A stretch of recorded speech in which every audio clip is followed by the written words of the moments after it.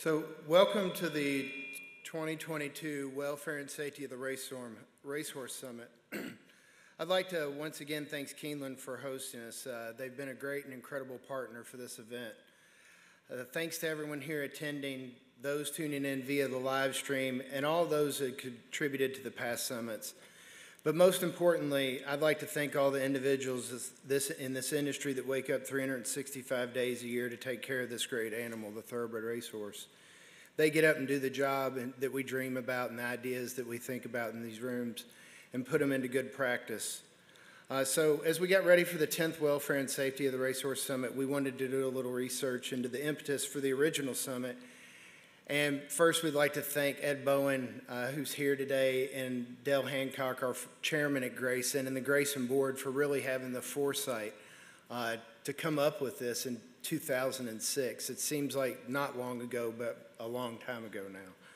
So, the impetus for the original summit was really a discussion amongst Grayson board members examining the decline in starts per starter and asking the question was this related to safety issues, durability of the horse, un- unsafe conditions, or was it other things? Well, after quickly realizing the starts per starter issue is a much larger uh, issue than a summit on horse safety and welfare could address, the participants quickly settled in on this.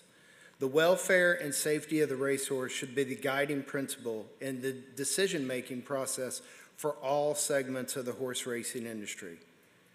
So this led to two recommend or two summits that were closed door meetings of industry participants with limited uh, public uh, presentations, but the recommendations centered on a couple of areas. And those were we had a lack of data for horses suffering fatality or injury. So in 2006, we couldn't tell you how many horses suffered a fatality on the racetrack. Uh, we had no surface lab to send materials to. We had no maintenance reporting for track services. We had no procedures, uh, equipment procedures in 2006. Now, when I say in 2006 in these years, of course we had one, two, three, or four tracks that were kind of doing these, but now these are more standard operating uh, procedures around the country. Uh, they recognized that we needed greater regulatory veterinarian oversight with establishment of necropsy programs, standardized pre-race exams, and the development of lab standards for an accreditation program.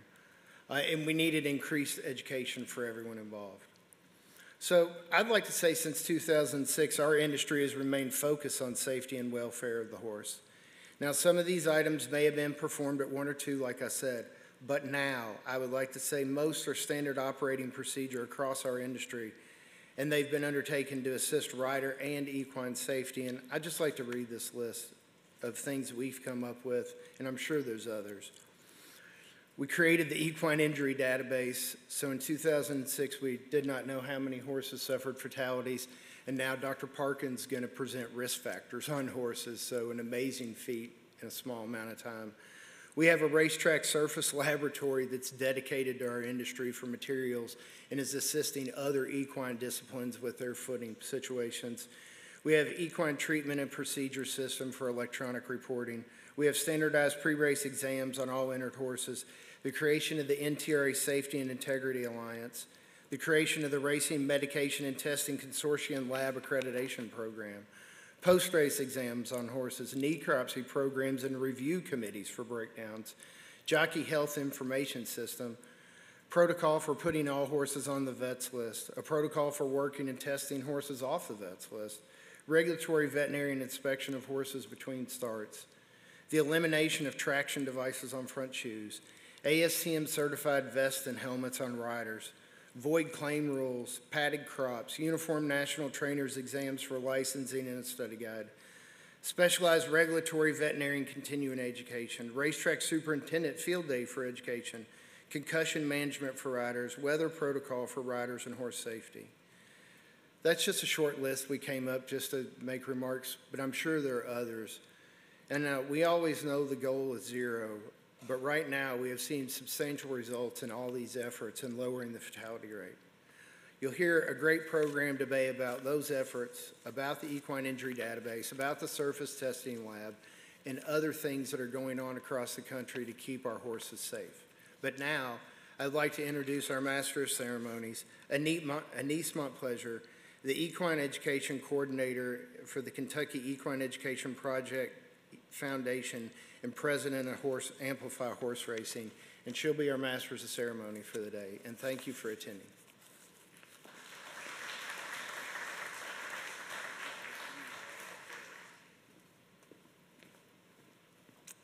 Hello, everyone, and welcome to the 2022 Welfare and Safety of the Racehorse Summit. My name is Annise Montplaisir, and I am so excited to be joining all of you for this very important event to our industry.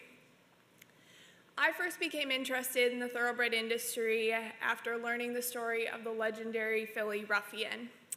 And so, fittingly, Ruffian would actually become the subject of my first ever public speaking engagement, which was presenting a competitive speech at my state 4 H horse show when I was 14.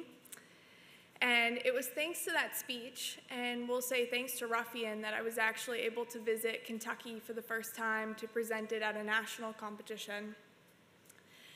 And as I was researching for that speech and my interest and passion for the thoroughbred industry started to develop and grow, so did my curiosity to better understand what was happening in the space of welfare and safety and supporting the health and longevity of our amazing equine athletes. And I'm sure that many of you probably have a story that is similar to mine, and that it was a particular horse who inspired not only your pursuit of being involved in the industry, but your pursuit of developing your knowledge of the industry and becoming a great steward of the horses that are at the center of all of this. And that's what brings all of us here today for this event. So, it is with great confidence that I can say that uh, 14 year old Annise would be very excited for me and the fact that I get to stand before all of you today and not only introduce the incredible experts that we're going to get to learn from, but also I'm here to learn as well alongside all of you. So, with that, we are going to transition into uh, our first presentation, which is a fitting one to kick us off, as this has been a topic at the forefront of the summit since its impetus, and that is the Equine Injury Database, which was first proposed at the Welfare and Safety of the Racehorse Summit in October of 2006. What followed was a 13 month pilot program during which over 3,000 injury reports were received and recorded, leading to the official launch of the Equine Injury Database in July of 2008. Now, everything is recorded digitally in an extensive database that seeks to identify the frequency, types, and outcomes of racing injuries using a standardized format that will generate valid statistics, identify markers for horses at increased risk of injury, and serve as a data source for research directed at improving safety and pre preventing injuries. Joining us to provide an update on the equine injury database is Dr. Tim Parkin, head of Bristol Veterinary School at the University of Bristol. Welcome, Dr. Parkin.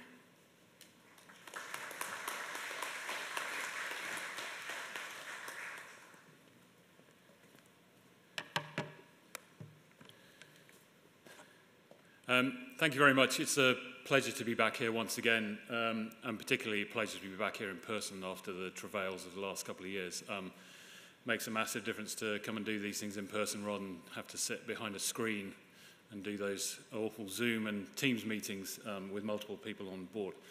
Um, I'm going to give you a brief update on what we've been doing over the last um, few years with respect to the equine injury database. Um, a few things to uh, talk about. Firstly, just uh, bring you up to speed as to where we are with respect to the annual audit figures that we do on an annual basis for the Jockey Club. Talk a little bit about what happened last year with our two year olds.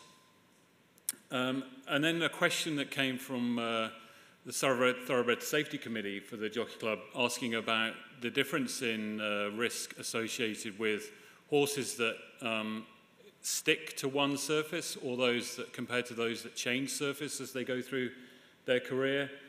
And then finally, just a little bit of a, a section on uh, sudden death and what we've been doing in, in that field as well. So, uh, looking at the annual fatality uh, figures and reminder that these fatal injury reports are reports of any horse that died or was euthanized within 72 hours of a race date. Um, overall, uh, figures on all surfaces, as you, I'm sure you're aware, Uh, the figures have come down quite substantially uh, since 2009, representing a, a 31% reduction in the risk of fatal injury um, from a high in 2009 around 2 to, for the first time this year, I believe, uh, dipping below 1.5 per thousand starts on those uh, participating uh, racetracks. Obviously, dirt being the predominant surface in this part of the world, then that very closely mirrors what we see in the overall figures. But again, a very substantial reduction in risk, 36% reduction in risk uh, since 2009 to uh, 2021, hovering just above the 1.5 per thousand starts. Again, a substantial reduction since the, uh, from the 2.1 per thousand starts that we saw in 2009. Um, looking at turf, uh, obviously with fewer starts, and the line is a little bit more up and down, a little bit more wavy, but again, a substantial reduction, about a 30%, 28% reduction uh, from uh, 2009 to 2020. And then finally, synthetic, um, a very substantial, more than 50% reduction in risk compared to that first year. Now, that first year was a particularly uh, high point, obviously about 1.5. So uh, that, that, lean, that uh, contributes very significantly to that very significant reduction. But it's, a, it's, it's very pleasing to see, after a small uptick last year, a return to uh, the uh, general trend in a downward direction for synthetics, now down at about 0.75 per thousand starts in terms of fatal injuries um, on those particular surfaces. So last year was a bit of a, the 2021 data was a bit of a, a strange year uh, in terms of what we saw, um, particularly for the risk associated with two-year-olds. Um, and it, I don't think there's a year goes by when I come over and, and speak here where someone doesn't ask me about the risk associated with two-year-old horses and whether we should be racing two-year-olds. So it did um, throw us a little bit uh, when we saw the figures that suggested that actually there'd been a spike in two-year-old fatal injuries uh, last year. These data um, represent, the red line here is the, year, the annual figures for four-year-olds, okay? So uh, this is what we've seen in four-year-old pluses, horses. Uh, this is what we've seen in three-year-olds as we go from 2009 through to 2021. You'll see that in the three-year-old group, I've, I've pointed out years, year on years, where there'd been a significant increase from the previous year. And this was a, in, I think it was 2013 to 2014, in the three-year-olds, there was a 21% increase in the risk from the previous year in terms of the risk of fatal injuries per thousand starts on the track. Now, those are the four-year-old plus and the three-year-old uh, lines. So the four-year-old plus are the uh, red line and the blue line is the three-year-olds. And then if we overlay the two-year-old figure, again, I pointed out uh, year-on-year changes where we've seen a, what you might regard as significant change. And certainly in 2011 and 2012, we saw a, a, reasonably significant increase on the previous year, 16 and then 17% increase. But what we saw last year from 2019 to 2020 was a 43% increase in the risk of fatal injury in our two-year-olds. And that really did throw us. That was not something we were expecting at all. And if you look at the lines, for the most part, then uh, three and four-year-old pluses, they intertwine with each other. They kind of trade places in terms of whether the three year olds are at slightly increased risk or the four plus year olds are at slightly increased risk. But in no other year has the two year old risk being above either of those two particular lines. And 2020, the value for two year olds was higher than both the value for three year olds and the value for four plus year olds. So it really was a surprising, surprising finding. Um, it is obviously, as you see, uh, gratifying to see that actually in the most recent data, then the two-year-old's um, risk of fatality has returned to what you might regard as normal trend and it's come back down, well, for the first time to be below one per thousand starts. So we're glad to see that it's back on track, but it did raise some questions about what happened last year. And uh, uh, from discussing with the Thoroughbred Safety Committee, we then took um, data from workouts recorded in the EID. And th this plot is a little bit um, difficult to see, but what you're seeing here is each year from 2009 to 2021. And on the y-axis here, we've got the number of EID recorded workouts per horse per month. And you've got month of March through to December here. And you can see that for the most part, from 2009 to 2019, all the years are clustered in amongst each other. There is some fluctuation, but there's, there's no one year that really stands out, apart from 2020. And these are the lines in the early part of the year, March through to June for 2020, when the number of workouts was clearly uh, impacted, uh, workouts per horse, was, per horse was clearly impacted by what was going on in that spring of 2020 with COVID, etc. Now, the number, the, the actual numerical difference might be quite small, but actually, I think it doesn't take necessarily an enormous difference in the number of workouts or the amount of training that a two year old doing is potentially to, to, to, have a potential impact on the risk of fatal injury and how the bones adapt in those particular horses. And it is interesting to see that we did see a similar, probably less pronounced training disruption in the older age horses, but we didn't see that impact on their risk of fatal injuries. Um, what we did see uh, later on in the year, we think, with this, this line going up through here, we did see some attempt at compensation for a lack of exercise early in the year in those two year olds as well, which may also have contributed somewhat to the increased incre uh, uptick in risk of fatal injuries for those two year olds in 2020. Now, obviously, this is purely data, and actually trying to take that from uh, correlation through to causality is somewhat difficult, but I know Larry will talk a little bit after me about how this might relate to uh, adaptation in the bone and then therefore how it might have actually resulted in an increased risk in those two-year-olds. Uh, interestingly, if we then add on 2021 here, and that's a black line you can't really see amongst all the other lines, but that tells us that essentially the 2021 workouts per horse per month were back to normal. And actually that then ties very nicely in with the fact that actually we've seen a significant reduction in the risk in those two-year-olds uh, uh, uh, in 2021, as I said, with the risk per thousand starts dipping below one for the first time. So that gives us some anecdotal uh, evidence to suggest that yes, there is quite a strong relationship between uh, the number of workouts horses are doing and the interruption in training, and therefore the, uh, the risk that those particular horses were at um, uh, in 2020, purely due, due to the disruption in training due to COVID. I was asked um, at the Thoroughbred Safety Committee, then asked about, well, you're not going to see an immediate impact of that reduction in work on the risk of fatal injury. Uh, and you'd expect a lag in the uptick in fatal injury, which I think is what we have seen. Now, there is a bit of a caveat uh, with respect to these data in that we are talking about the number of fatal injuries on tracks by two year olds per month. And in no one month is that greater than 10 individual horses. So we are bound to see quite a lot of fluctuation when we put that against the denominator, looking for a, a per thousand risk. But nevertheless, it is quite interesting to see that actually, if you look at the red line here that goes through, that's the average number of fatal injuries per thousand starts in two year olds in 2015 to 19. And then the green line is what we saw in 2020.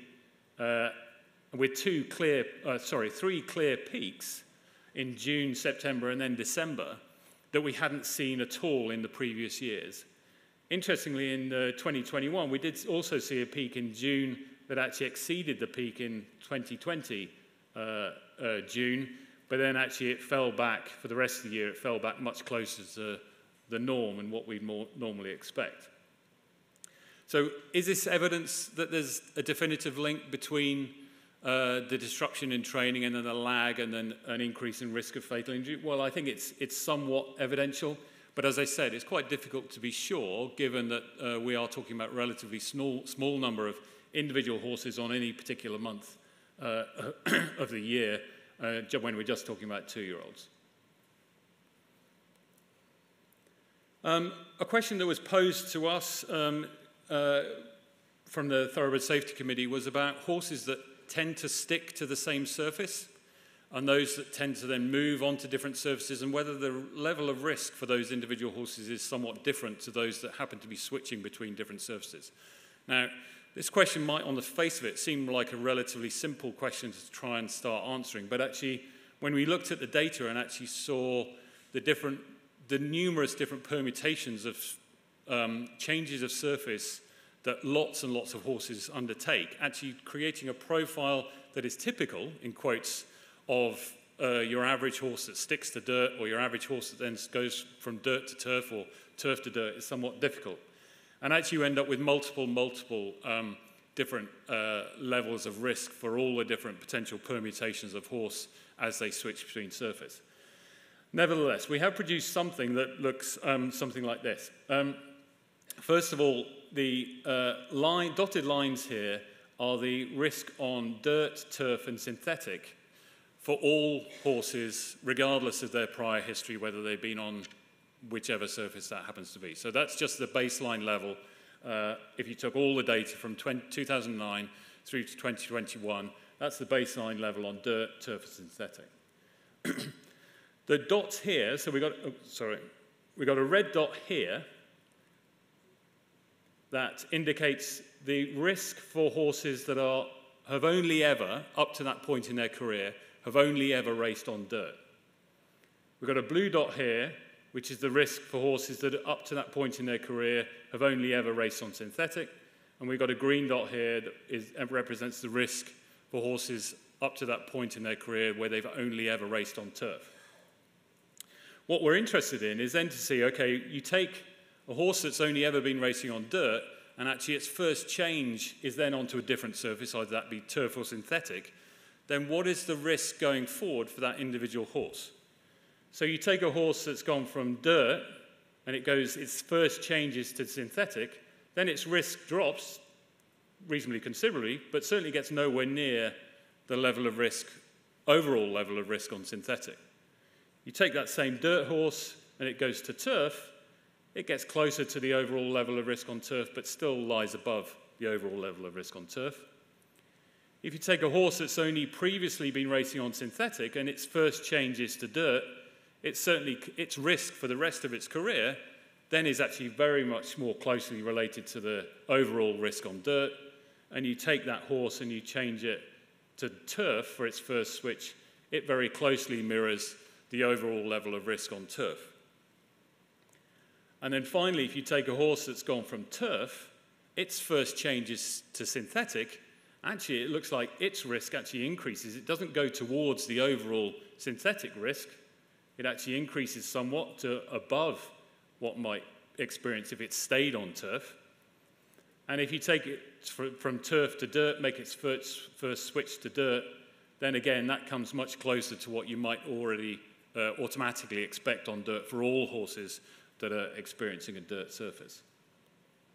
So, how do we interpret these? Well, I think uh, for all those horses racing on dirt, uh, regardless of their history, whether they have, have been continually racing on dirt or whether they made a switch, then they are all somewhat close to, but below, the overall level of risk on dirt.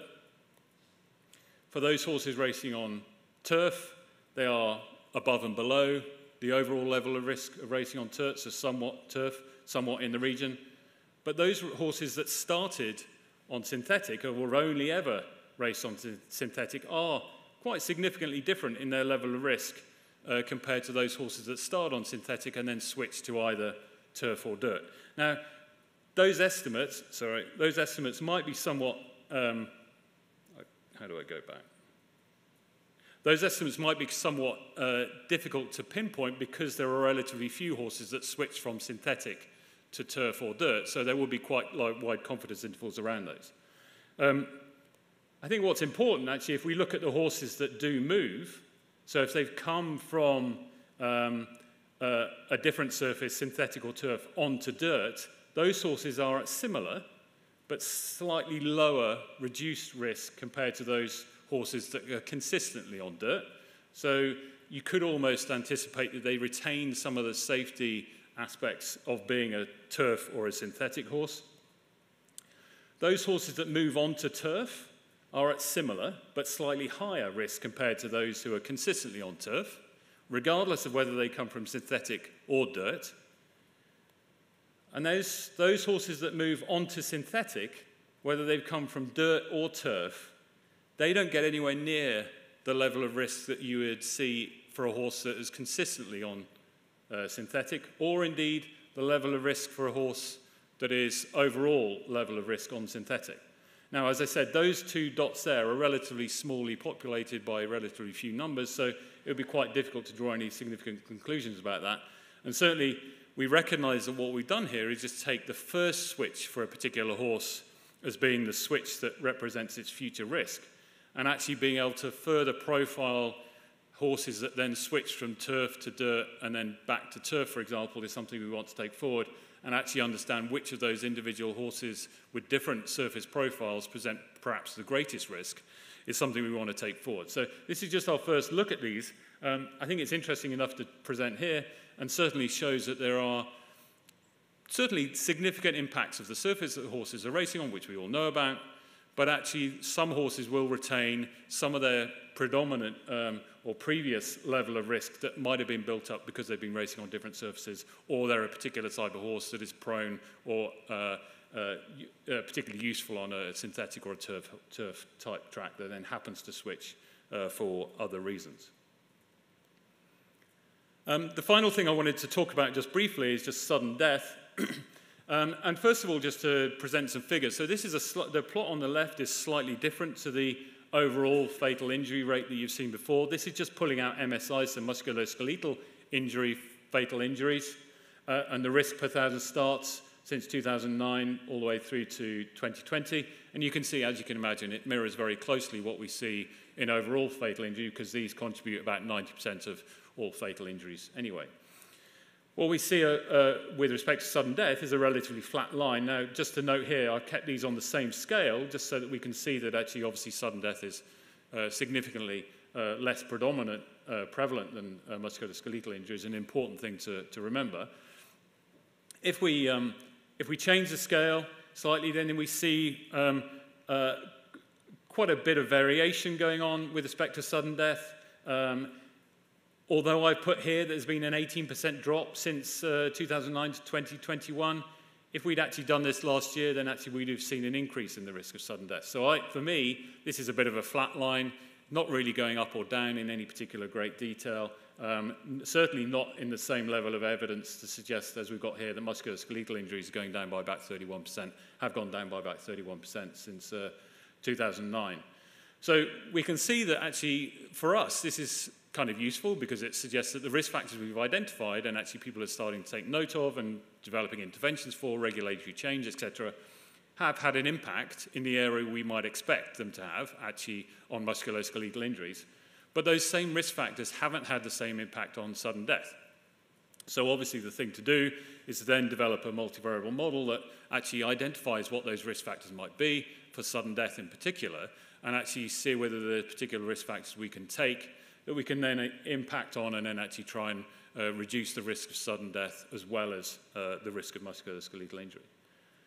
Um, probably the reason that people are talking more about sudden death, obviously uh, apart from potential high profile cases, is that actually because of the reduction in the overall contribution of musculoskeletal injuries to the total number of fatal injuries and actually the proportion of horses that are overall horses that are dying uh, due to sudden death is obviously, obviously rising, uh, and whereas previously in 2009 it would have been about five, between 5 and 6%, it's now, for a couple of the most recent years, has tipped over 10%.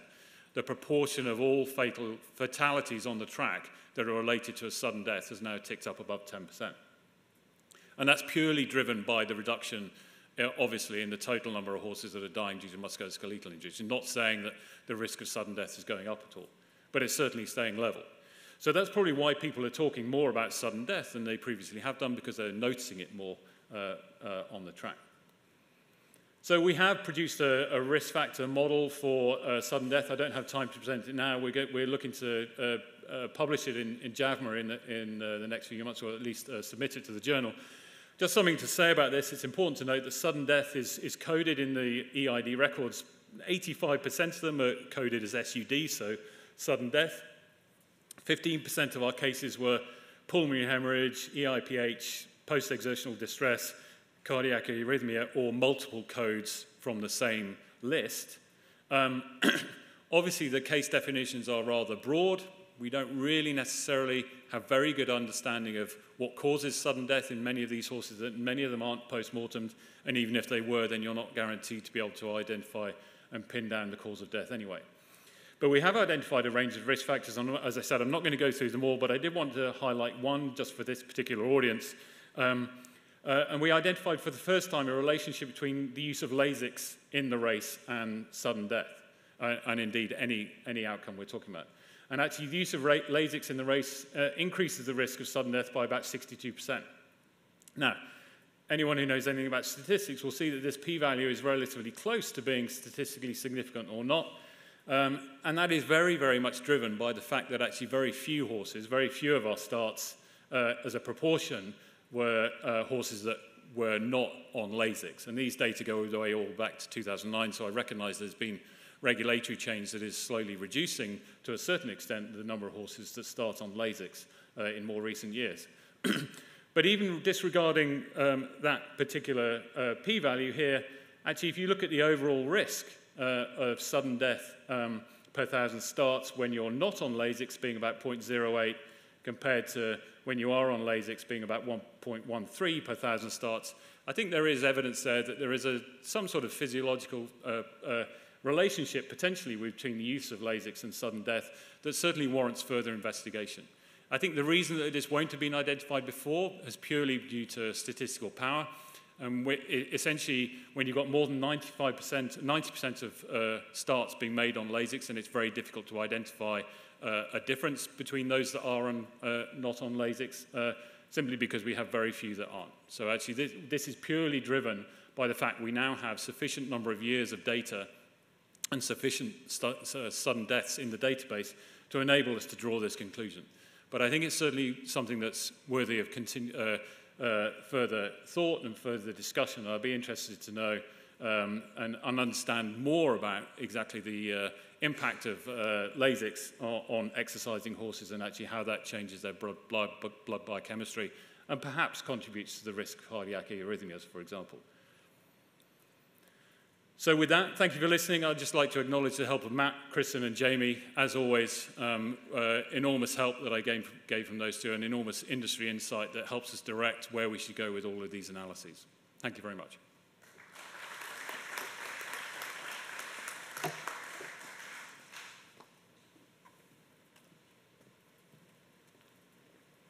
Thank you very much, Dr. Parkin. We'll now welcome Dr. Larry Bramlage to the stage, surgeon and partner at and Riddle Equine Hospital, to present on building a two-year-old skeleton for racing. This is a continuation from two previous presentations by Dr. Bramlage at the Welfare and Safety of the Racehorse Summit. The first in 2012 on selected effects of training and racing on the musculoskeletal system, and the most recent one from 2014 on training and bone development in racehorses. Please join me in welcoming Dr. Bramlage.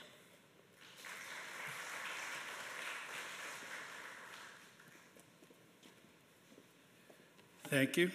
Um, it's nice to be here. First, I got to figure out how to advance my slides in the pointer. Okay, so we're we're moving now from um, science to maybe interpretation, or possibly from carpet to straw. And uh, the first question we need to ask is um, Is it a good thing to be training two year olds? Um, the, the criticism, interestingly, comes more often from people who are in other aspects of the equine industry than it does people that are uninitiated. the, the show horse people, uh, and especially some of the disciplines like dressage, have a strong opinion that you should not be training two year olds. They let their horses fully mature before they start training. But I'm going to try to convince you that that's not the case. Um, the report, first report from the Thoroughbred Safety Committee, whenever we were initiated in 2008, was to the Jockey Club Roundtable in 2009. And our first question was Is there evidence that racing two year olds is a bad thing? So we looked at three items the average lifetime earnings per starter. And as you can see in the red, horses that race at two are much more successful than horses that um, don't make their first start until after two years of age. Same thing is true for their career average earnings per start. Horses that are able to race at two are much more successful in the amount of money they earn per each start. They are also more successful whenever they're competing in stakes. Now, to some degree, this probably indicates that um, there are some horses that are better athletes than others. Um, you know, the, the horses, there, there, are some horses notably that you can throw anything at them in training and they're able to handle it. And then there's some horses that can't breeze twice in a row because they, I guess weak protoplasm might be the answer. Interestingly enough, subsequent studies or studies around the same time from New Zealand, I'm not going to try to uh, make you read that, but I just put red boxes around the conclusions in these papers. In New Zealand, it's better to race two year olds. In Australia, it's better to race two year olds. Even in Poland, it's better to race two year olds. So I, am unaware of any study that, that shows that um, not racing uh, as a two year old actually improves the situation. So I think the evidence continues to show that racing two year olds is a good thing for the horse, or at least training it to. You absolutely have to train it to. Um, Thoroughbred racehorse is a, an amazing running machine. Um, it's been developed by natural selection, multiplied by man. Uh, and I'm sorry about the colors here, they don't show up very well, but um, if you divide a horse into his systems, um, roughly 40% of the horse is uh, musculo um, tendinous. There's about um, a fourth of the horse that's skeleton. And then you have about 35% that's viscera. Um, this is an estimate, but if you, it's taken from the dress, um, dressed weight of an equine carcass. And if you're a hunter, you know that whenever you dress out a deer or if you um, dress a cow whenever they're slaughtered, they run about 60 to 65 percent. So we're taking a little bit of liberty uh, in assessing that, but suffice it to say that 25 percent is skeleton. These two are dead weight. This is what the, drives the horse. So if you can lower the dead weight in the horse that he has to carry around the racetrack, it's easier for the horse to run.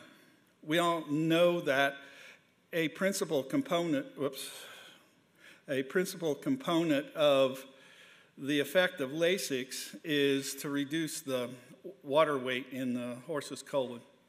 The horse urinates out a lot of weight. Uh, it's taken out of the circulation. It's then made up for by absorbing water from the colon, so they end up lighter. But the thoroughbred horse is so good at what they do because their skeleton is the minimal amount it takes to get the horse around the racetrack. And, and so they walk that line as to what's the uh, best skeleton I can have to keep me as fast as I possibly can. Skeleton's interesting.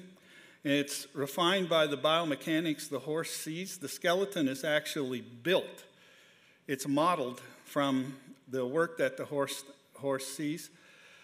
But how does that occur? It occurs by training, and there's some comments I'll have to make in a little bit that I think fit very well with um, the data that Tim just showed you. Why train two year olds? The two year olds are right at the end of their growth period. during the growth period, the skeleton is replete with the blood supply and the cell population to build bone it doesn't make any sense to let that totally atrophy until the horse is four year old is a four year old, because then you got to build it all back. What you want to do is pick up that um, support system and convert it from growth to adaptation to training. And that's one of the reasons it's better to, to train and race a two year old. Now, way back when, whenever I was going to school, we, we learned that the skeleton was basically a passive unit in any being, but there, it couldn't be farther from the truth. The more we know about bone, the more interesting it becomes. It's actually very dynamic. Um, sorry, wrong button again. It's highly sophisticated and remarkably adaptable to what the skeleton needs to do. There are two cell lines, the osteocytic and the osteoblastic. We're not going to talk too much about that today. But this is a cross section picture of a horse's cannon bone. And you can see where the cannon bone starts and where it ends up after it's trained. So it's pretty amazing at, at what a horse does to produce a skeleton that's uh, sufficient for his racing. Now, the osteocytes that I learned whenever I was in schools, they basically build bone and they kind of get stuck in the middle of the, of the bone. But that's really untrue. They're the directors of everything that happens. And how that happens is each one of these little dots is an osteocyte. It's uh, diagrammatically, it's a cell like that. Uh, if you digest away all of the mineral, it's going to look like this. The soft tissue, that's an osteocyte, that's an osteocyte. The key to the horse building bone are the canaliculi and the dendrites. Canaliculi are canals, dendrites are connections between cells. And if you digest away the mineral, you can see how much of that there is. It's a huge amount of interconnection between the cells. So the weight on the bone is then transferred to this is uh, one of the, these circles, corresponds to here.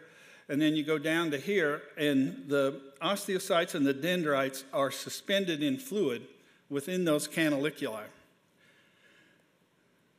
So the osteocyte is a director, it's not a prisoner. Um, it senses the, it's, they're, they're actually tethered inside of those canals, and they're communicating with all the other osteocytes in the area. Now, if you remember your physics, the hydraulics, whenever you increase a load on um, a cylinder full of fluid, it transmits throughout the entire cylinder. That's why hydraulics work on heavy machinery. And so, whenever you increase the load on a bone, all of those osteocytes in that general area are going to be sensing that the load is increasing. So, how do they respond? They add bone.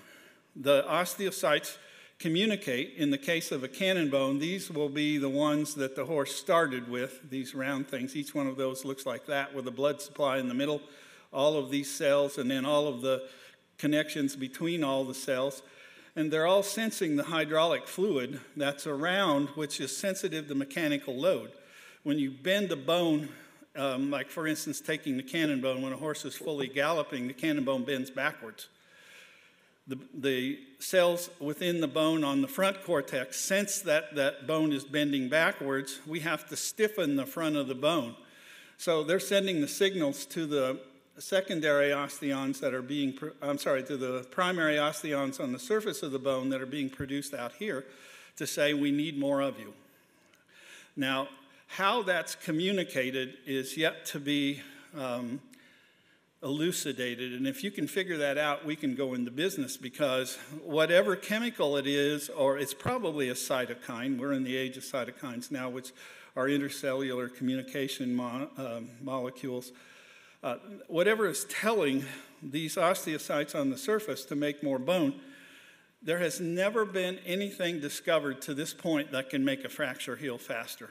Normal fracture healing occurs at its, at its, it's a preferred site at its most um, active rate. For a while, the theory was electrical, that when you bend a bone, you get different charges on the surface. That washed out. But the hydraulic sensing of the loads in the bone is very important, at least, and how it does it, I'm not really sure. Uh, modeling of bone, I keep my finger on right button. Modeling of bone occurs in the shafts, which mean modeling refers to the fact that you can change the shape.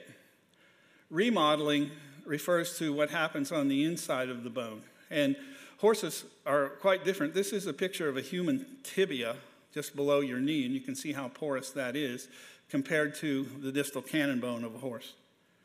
So this is Wolff's Law. We all uh, learned about that, and anybody that's taken a biology course of, uh, that includes bone, uh, he's the first person that described that bone is laid down where strength is needed and removed where it's unnecessary. Well, horses carry this to the extreme. They have such a, a huge cell population and blood supply that they can do that dynamically, and they need to do it dynamically. So how does a horse train? Um, you give him a load that the bone senses is a little more than it can stand, and then he increases the strength of the bone. And so the next training session, you give him another load, and the bone senses that that's a little more than I can stand, so it builds bone. And then all of that situation results in hypertrophy of the bone. this probably, the, the fact that it's, um, we used to think it was micro damage or very small fractures we couldn't see, but that's probably not the case. It's probably more correctly termed micro deformity. Now, changing the shape of the bone or changing the composition of the bone, if you just change the shape of the this represents changing the composition of the bone but it's much more effective to change the shape of the bone the farther you get the outside of the bone from the center of the bone it's illustrated here and you probably can't read that but if you take the same amount of material in a rod and put it in a cylinder it doubles the bending strength so the moment of inertia which indicates that how far the outside of that bone is from the center of the bone has a lot to do with how stiff the bone is and how well it stands the load. That only makes sense. This is from Dr. Nunamaker's um, research in the 2002 Milne lecture that he presented at the AAEP, and it gives you an example of the blue line is a standard bred yearling. The red line is a standard bred adult. That's how much of adaptation of moment of inertia that the standard bred makes whenever they're training. Look what a thoroughbred makes. Thoroughbred yearling goes from here, which is actually lighter than the standardbred, which, if, if you look at thoroughbred and standardbred foals, you can tell that because their skeletons are a lot lighter than the, than the thoroughbreds are. But look what happens to the adult thoroughbred. Look how much adaptation, how far that bone is moved from the center of the bone. And that's all adaptation from, for training. We, we can see that most readily in two places the dorsal surface of the cannon bone more than doubles, and the posterior cortex of the tibia more than doubles. Not surprisingly, those are our, two of our biggest sites of stress fractures in the shafts of the bone. If that adaptation is getting behind, we're going to see the bones start to break down. We're going to see accumulation of damage, and then, and then you get stress fracture and eventually pain. Uh, if you have an inadequate amount of repair or an excessive amount of load, the bone's not going to be able to keep up. And so that ends in the kinds, almost every fracture that we see is a stress fracture in origin. Once a horse reaches a made skeleton, which is usually about four or five races into their career, they don't have to make more skeleton anymore. They don't have to move the moment of inertia out anymore because they've already produced those bones. And, and our clinical lameness caseload um, refers to that. There are places they have to keep up. And so the overload repair kind of stagnates. What actually happens is this. Um, in that, that slowly the skeleton becomes a little bit stronger. That has a lot to do with the um, mineral content of the bone and becomes a little bit stiffer as the horse goes. Biologic systems never reach elasticity. The definition of elasticity is the metal in this bridge is going to bend and come back and bend and come back, and as long as it's in the elastic range, there's no permanent damage. But if you get into the plastic range, meaning that each time you bend it, a little bit of anatomic change occurs, um, then that damage is going to slowly accumulate, and this is why we have to keep an eye on the adult fractures for uh, skeletons for things such as condylar fractures. This is an example of uh, several different horses' shins um, that we're looking at. You can see the, the different methods or different stages all of these horses are in. This is from Dr. Stover's work, who's in the audience. Um, looking at those osteons that are being produced on the surface of the bone because the mechanics of that bone are telling the bone, I need help. And if they get behind, this is what happens. Stress fractures uh, occur, and whether it's in the tibia or whether it's in the metacarpus, in an axially loaded bone, the shear plane is always at 45 degrees, and that's why the stress fracture occurs like that. And if it keeps happening, you, you can progress to this amount of damage. It just creeps its way, actually reaches, most often, reaches the surface of the yearling shin and then propagates up. So the bone stiffness is a little different. If you totally ignore it, this is the possibility of what you're going to have happen. You got to pay attention. Tibial stress fractures, they look exactly like dorsal cortical stress fractures. They also look like the stress fractures on the surface of the metacarpus. They will sometimes um, be painful in the early stages here, but sometimes we see the actual stress fracture. The better the trainers get at picking things up, the, the better we are at um, treating them. In the distal cannon bone, you have to change tactics because you can't make the distal cannon bone bigger. It's part of a joint. So there's no way to increase the moment of inertia in the bottom of a cannon bone. What you have to do is change the structure in order to make it stronger. And that results in the disease we all recognize now as being um, probably the single most important disease in the horse, and that is the distal cannon bone, subchondral bone inflammation, or uh, bone bruising. Uh, it's been called maladaptation, and I don't really think there's anything wrong with the adaptation. I think we just give the horse the load faster than he can maintain. And so, uh, uh, so th- this is a horse that I happen to be doing a fetlock arthrodesis on, but every horse that I've opened up the joint, every thoroughbred that's done significant racing, has some version of that bruising in the bottom of the cannon bone. You see it in every racing thoroughbred. So I don't think it's really maladaptation. I think it's just the horse can't keep up.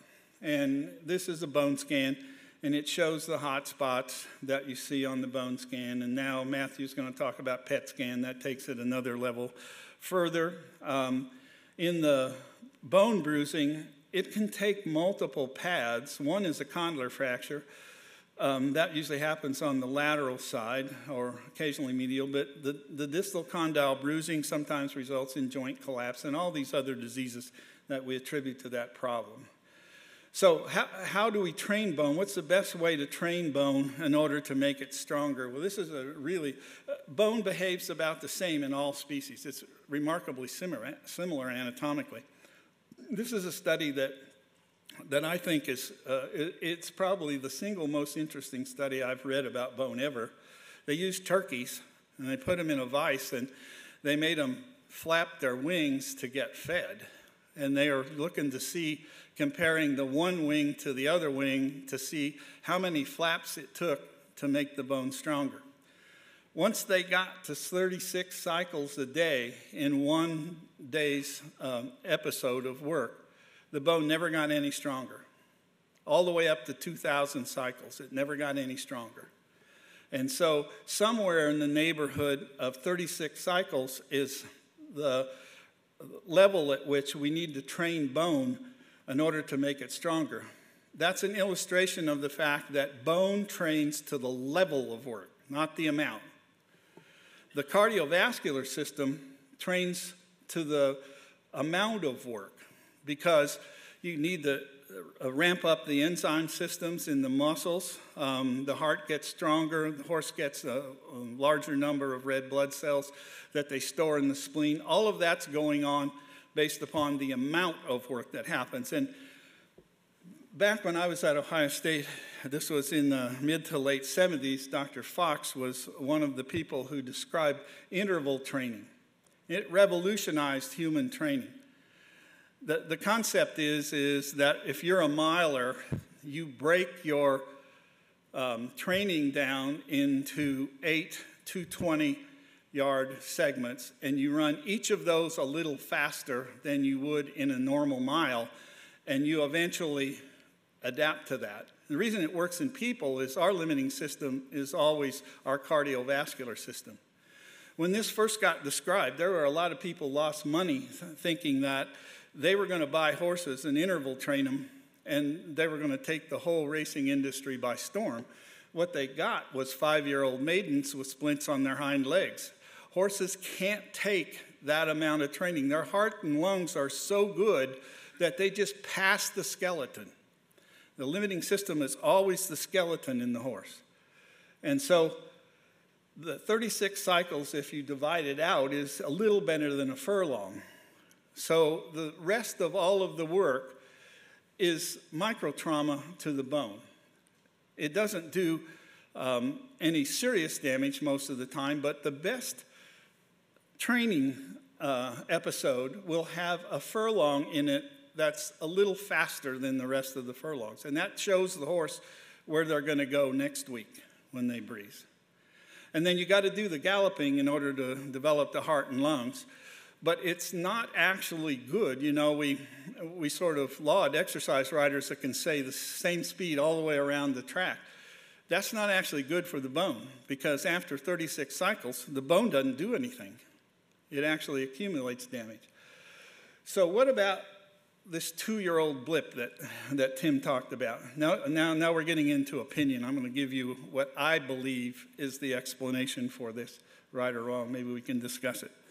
If you look at a two year old in training training uh, schedule or a, a, horse's training schedule, um, for the first October to the first of the year, they're learning what a racetrack looks like, how to respond to the rider. Um, they're getting all their lessons as to what it looks like to train. And then, uh, somewhere around the first of the year, plus or minus, they start galloping and they'll be moving a little faster, a little farther, and a little farther as they go. Then, when you get to the two to three months before the horse is ready to race, this is a graph of the two year old races in the three years that um, Tim talked about.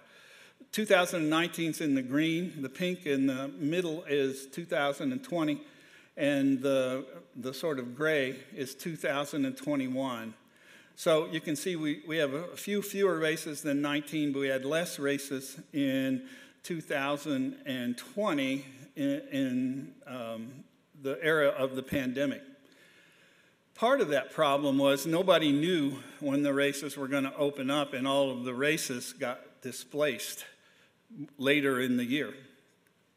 It didn't have as much effect as I thought it would when I looked at the numbers because they change, but they're, they're significant, but they're not huge.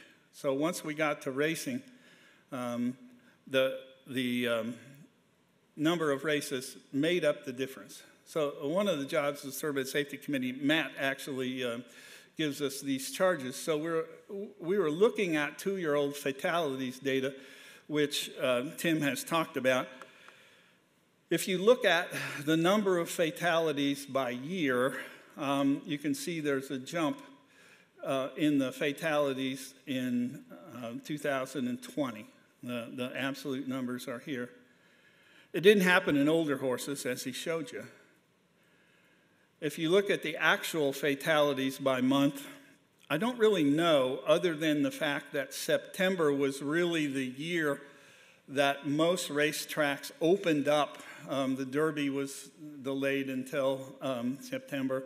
The stakes races are all kind of happening there. So um, the, the two year olds are getting the opportunities to race. I, I, I don't know why the December spike, but I think it might be the fact that most horses change tracks after Thanksgiving. They go south for the winter. And then the new racing at those tracks starts.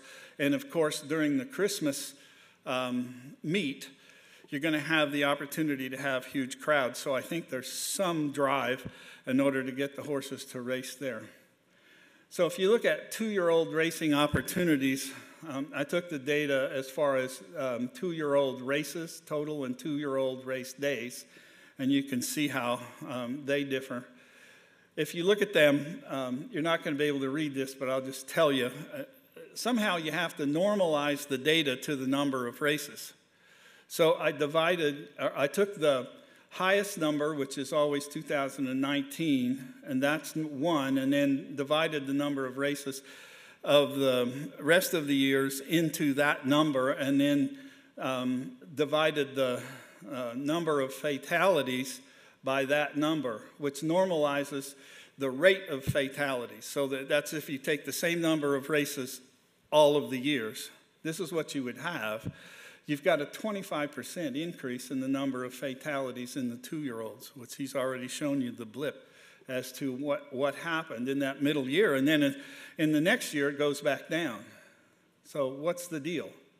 Here's if you plot the fatalities by month, um, looking at the numbers rather than by year, you can see those two spikes. And those spikes aren't directly related to the racing opportunities, they, they have um, something to do with the training of the horse. So, what happened?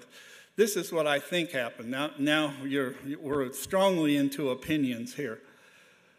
When you're talking to the trainers during the first half of that year, they're all just galloping their two year olds. There's really no reason to tighten the spring and wind those horses up with breezes when you don't know when they're going to race, because their schedules are all dictated about when they're going to mature and uh, get to a race. So I think they increase the galloping significantly, and then they squeeze the breezes together and maybe a little harder. His work data um, shows that to some degree. Um, what that does is we've now wound up the engine a much higher level than we've wound up the undercarriage. So the heart's, since heart muscles and lungs train more to the amount of work that they get, not to the level of work that they get. If you're just galloping the same speed, the bone's not making much adaptation here. But if you ask it to adapt in that short a period of time, it's got to make more adaptation in a faster period of time. Plus, you compound the, the problem of the, the faster breezing schedule with the fact that the hearts and lungs are more mature than the skeleton is because we didn't breeze those horses on a normal schedule like you do every year. Um, and the fact that the data, the fatality data came back to normal in 2021, I think is an indication that um, that's a possibility for why, whenever we lengthen this space here to where we didn't get the over repair and then breeze them quicker and got them to the races, they were more vulnerable. They could go faster, and the skeleton wasn't as prepared. This has a lot to do also with um, our day to day treating of lamenesses. It's very hard to improve on, for the skeleton on the healing properties of putting a horse in the field with grass that, the reason that, that I prefer that when we're treating something is you actually want to prevent the horse from training his heart and lungs further because the skeleton has something to heal up. And if you keep him wound up and just slow him down enough that he can heal his bone problems and then open him up again, um, the, the skeleton is more vulnerable. I think that has something to do with the fact that if a horse is ever on the vet's list, his possibility of injury rises. Again, when he goes, possibility of fatality goes back to the racetrack, it stays higher. It has a lot to do with the fact that uh, training is more important than uh, racing because there's more of it. So if you train a horse on artificial surfaces, as Tim just showed us, and then you switch him to dirt, his skeleton is not prepared. He's not, it, training is work specific. And so you're, you're asking him to race on a skeleton that has been trained on a surface that didn't prepare it. And, and so just going someplace and race, I think if we could figure out what surface all of those horses were training on, I think the difference that he showed would be even more dramatic. Because when you train only on a very kind surface, and then we all know that dirt is not as kind as artificial surface, and you put the horse on a surface that requires a lot of the skeleton, it's not ready. And so it's real important that we train two year old horses, young horses, immature horses, at a, at a schedule that both trains the heart and lungs, that's the amount of work, and trains the skeleton, which is the level of work. And you have to balance both of those. If you get them out of whack, you run the risk that you're going to overload the skeleton someplace and you're going to have some kind of injury.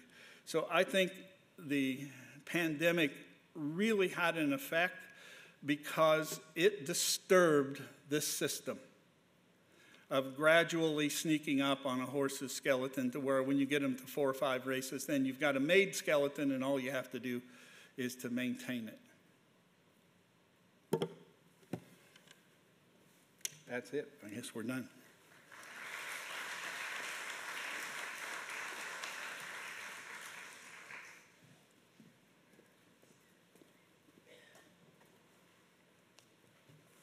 Thank you very much, Dr. Bramlage.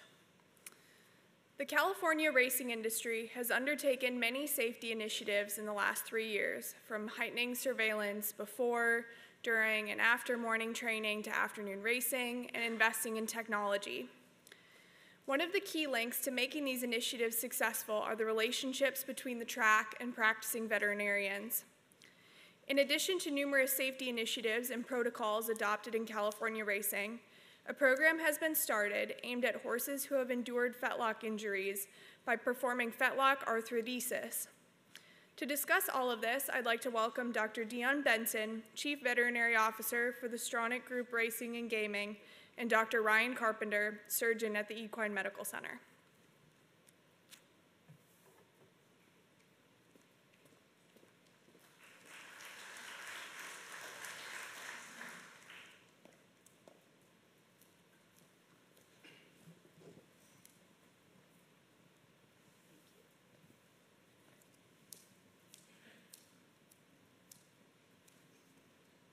So in true fashion of trying to work together, um, Ryan and I are going to just freely comment on each other's presentation. We've worked together for three years now, and uh, he's one of my first calls when we ever have an issue. So my job is really to talk about the prevention of, of injury, and Ryan helps us fix those that do happen.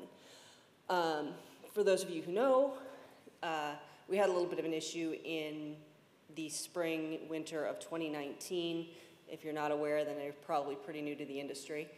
Um, at Santa Anita, we had a significant spike, which, if you look at the data, wasn't actually a significant spike compared to previous years.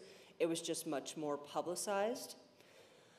Um, so we had to look and figure out what we were going to do and change in racing and training. We were really on the precipice of ending racing in California. We had many um, individuals, groups, significant stakeholders that were calling for change in racing and training um, because of the number of fatalities as well as the high profile of some of those fatalities. Uh, I'm going to talk about two general areas we looked into. The first was racing. We did some, made some drastic changes to how we raced in California. And I'm just talking about the veterinary perspective. Obviously, there are some other things that went into this. Um, we really decreased medication in racing. We were the first jurisdiction in the US to go to a 14 day stand down after intra-articular corticosteroids. Um, we got rid of stacking of medications. We decreased, and that has actually gone to a 30 day stand down on racing and training for horses that have had fetlock injections. Um, and then we moved nonsteroidal anti-inflammatories from 24 to 48 hours. This is something that the industry had been calling to do, the AAEP had been calling to do, and it really took this moment in time in California to make it happen. Um, one of the things that I think helped the most, and we've done this in both racing and training, was to require the private veterinarians to sign off on the horses. Um, three days prior to entry, they are required to look at horses at a trot and um, okay them to race, basically. Uh, and I think Ryan could certainly say that it has made a change in how he practices. Um, we definitely see the veterinarians taking more proactive role. We've gotten them back into the role of being a veterinarian.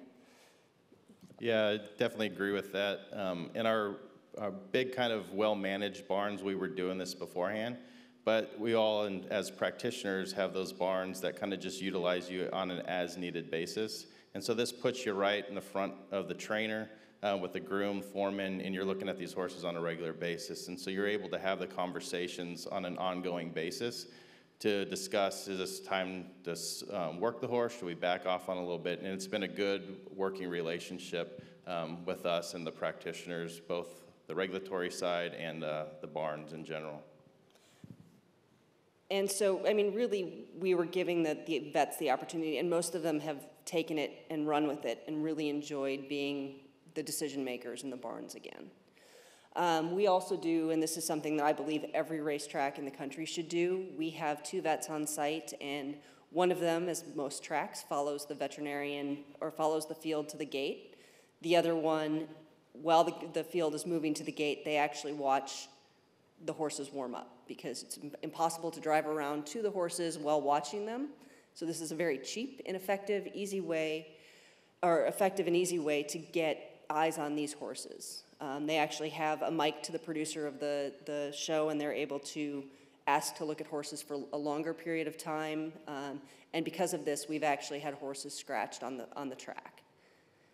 Uh, we also have big race day protocols for better or worse. We all know that there are days when there are more eyes on us than others. Um, and for those instances, we have additional protocols that are present. We require horses to be on the grounds longer. Um, any horse that is racing that day, for example, the Pegasus Day, even if it is not in the Pegasus, is required to wear a numbered saddle towel. And we um, examine those horses if needed. We have people watching the, the horses train, and we require 14 days of, of medical records to be submitted. The biggest opportunity that we had to make change was training. Prior to 2019, in Santa Anita, our sole responsibility for most of training was to provide the surface, to groom the surface on a regular basis, and to um, make it prepared for racing, and then allow people to do training as they saw fit. Um, I think that the more options or opportunities you have for interaction with the, the horseman and the horse, the more you can Im- ensure its safety. So we really aggressively um, went after training as a way to help um, improve safety. So we controlled medication for official works or for all works. Any time to work, we controlled every medication that could be seen to mask pain nonsteroidals, corticosteroids, opioid analgesics. All of those um, local anesthetics were controlled and randomly tested for after training. We didn't see very many violations, but truly this, this helped us to see horses as they were. Um, again, we required the private vet exam and saw, you know, I think it really also helped strengthen the relationship between our vets and the, the attending vets and allowed them to, to start to work together and trust one another. I've had more than one occasion where a private vet has been trying to get something done in a barn and couldn't, and so we're always in the barns and we can go and say, hey, this horse can't train anymore until it has this diagnostic which wouldn't have been possible before this, this interaction. Uh, we require at Santa Anita all horses register for works. That starts a protocol that basically triggers a review of the past performances, a risk assessment, and we do um, a, a, portion of every day's works we do exams on. Um, we scratch anywhere between one and eight horses a week from working and require diagnostics, require intervention by their private veterinarian. Um, and it really, it's just one more opportunity for us to see how that horse is doing. One of the biggest frustrations I have is, you know, even, even at the best tracks, when we're just doing an exam every race, you're limited to how many exams you're going to see on that horse. Some horses you're only going to see a, a, handful of times a year, even if they race at your track and only at your track. Because, especially in California, we are so work heavy and so race light that we, don't, we wouldn't get to see these horses very often. And that represents a ton of risk that you have no control over. So, really, this is truly an opportunity for us to see these horses. Um, and I think, again, it's a, an opportunity for us to work with the private vets and have that be a second set of eyes and really a support for them to get what they need done. Um, again, we do, uh, since September 2019, we've examined 7,400 uni- unique horses at San- Santa Anita, and we've done over 21,000 exams in three years that would have not been done but for this program. This does not include pre race exams, this is specifically pre work examinations. Plus the private veterinary exams, plus, I mean, there's just so much, so many eyes on this horse and so many, these horses and so many opinions. Uh, we also did some random drug testing and training that was taken over by the CHRB as they started to regulate this, and we didn't see many violations, but we were certainly glad to see that. And one of the most important things is just having people at the track. Virtually every one of our tracks and training facilities, every day we have someone watching horses train. That's not just California, that is Maryland, Florida, our training facilities. And we see things that we would not see any other time. It just, it makes a huge difference. Um, we can ask horses to leave the track. We can follow up with horses that are unsound, call the vets. the private veterinarians, and it just makes a huge difference. So does it work? Um, if you look at 2018, this is, this is the ironic irony in all of this. We actually had this, about the same number of fatalities in 2018 and 2019. We had fewer races in 2019 because we canceled a lot of races.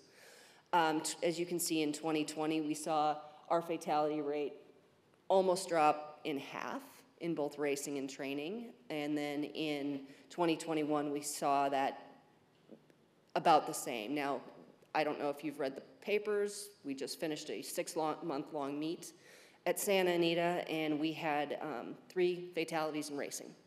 One musculos, or excuse me, two musculoskeletal on the turf and one sudden death on the dirt. So that means we had, on the least safe surface that we have, we had zero fatalities in six months of racing.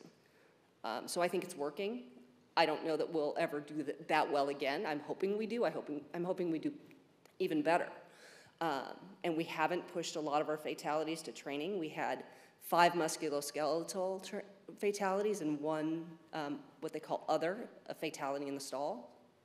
So for a big training facility with hundreds of thousands of works, uh, we're doing pretty well, and I hope we continue to do that well. But it is certainly a team effort. It is not just the veterinarians. It is the trainers and the, the owners and the private veterinarians.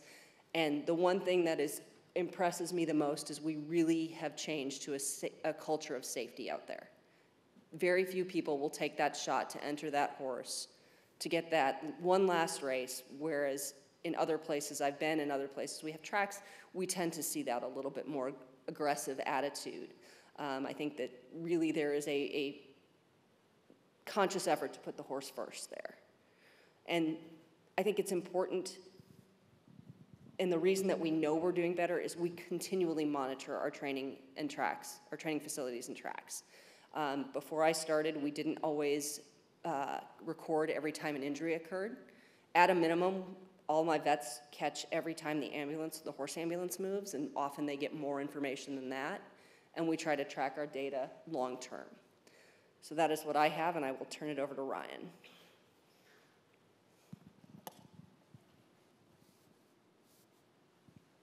Thank you, Dionne. I'm going to shift now from a surgeon's perspective. Um, as an orthopedic surgeon uh, based in Southern California, I deal with a lot of these uh, injuries, and as soon as the slides come up, we'll get rolling.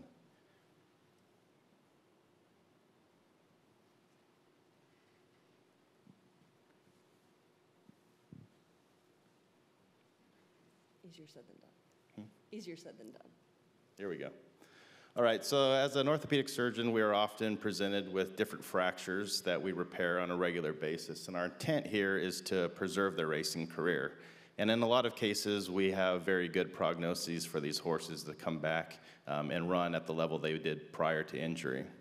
But what happens when things get complicated? So, either based on the severity of the injury or the complexity of the repair, they might not have as good of a prognosis for a racing career but an alternative career with light exercise may be very favorable.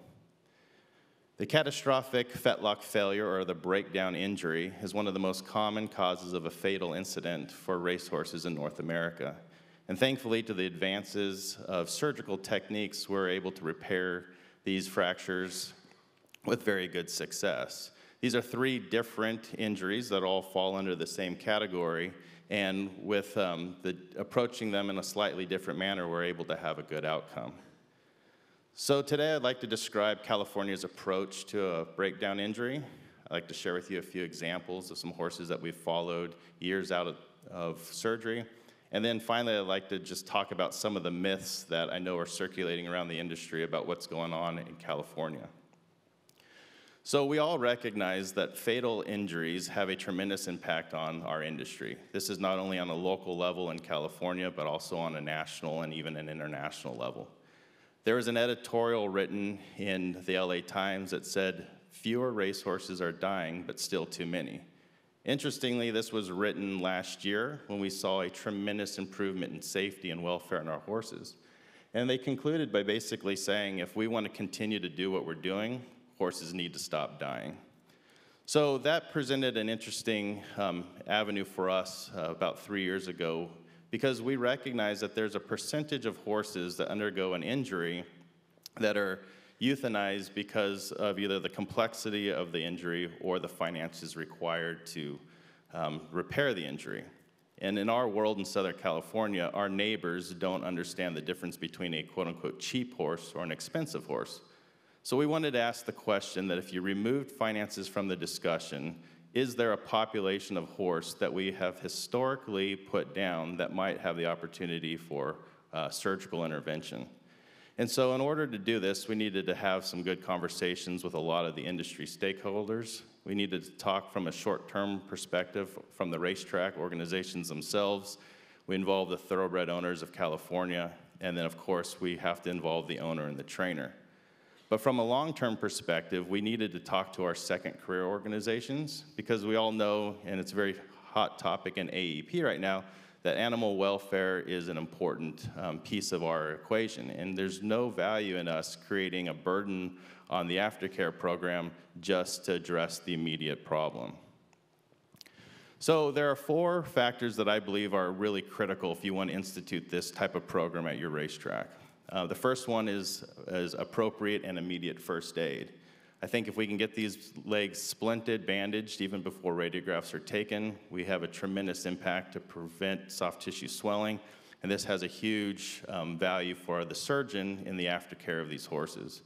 Originally, when I first started doing these, we would often have to suture um, the incisions closed because of the amount of tension on our incision. But now we routinely just staple them because we haven't allowed them to swell as dramatically. Another important component is a consultation by uh, a surgeon and preferably someone with considerable expertise in this field. And that's because through looking at the radiographs, evaluating the horse, taking all the factors together, you can have pretty good case selection here. There are certainly cases that you can try, and there's certainly cases that would not warrant um, surgical intervention. And so that consultation, I think, is critical. Financial responsibility is a big factor here. The first question people asked in the beginning was who's going to pay for this?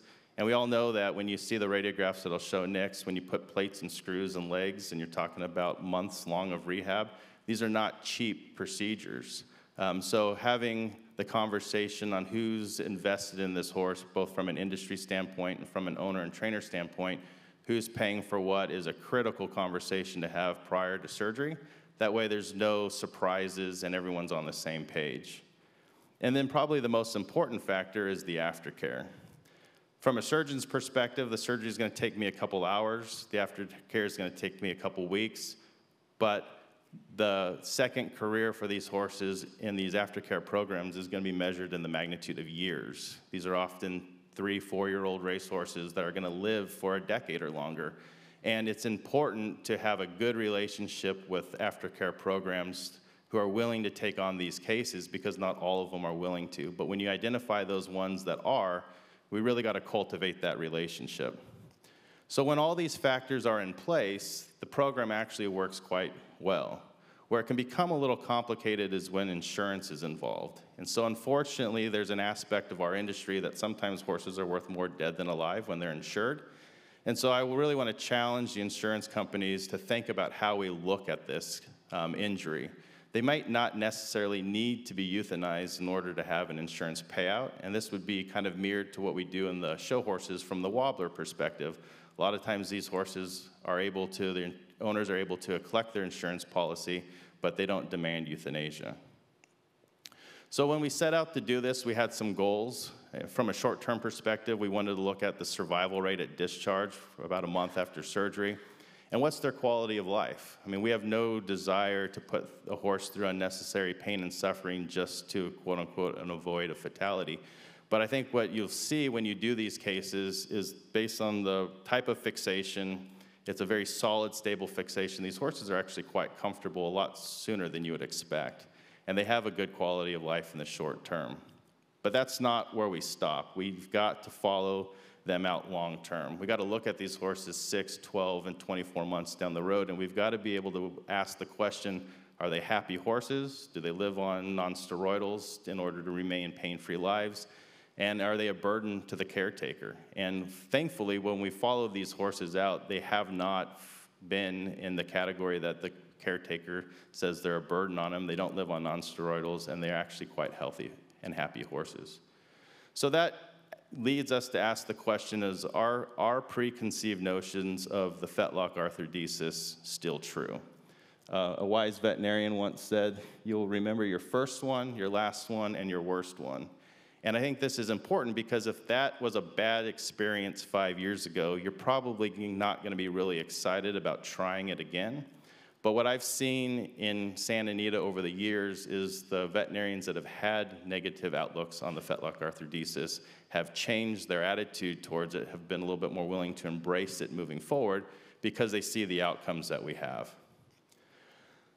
So I'm going to share just a couple cases with you real quick. This is what I would consider a very straightforward fetlock arthrodesis. Um, the things that I like about this from a radiographic standpoint, you've got a large basilar um, lateral fragment of your sesamoid bone that you can incorporate in your repair.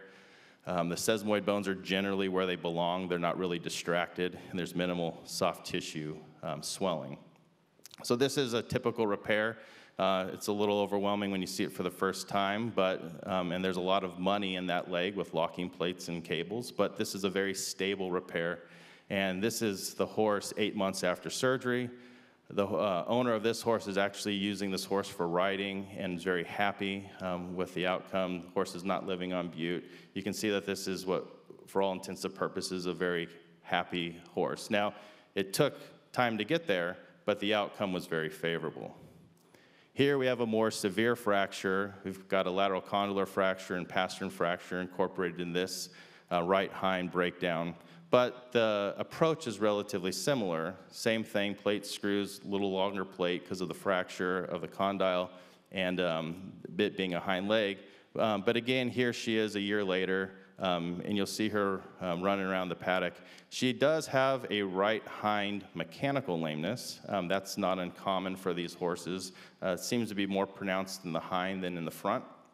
And so that's just because of her inability to move her fetlock and her flex her fetlock. So as an industry, we're very comfortable dealing with pain associated lameness. We don't deal with a lot of mechanical lameness, um, but this filly is, um, is very happy and, and not on medication. So the several things that I've learned over the years, um, one is um, first aid at the track level is absolutely critical. Uh, early on in my career, one of my biggest fears was blood supply issues to the foot.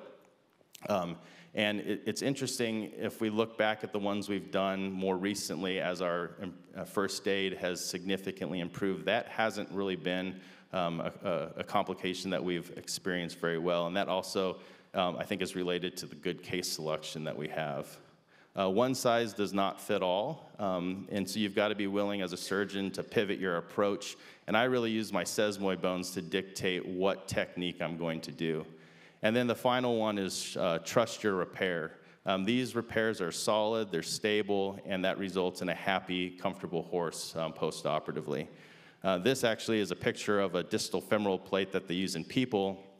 I was talking with a, a friend of mine that's an orthopedic surgeon that uses this in people, and you know he was saying that when he puts this in a person, he um, makes them lay in a bed for four to six weeks, and he was just shocked that as horses they stand up a couple hours after surgery, and and because our repairs are so stable, we're able to get them out of casts earlier.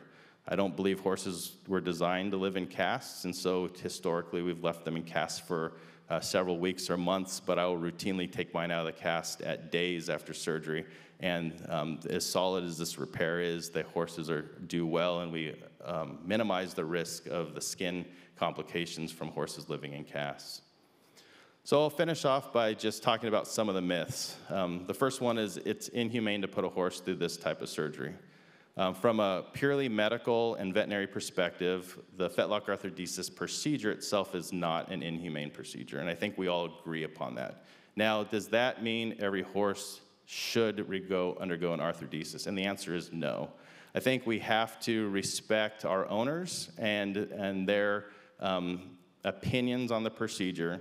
Um, but what I can tell you is when I have an owner that is, uh, is initially very reluctant to this, and you have to remember, Their horse just broke down. There's a lot of stress, emotion going on right now. Um, people tend to make quick knee jerk reactions. But when I can pull that owner aside, I can share them the experiences that we've had, share them some of the data that we've, we've accumulated in California, they're generally willing to, to have a little bit of a mind shift. And so I would just um, suggest, you know, when the, when the injury happens, hit the pause button, take a deep breath.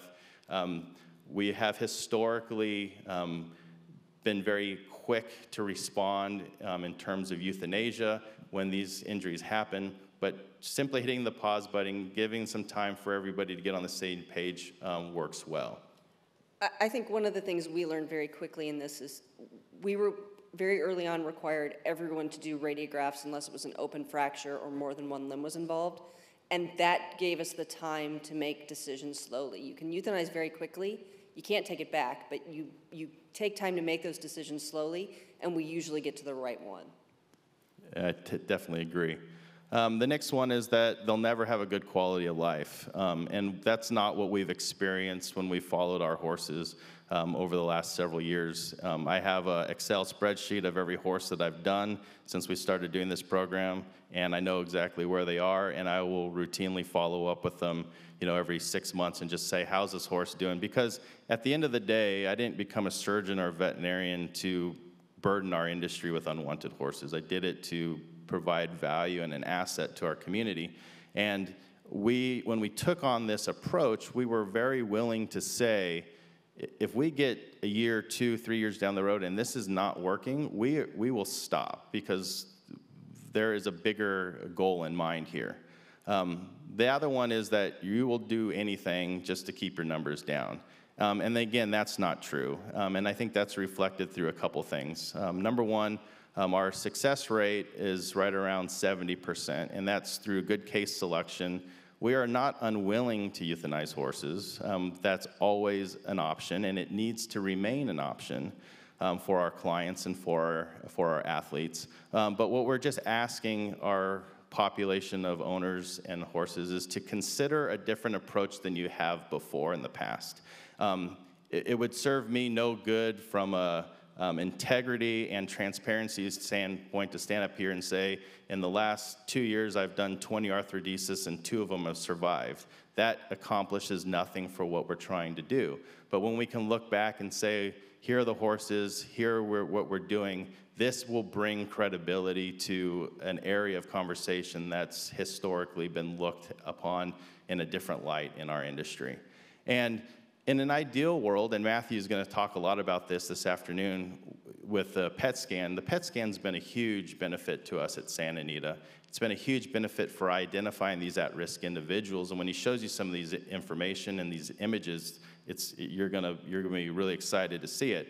I would love to not do another arthrodesis again because we've intervened with these horses prior to the fracture occurring we also recognize that that's not the reality of the world that we live in. And so they, we just have to be willing to accept that there is going to be a population of horses that needs to have this intervention. And if you look back at us in the last six months of all racetracks in California, this is Santa Anita, Golden Gate Fields, and Los Alamitos, we've done a total of six. So the, the thing that I get told a lot is you're doing a high, high number of these. And it's not. And, and my goal is that it becomes less and less every year um, because we're better at what we do. And uh, the safety factor is, is definitely been seen with a cultural change. So I'll leave you with one last video. Um, this um, gelding is about two years out. He's the one in the back. You can see him running through our lush California pasture. I know this is different than what your definition of a pasture is in Lexington, but um, this in California is sometimes as good as we get. So thank you. Yeah, and just one other thing, I think it's very interesting what Ryan was talking about about placing the horses. The last couple of times we've actually had this happen, we've had people from the community step up and want to take one of these horses. So instead of becoming a burden, we have people who are so interested in what we're doing, we're working with other programs, and really they, these horses are finding really great homes um, and really great second careers. So.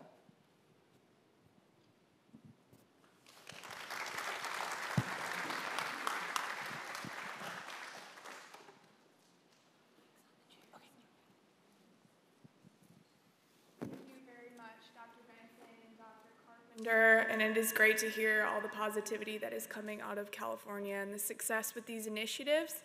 We are now going to take a 10 minute break and we'll resume back shortly to hear from Dr. Hill.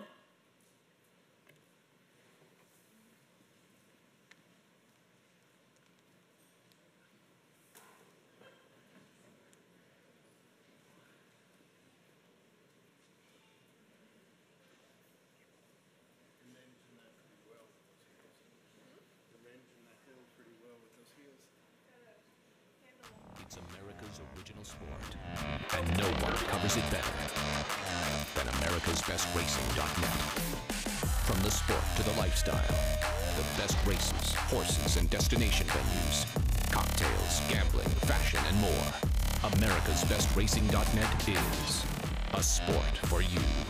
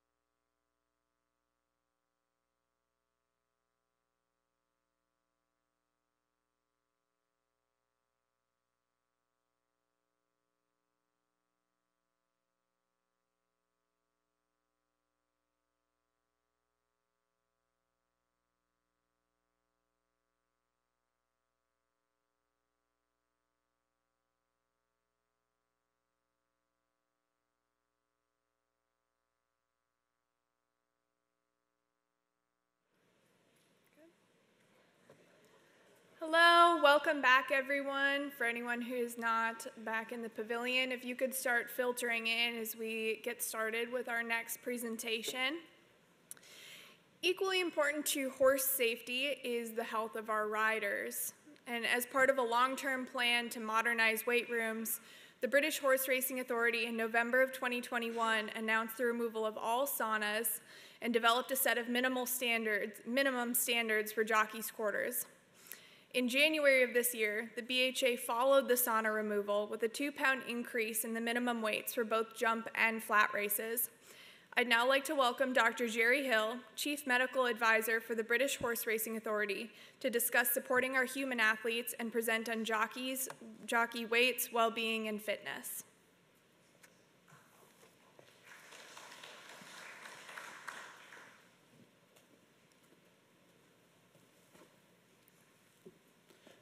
So, good morning, everyone. Um, Thank you very much for that uh, introduction, um, and my thanks to Jamie and the Jockey Club for inviting me all the way from London to come and talk with you today. Um, I've got a few declarations for you. I think one of the first things to say is I'm sorry, there's another Brit on the stage, so apologies for that. Um, I'm also not a vet, um, so that really begs the question, what on earth am I doing here today? Um, the other minor point, I actually haven't ridden a horse since I was 11, so don't judge me on that too much. So, why am I here? I'm here to talk about the other athlete. That will be the human athlete, the jockey. Um, and I'm just going to run through some uh, comments uh, so I can share the experiences we've had in the UK with you guys here, and hopefully there'll be some mutual learning. So GB racing involves an awful lot of stakeholders. I guess it's probably the same over here in the States as well. Um, and there's a list of them here on the stage, on, on the screen here. And one of the interesting things about COVID, one of the many, many interesting things about COVID, is actually as an industry, we got together and we actually started to talk to each other better than perhaps we'd ever done before. Um, and that's one of the things, hopefully, which will be a legacy of COVID, that we will continue to actually talk to each other rather than work in silos.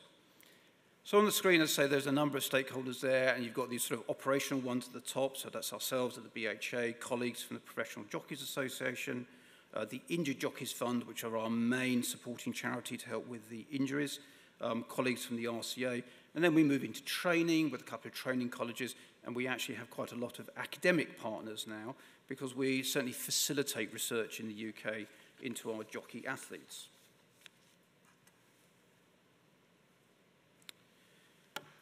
So I started racing oh, it's 20 odd years ago now, um, working on the racetracks, providing trauma care to, to jockeys.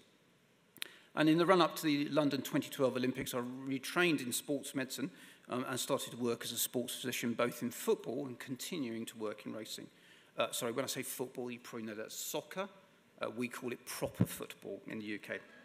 So I worked in proper football and I worked for proper football clubs and I worked um, for the national squads and I worked for the FA. And working at the FA, um, it was a very interesting experience because when you work for a national squad, actually, there are no limitations on resource. And so actually, what you want, you tend to get. And they were developing at the time this four-corner model for training the developing athlete. So that was looking at the technical and tactical side of things, the psychological, the physical, and the social. Um, and actually, to be honest, in, in the UK in the early years, we were pretty good at the technical and tactical. We were pretty poor at the physical. And this came to light. I brought a development squad to the, to the US, um, and we were much better technically, but they walloped us. And they walloped us because they ran and ran and ran. And it occurred to me actually what we need to be doing is actually developing the physical side of our athletes and not just looking at the technical and tactical side of things. So translating that, we begin to think, well, actually, could we transfer this into, into racing? Um, and at the time, I was relatively new into racing and naively thought, well, that's great, I'll go in and save the world. But actually, a lot of it was already happening. And you can see on here that these are the sort of subsections within that four-corner model. Clearly, the stuff in the red box is all about football. Um, but a lot of the other stuff really does apply to our jockey athletes. So we began to think about jockeys as athletes. Um, and this was a bit of a shift because up until that point, jockeys were just jockeys, they were riders, they were jockeys. But as soon as you start to treat them as elite athletes, that brings a shift in mindset.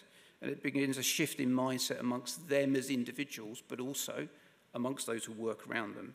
If you're an elite athlete, you expect and you deserve a certain level of support, whether that's strength and conditioning, physiotherapy, nutrition, psychology, the whole nine yards. So changing the name actually became really quite a useful thing. At the time, uh, I had a conversation with the English Institute of Sport about something called talent transfer. And we were looking about, okay, how do we get more jockeys coming into the sport? Um, and the English Institute of Sport said to me, oh, that's great, okay, just tell me what, you know, what, what benchmarks do, do, do people wanting to become a jockey have to reach? It was actually quite a short conversation because we didn't have any benchmarks at all. Um, I think I mumbled something, well, it'd be quite nice if they were able to make weight, but actually we didn't know much more about it. And so what's happened, and we still have it running, there's a PhD running at John Moores University in Liverpool um, called Defining the Jockey Athlete. And we're trying to work out what are the characteristics of a successful jockey. That's from a physical point of view, physiologically, psychologically. So that's work in progress. Clearly there's some stuff which is self-evident and actually a relatively unique to jockeys compared to other athletes. They're self-employed.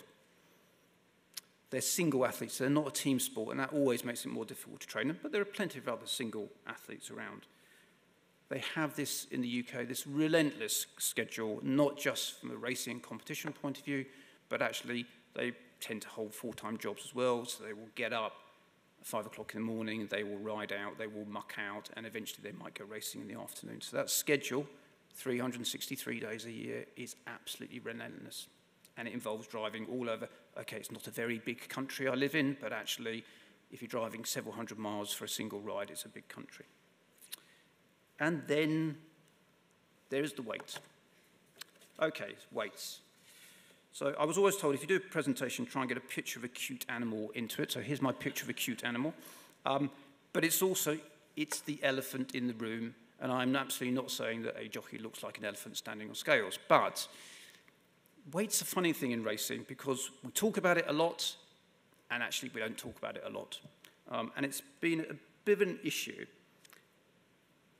during COVID, uh, you know, when we stood down for six weeks and we managed to get COVID, uh, the racing going again, I had a conversation with a jockey who'd come back. And at the time, as it would come to, we'd lifted the, the weights because of the absence of saunas. And I remember having this conversation with the jockey, and up until that stage, going into the changing room where the jockeys were was a bit of a scary event because they were usually not very happy people. And I went in there, and it was actually a changed environment. And I was speaking to one of the jockeys, and he was describing his definition of success. And prior to COVID, his definition of success was getting on the scales and making weight. It was not how he performed on the racetrack. It was not where he was placed in the race. Success was making weight. And I thought that was really sad for a professional athlete. Um, and it's one of those things that we, know, we definitely need to address that. So what about weights? Where are we? Okay, so this is the story of minimum flat weights in the UK. And as you can see, we started at an incredibly low weight in the 70s of seven stone, uh, seven pounds.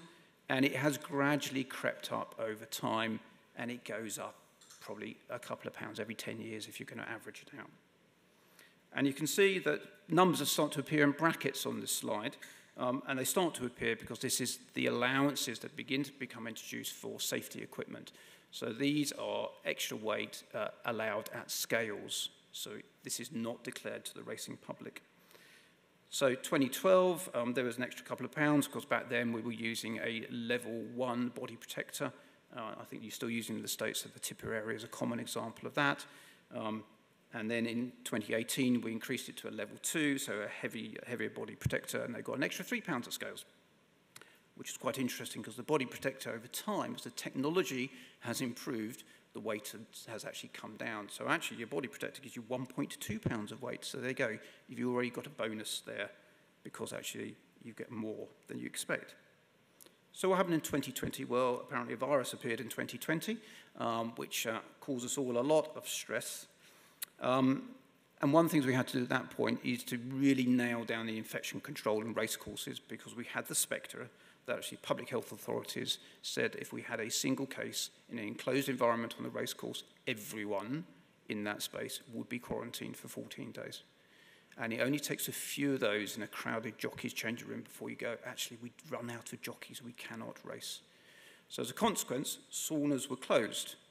Um, as you will learn, I'm not very upset that saunas were closed, but they were closed nonetheless. Um, and we really quickly had to come out with some compensation for the absence of saunas. Um, the other absence was gyms in the UK were also closed, and so that was another opportunity for jockeys not to be able to make weight easily. So they told me, it's all right, Doc, we only lose a couple of pounds in the saunas. Yes, of course you do, I said. Um, but nonetheless, that's what they said, and so a three pound weight allowance came in. So suddenly at scales, they were getting six pounds extra. Three for the body protector, three for the absence of saunas and gyms. Um, and that, in combination with the fact we restrict them to a single race meeting a day, was transformative for their attitude and well-being. So actually, COVID in that respect, lots of other troubles, but COVID in that respect was actually quite helpful to the jockeys. Now, latterly, um, we've been through another post-COVID uh, uh, debate about what we're doing about weights, and where, what you see on the screen is where we are now. So minimum weights across both flat and jump codes have gone up um, by two pounds, so eight stone two for the, for the flat and 10 stone two for the jumps. Um, and we've arrived at an extra four pounds personal allowance, which is given at scales. Now that's all very well, but actually if you look at the picture, jockeys do come in different heights, okay, and we apply the same set of rules regardless of your height. So if you just hold that thought, because that's something which is important. So whenever you talk about weights, people go, yeah, yeah, population's getting bigger. So it's getting bigger, and therefore, actually, you must put the weights up. And it's, it's, not, it's not an incorrect argument. Um, so on this slide here, you see we've got um, ourselves, colleagues in Ireland, because we work very closely with the Irish, and we put the Dutch on here. And the Dutch are on here because they are the giants of Europe. Okay, and so these are the really tall people. So yes, over the last hundred years, people have got taller. However, they've actually stopped getting taller in, in the UK. Actually, they got stopped getting taller in the 80s, probably something to do with the music at the time. But anyway, they've stopped getting taller. Um, so actually, it's a little bit of a spurious argument. Um, so you just have to be careful, look at your stats carefully. Um, the other thing which has happened, of course, is that people are getting bigger. Well, actually, when you say bigger, you mean fatter, and actually BMI is going up. So congratulations, United States. Here you are, top of this graph, to show that actually you guys are getting bigger. But remember, all these graphs are to do with the population of the whole country, not necessarily the population of your sport, of your industry. And actually, I can tell you that the population of jockeys, they are getting taller. I know because they're taller than me, and obviously I'm six foot eight. Um, so, you know, they are getting bigger. So it is, it, is a, you know, it is an important argument. The other thing which is really important is this. So this is a, you know, the, don't worry, it's the only sort of vaguely stat slides we're going to have on here. So this is a normal distribution. You'll be familiar with this. Two important points in this. So first off, there are two genders on here, okay? And one of the great things about racing in the UK is that men and women compete on equal basis, more or less. It's not entirely true. There are still less women in the sport than there should be, but there are more coming in. Um, but they are shorter than men. And bearing in mind that largely your ability to make weight a, has a relationship with your height, and of course your height is your genetic potential plus your nutritional state, then actually women have a considerable advantage over the chaps. But actually, if you look at the normal distribution even for the men, it's got quite a wide base to it. And actually, if I was to recruit jockeys from the entire population of the UK, I would find plenty at the left-hand end of that curve, at the shorter end of the curve, where I could actually find jockeys to e easily make weight. The problem is, that's not the population we're recruiting from. So recruitment is an important issue that I'll come back to. So before COVID hit, you know, there was lots of conversations and, and talking to my colleagues at John Moores University who do a lot of our racing research um, about our population and looking at our apprentice jockeys, as you can see here, this is a paper that we published on the apprentice jockeys. Um, And essentially, what we were saying even before COVID was that actually the weights were too low for actually most of our participants who were already involved in the sport, who already embarked on their career to actually make weights. Um, and looking at the numbers there, um, in the time period looked at, there were 41 apprentices who had joined the sport, 32 of them went up to John Moore's, and they all had their body composition done And even if we reduce their body fat down to 2.5 kg, which to be honest is pretty low, it should really be about 5 kg, um, most of them were not going to be able to make weight with the current weight structure. Um, and what we were doing, we were almost writing their destiny for them, which was to say, actually, you're going to have to do things which are not good for your body to make weight. And as a medic, that's a really difficult thing to accept. Interesting, during COVID, when the weights went up and this service still continued at John Moores, uh, the next cohort came along, none of them turned up dehydrated for their assessment, whereas the ones in the original study did. So there was already a short-term gain. So what about making weight? Making weight, so the elephant in the room. So these are the, the ways you'll all be familiar with of how jockeys make weight, uh, and there's a heavy bias towards dehydration. So that's everything from fluid restriction to saunas or hot boxes, as you call them in the States, salt baths, burying yourself in your neck in piles of manure, and generally sweating to actually try and get your weight down. Interesting, uh, flipping is an issue in the UK. You know, it's, it's uh, allegedly we imported it from the States. I'm not sure that's true or fair, but flipping self-induced vomiting does go on. And actually COVID gave us a little bonus on that because we were able to ban flipping. Because flipping involved vomiting. If you vomited on a race course during COVID, you were thought to have COVID and you immediately stood down for 14 days. Um, and actually, interestingly, we had less, we didn't have known, but we had less flipping on the race courses. The other thing which has been an issue in the past about laxatives and diuretic use, that has largely faded away in the UK. That's principally down to anti-doping um, because we now pick them up. So dehydration, why were we worried about dehydration? Well, we reviewed the literature again and really, and we produced a position statement from ourselves as an authority and also the university. And you can see the detail of it on the screen. But essentially, if you dehydrate yourself between 2 and 4%, which for a jockey is not very much, um, we can begin to measure things which are bad for your performance. Okay, health as well, but performance. So your reaction time is poor. Your power drops down. Your ability to ride safely is reduced. So actually, if you're making poor decisions and actually you can't ride safely, you're not going to do very well and you're going to fall off. Also, anecdotally, from my, my docs who work on the race courses, they were reporting that actually they frequently pick up jockeys who are riding light because actually, why have they picked them up? Because they've fallen off and they will often appear to be concussed. They're not, they're just very dehydrated. Um, and sometimes they feel, appear to be shocked as if they've had a large bleed. They haven't. And that's a bit embarrassing when you get helicoptered to the nearest major trauma centre to find out the reason you're there is because you're dehydrated. What we do know is that actually, if you access, and we have an extraordinary uh, support network in the UK of nutrition and other uh, support services, if you access that, then actually you can make weight relatively safely. So the conclusion, essentially, we worked out, not rocket science, dehydration is bad. Acute dehydration causes problems.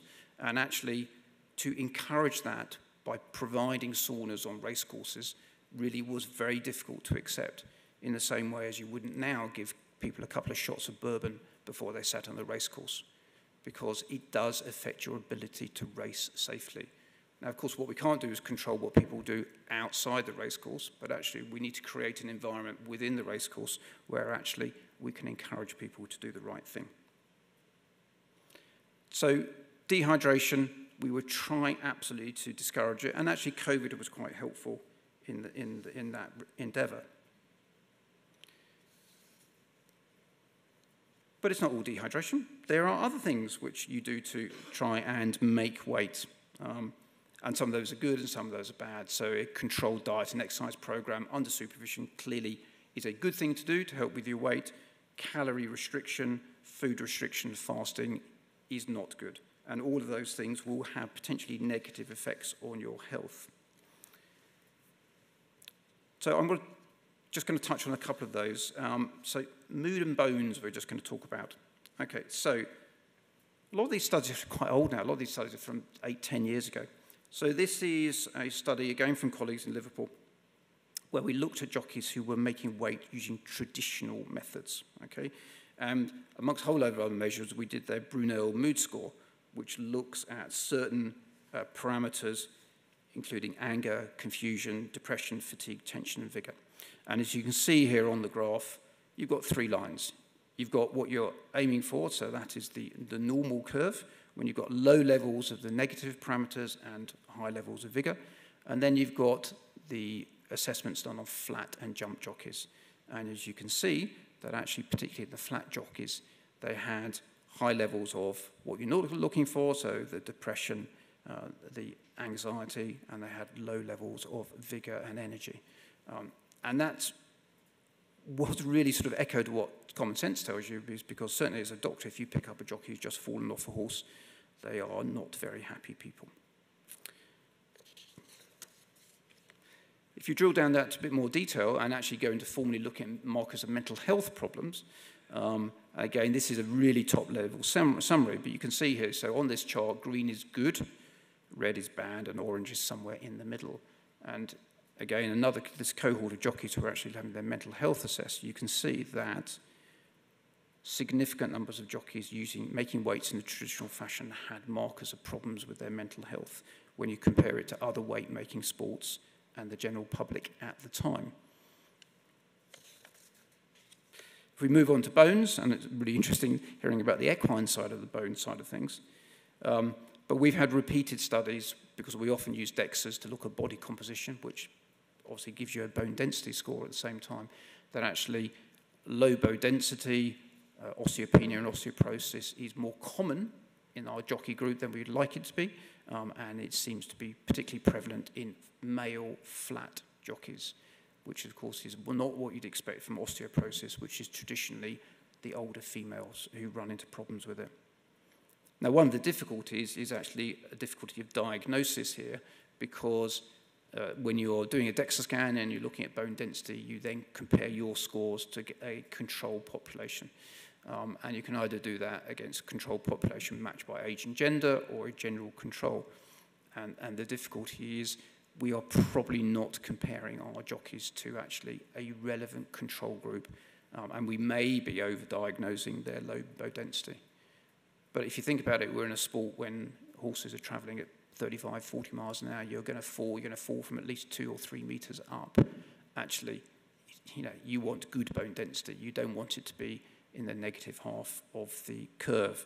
So it, it is work in progress. And of course, what we're really interested in is can we find a level at which bone density is low that you will fracture when you take, quote, a soft fall?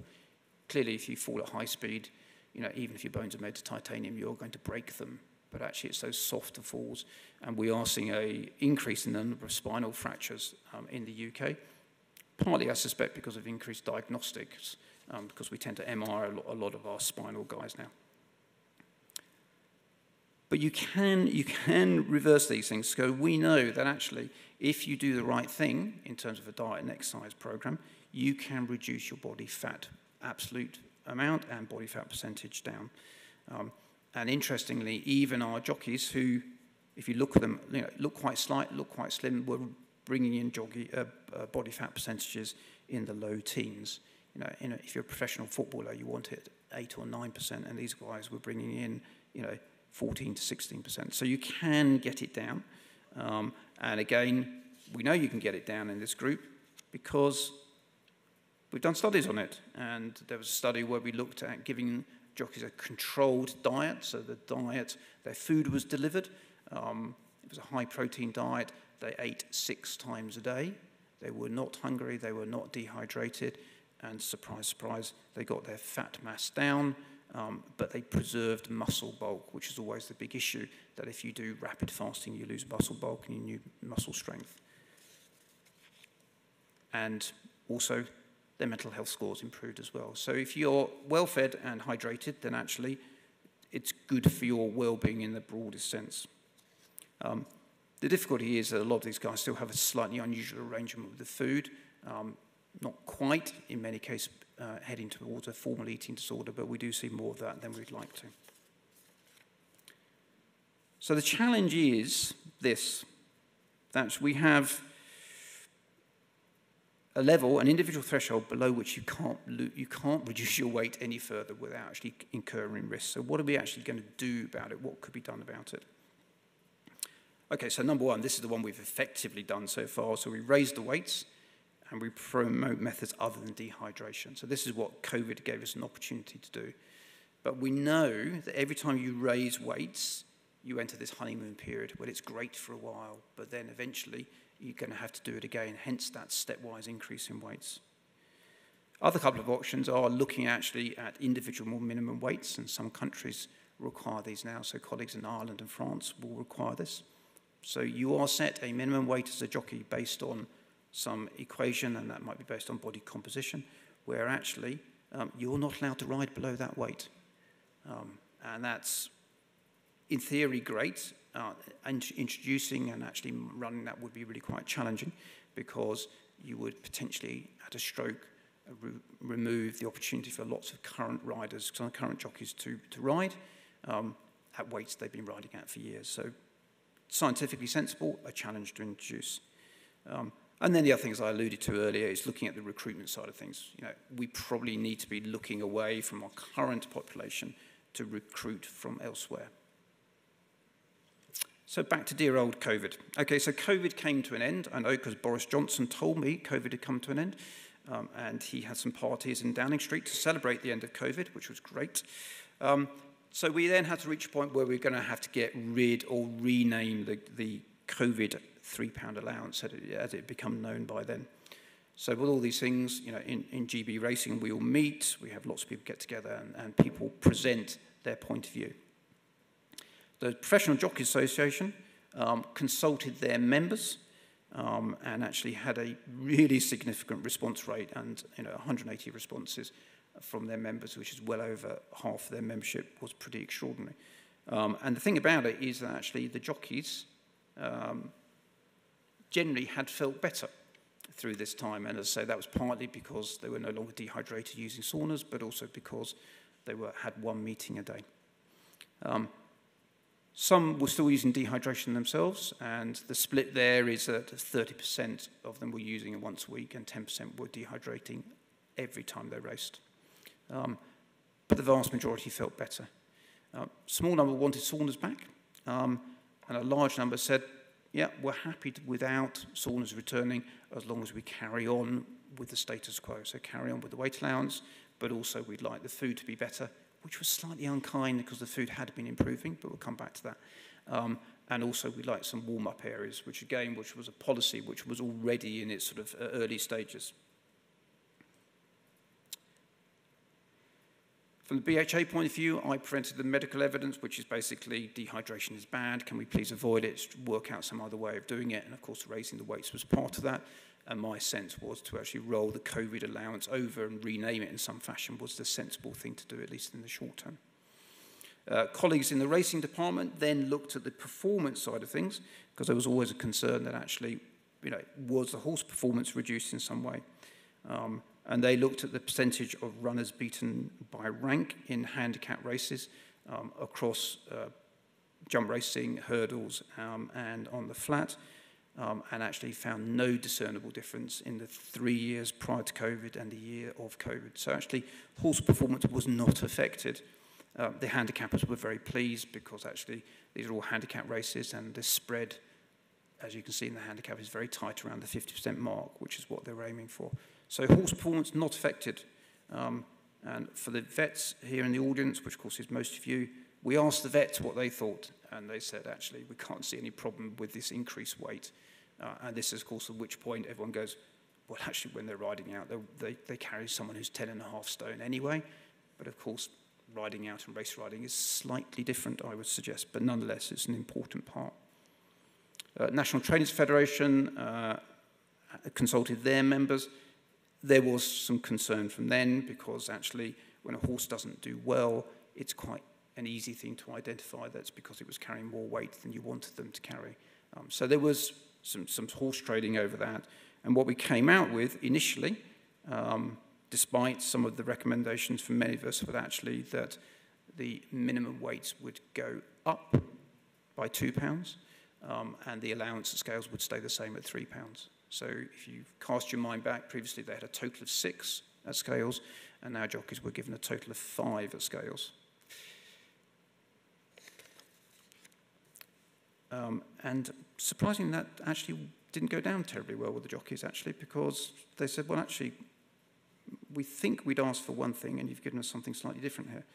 Um, and to be fair, this was a full consultation process, and I guess it's one of the, the lessons we learned that actually sometimes people are given the opportunity to give an opinion, and often they don't.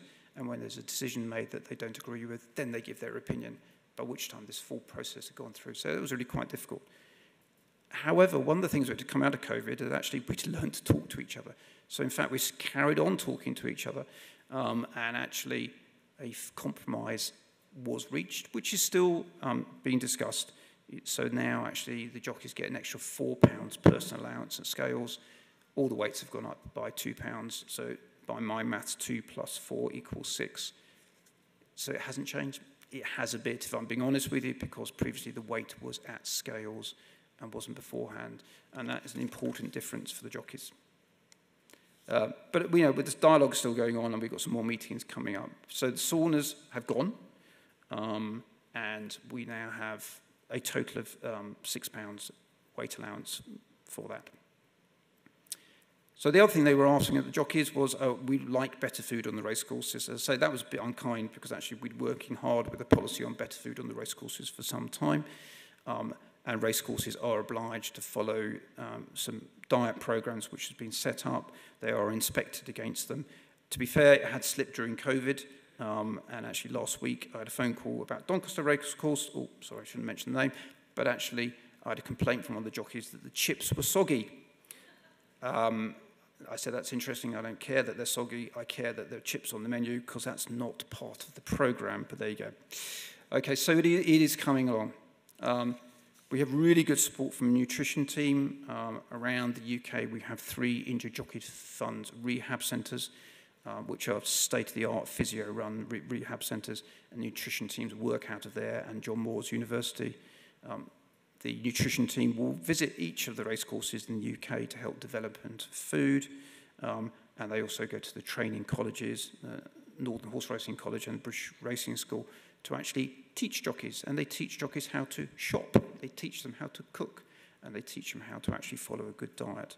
Um, so, you know, there's a lot of sport out there, but dehydration is still embedded in the psyche, I'm afraid, of many jockeys. So that's work in progress.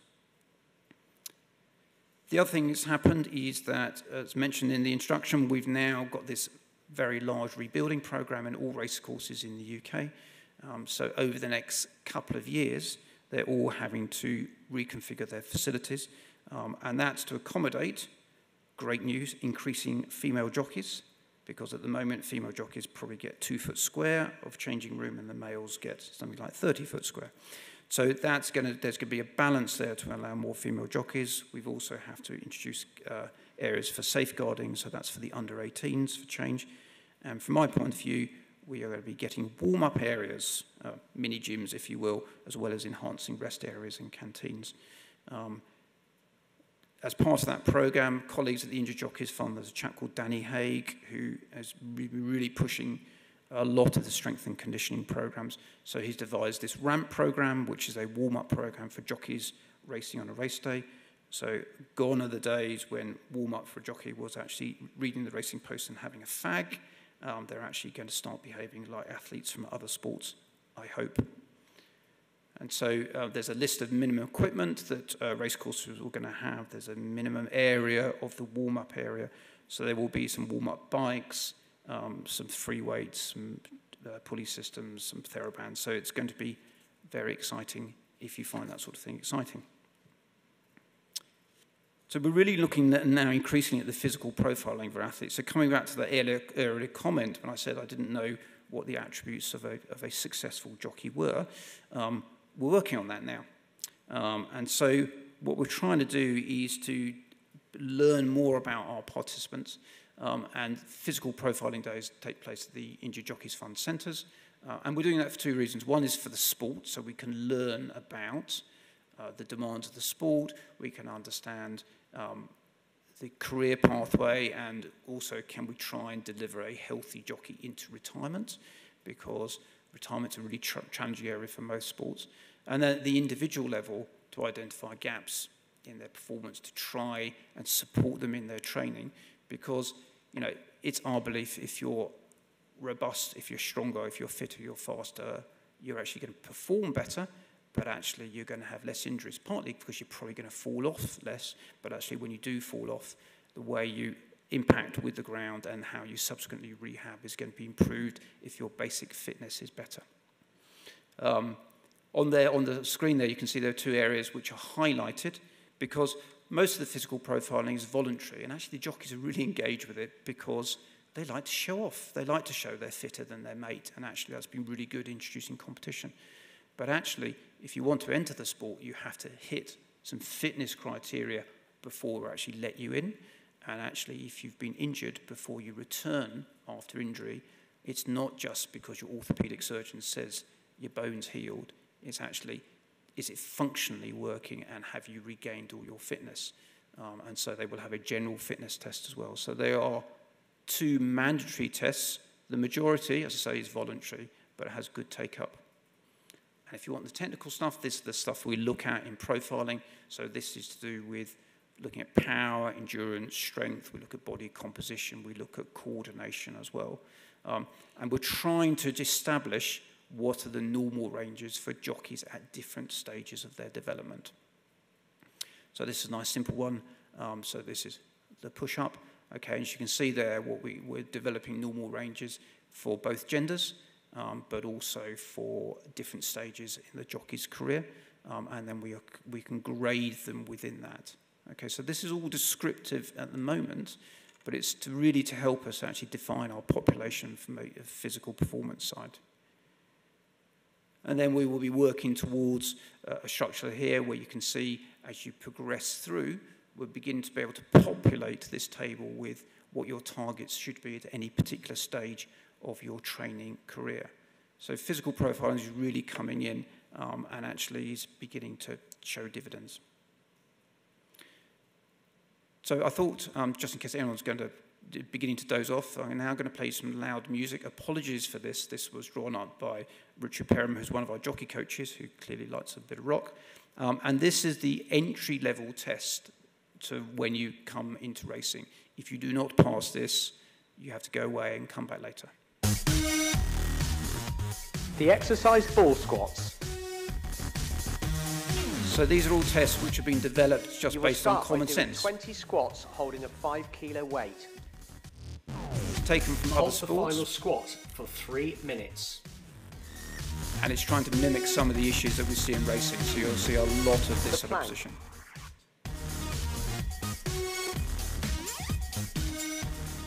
Hold your plank with a straight line going from your shoulders through to your hips, through to your ankles, and hold this for up to four minutes.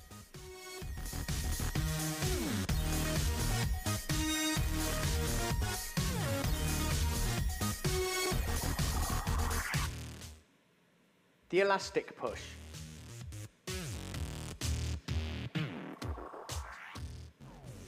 This exercise is set to a metronome at 50 beats per minute. For every beat, you must extend your hand fully forwards. This exercise lasts for two minutes. The wobble cushion squats.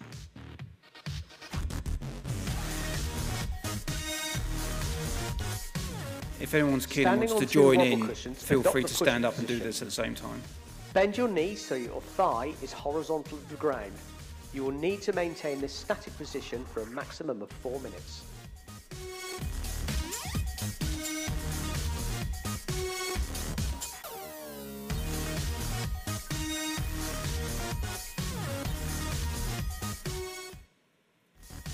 Leg raisers.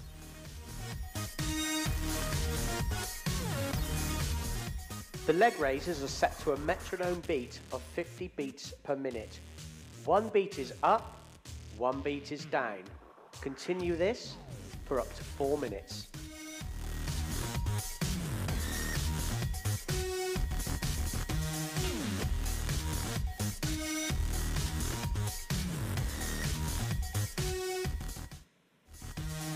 The press up hold position. Adopt a press up position with your hands facing forwards under your shoulders with your elbows close to your side. Hold this position for up to 90 seconds. You can see the correct position from the front.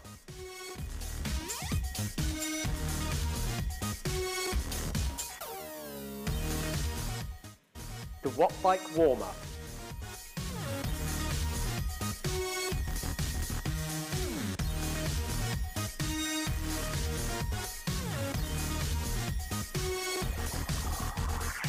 During your warm-up, pedal for 3 minutes at an average of 100 watts. You will then be ready for your Watt Bike test. Th So I won't bore you with the Watt Bike test as well. So these are the minimum criteria, um, and we expect you to do better than this as you progress through your career. Um, the other thing which is not shown on there, there's also an exerciser test as well at the end of that. So they are. So you, you, you're on your license course um, and you've, you've been taught how to cook, you've been taught how to shop, you've known how to use the gym, and your fitness has been assessed. The other thing, if you think back to the, that four-corner model, was looking at your psychological state. Um, and we're now be beginning to introduce psychologists in as a routine part of care. Um, and we're trying to actually move away from this uh, sense that people are, find it difficult to talk about their mental health. So we were introducing it at the beginning, and colleagues at Sporting Chance and Changing Minds, who are our providers for mental health, um, are working hard to do this for us. Um, so each uh, applicant for the licensing course will have a one-to-one -one conversation with the psychologist, and they also undergo scoring of anxiety and depression scores. Um, so if you look at this here, you can see that actually um, as usual, red is less good, purple in this screen is fine, and blue is somewhere in between. And this is at the license courses, we're seeing that actually about 30% of people are showing signs of anxiety. We have evidence of some depression, and putting it together, around about a third of our applicants are actually already showing signs of some distress. So, is this an issue? If you then move to actually compare it with others, um, so on the uh, left here, you've got the license course applicants with their third. Um, you've then got a column which reflects a, a study from Ireland, where actually they looked at, this was an anonymous questionnaire which went to all their licensed jockeys, and they found that for those who responded, which was about a 50% response rate, um, up to 70% of their respondees had some sort of mental health issue. Now, there was a, a, significant skew towards alcohol misuse, which is not measured in the, in the, in the license courses. Um, but nonetheless, this is fairly significant. I would take it with a little bit of a pinch of salt because the response rate actually um, will mean there's a bit of a selection bias here because you're probably going to people who've got an issue who are responding. But nonetheless, even if you wind it back, at best, we do have a, a selection in the Irish population are probably approaching 30, 35% of people with a discernible, measurable mental health problem. So that is important, and you can see on the other two columns, we've compared that with uh, Olympic sports, a sort of best and worst case scenario. So we cannot ignore the mental health side of things. In terms of the uh, data collected from the license courses, as I say, the, all this needs to be context specific um, because of course these folk were coming in for a course they had to pass, and so that's always going to create a certain degree of anxiety. Um, in the license course, it was not screening for alcohol-related problems. Um, and I guess the questions really are, are we actually recruiting in people who are better mental health than actually the current participants, or rather more concerning, does the sport actually cause mental health problems? Um, and we know there are significant pressures amongst our jockeys. So as a consequence of this, um, we're developing a mental health strategy for the sport in the UK, and at the centre of that is our jockey athlete. Um, and if you think about jockeys uh, in the middle there, they are under pressures like the rest of us. So they have issues with their family, that we have issues with their family. We're probably seeing a little bit more alcohol and drug misuse in that group than we would like.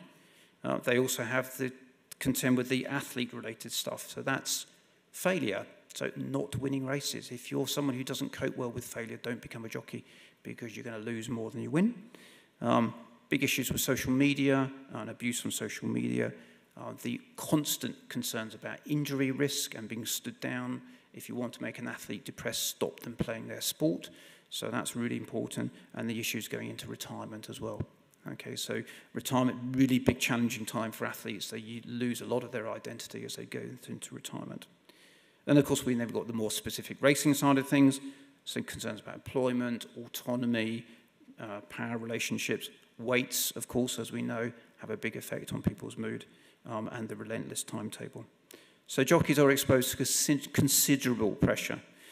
Now, what we're trying to do is actually using the pillars on the left-hand side is actually to construct around them a support network. So understanding their needs from their perspective, um, identifying early when there's a problem, um, trying to move away from actually waiting for a problem, but actually to promote pos positive mental health, but also to actually respond sensibly when there is an issue. Um, and certainly the strategy is developing over time around the jockey. Their primary level support, like the rest of us, are people we meet, so families, friends, um, and other jockeys. And we're trying to construct around that an industry which actually is mindful of well-being in order that actually we don't inadvertently add to the burdens of this group. So one of the things we've done, for instance, is talking to the stewarding staff about how they run inquiries to do it in a way which is less burdensome. Um, we've taught the stewards how to break, break bad news as well, because one of the challenges is often if you get a positive drugs test, you learn about it on a race course on a race day, and how that is delivered to you is a really important thing. So there's a sort of broad strategy which is developing over time. So coming back to our four corners, pleased to say that the, the FA, which was previously in the middle of this uh, chart, has now been replaced by the jockey. So we're trying to be more jockey-centric and actually factoring all these aspects of the four corners. Uh, and then the other thing, which I'm really hoping will happen at some point, is that little elephant in the room uh, will eventually leave the room if we can actually come up with a strategy which is going to tackle weights in the long term. Thanks very much for your time.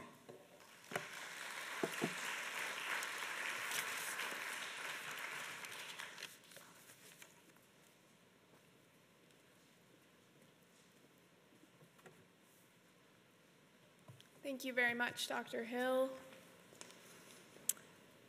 Wearable technology is nowadays a part of all of our everyday lives. If any of you are like me, you like tracking the amount of steps that you walk in a day. I only did 11,864 steps on Derby Day this year, as opposed to 15,247 in 2021, and that was still probably low compared to a lot of people. All professional sports and most major college teams monitor and measure the health and fitness of their athletes with wearable technology that can track location, speed, change in direction, force, heart rate, recuperation, and more. These devices are now being designed and used in equine athletes.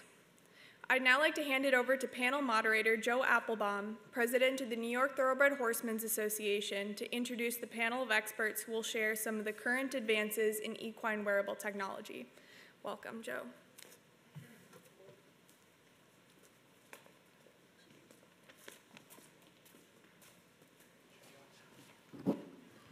I think Annise stole my opening line. Can I get a quick show of hands how many people here use an Oura Ring or a Fitbit or Strava?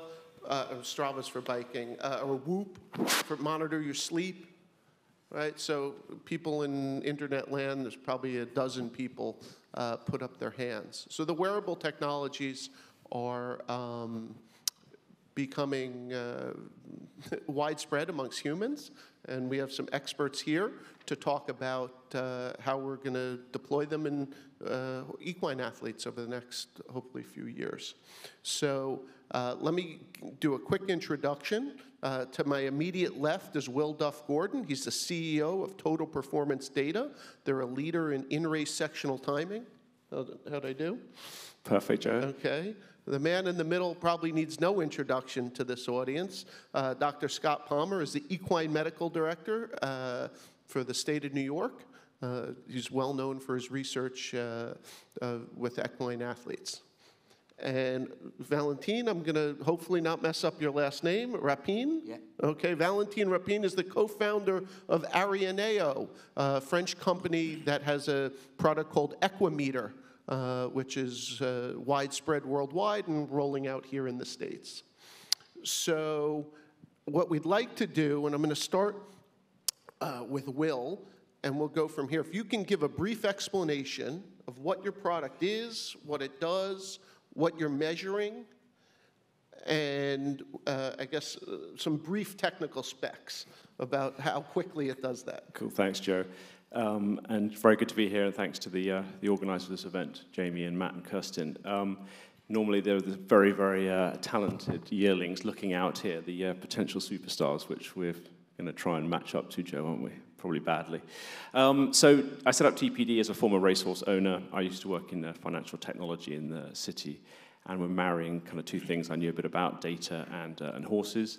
Um, racing has a chance to sort of uh, put devices on horses and have an unlimited use for that content, which gives racing a chance to kind of maybe overtake human sports where athletes will wear uh, devices in training, but perhaps not in matches, or perhaps that data might not be shared with broadcasters um, in real time, whereas the content on the horse, the poor old horse can't vote against um, what he's carrying uh, within reason, as long as it's light and safe. And so, yeah, we set out to um, work with Equibase from about 2017 onwards. We were also working in the UK uh, to see if we could kind of the Internet of Things could come to racing and we could capture data that would um, that would help lift the lid on the mighty thoroughbred. Uh, that's what I kind of try and do. In the States, we were set a um, pretty tough challenge of uh, adding value to um, official timing, workouts, uh, affordable graphics, uh, and enhanced charts. And then we also wanted to create in-race wagering. So kind of like there's a huge uh, set of challenges against all of those things. So it's effectively a GPS solution with accelerometers.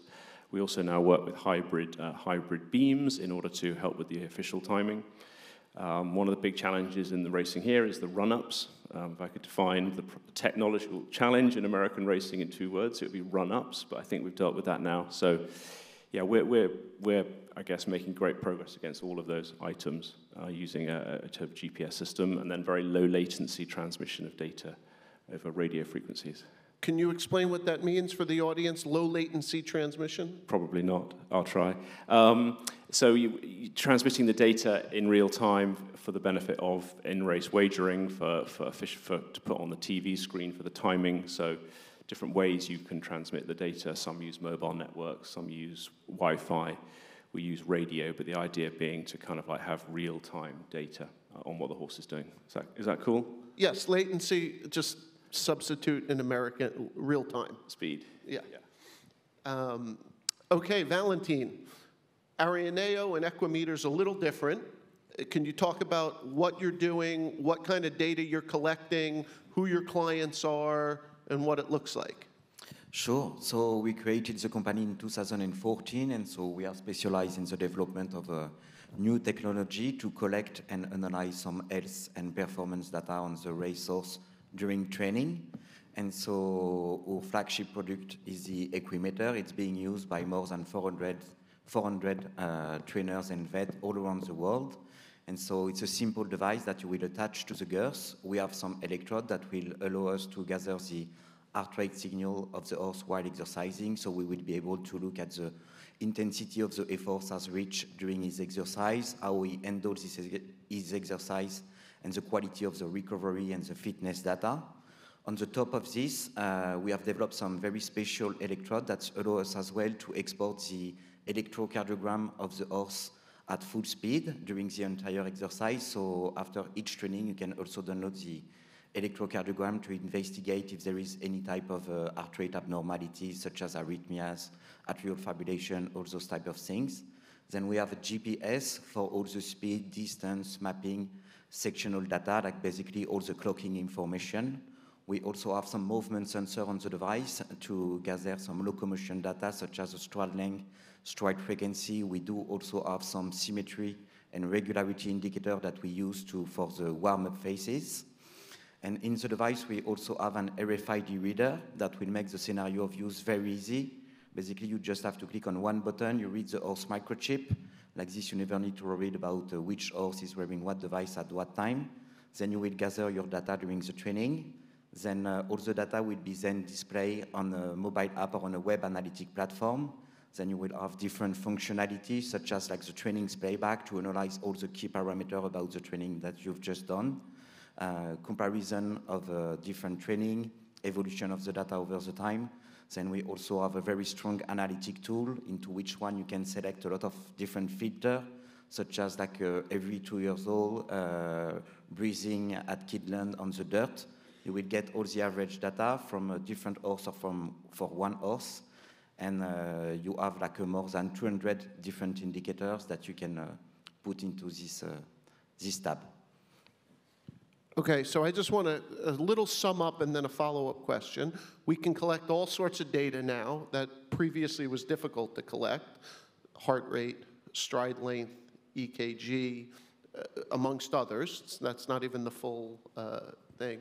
Okay, how much of that are you collecting just uh, give, uh, we're the easiest thing is how many beats per second are we collecting it? Um, so basically, uh, it will depend on different on the different uh, sensors. But yeah. uh, with the heart rate, we would collect like 250 hertz. So right. it would mean like 250 data per second. Right. for the locomotion data, we will go to 120. And for the GPS we are using for training, we are just using one hertz. Okay. Will, any thoughts on your on a technical scale? Um, well, we've got 500,000 horse performances or getting close to, so it's a very big set of data now. It's up to 10 updates per horse per second from the moment they're saddled to the moment they're unsaddled. So, yeah, stride data, velocity data, position data. So, yeah, there's a lot you can do with that, that set of content. And this is important. I heard the jockeys talk about weight. How much does your unit weigh? Yeah, so 100 grams, give or take, is the, is the UK's sort of uh, weight limit here. Okay. Probably similar here. So something we wouldn't expect to impact the performance of the horse, or? Okay. So turning to Dr. Palmer. Dr. Palmer, we did a study in New York starting last summer uh, using data from a different company, StrideSafe. Can you tell us a little about what you've experienced and some of the results you've seen. Can I have a slide filter? Absolutely. Any calisthenics in this?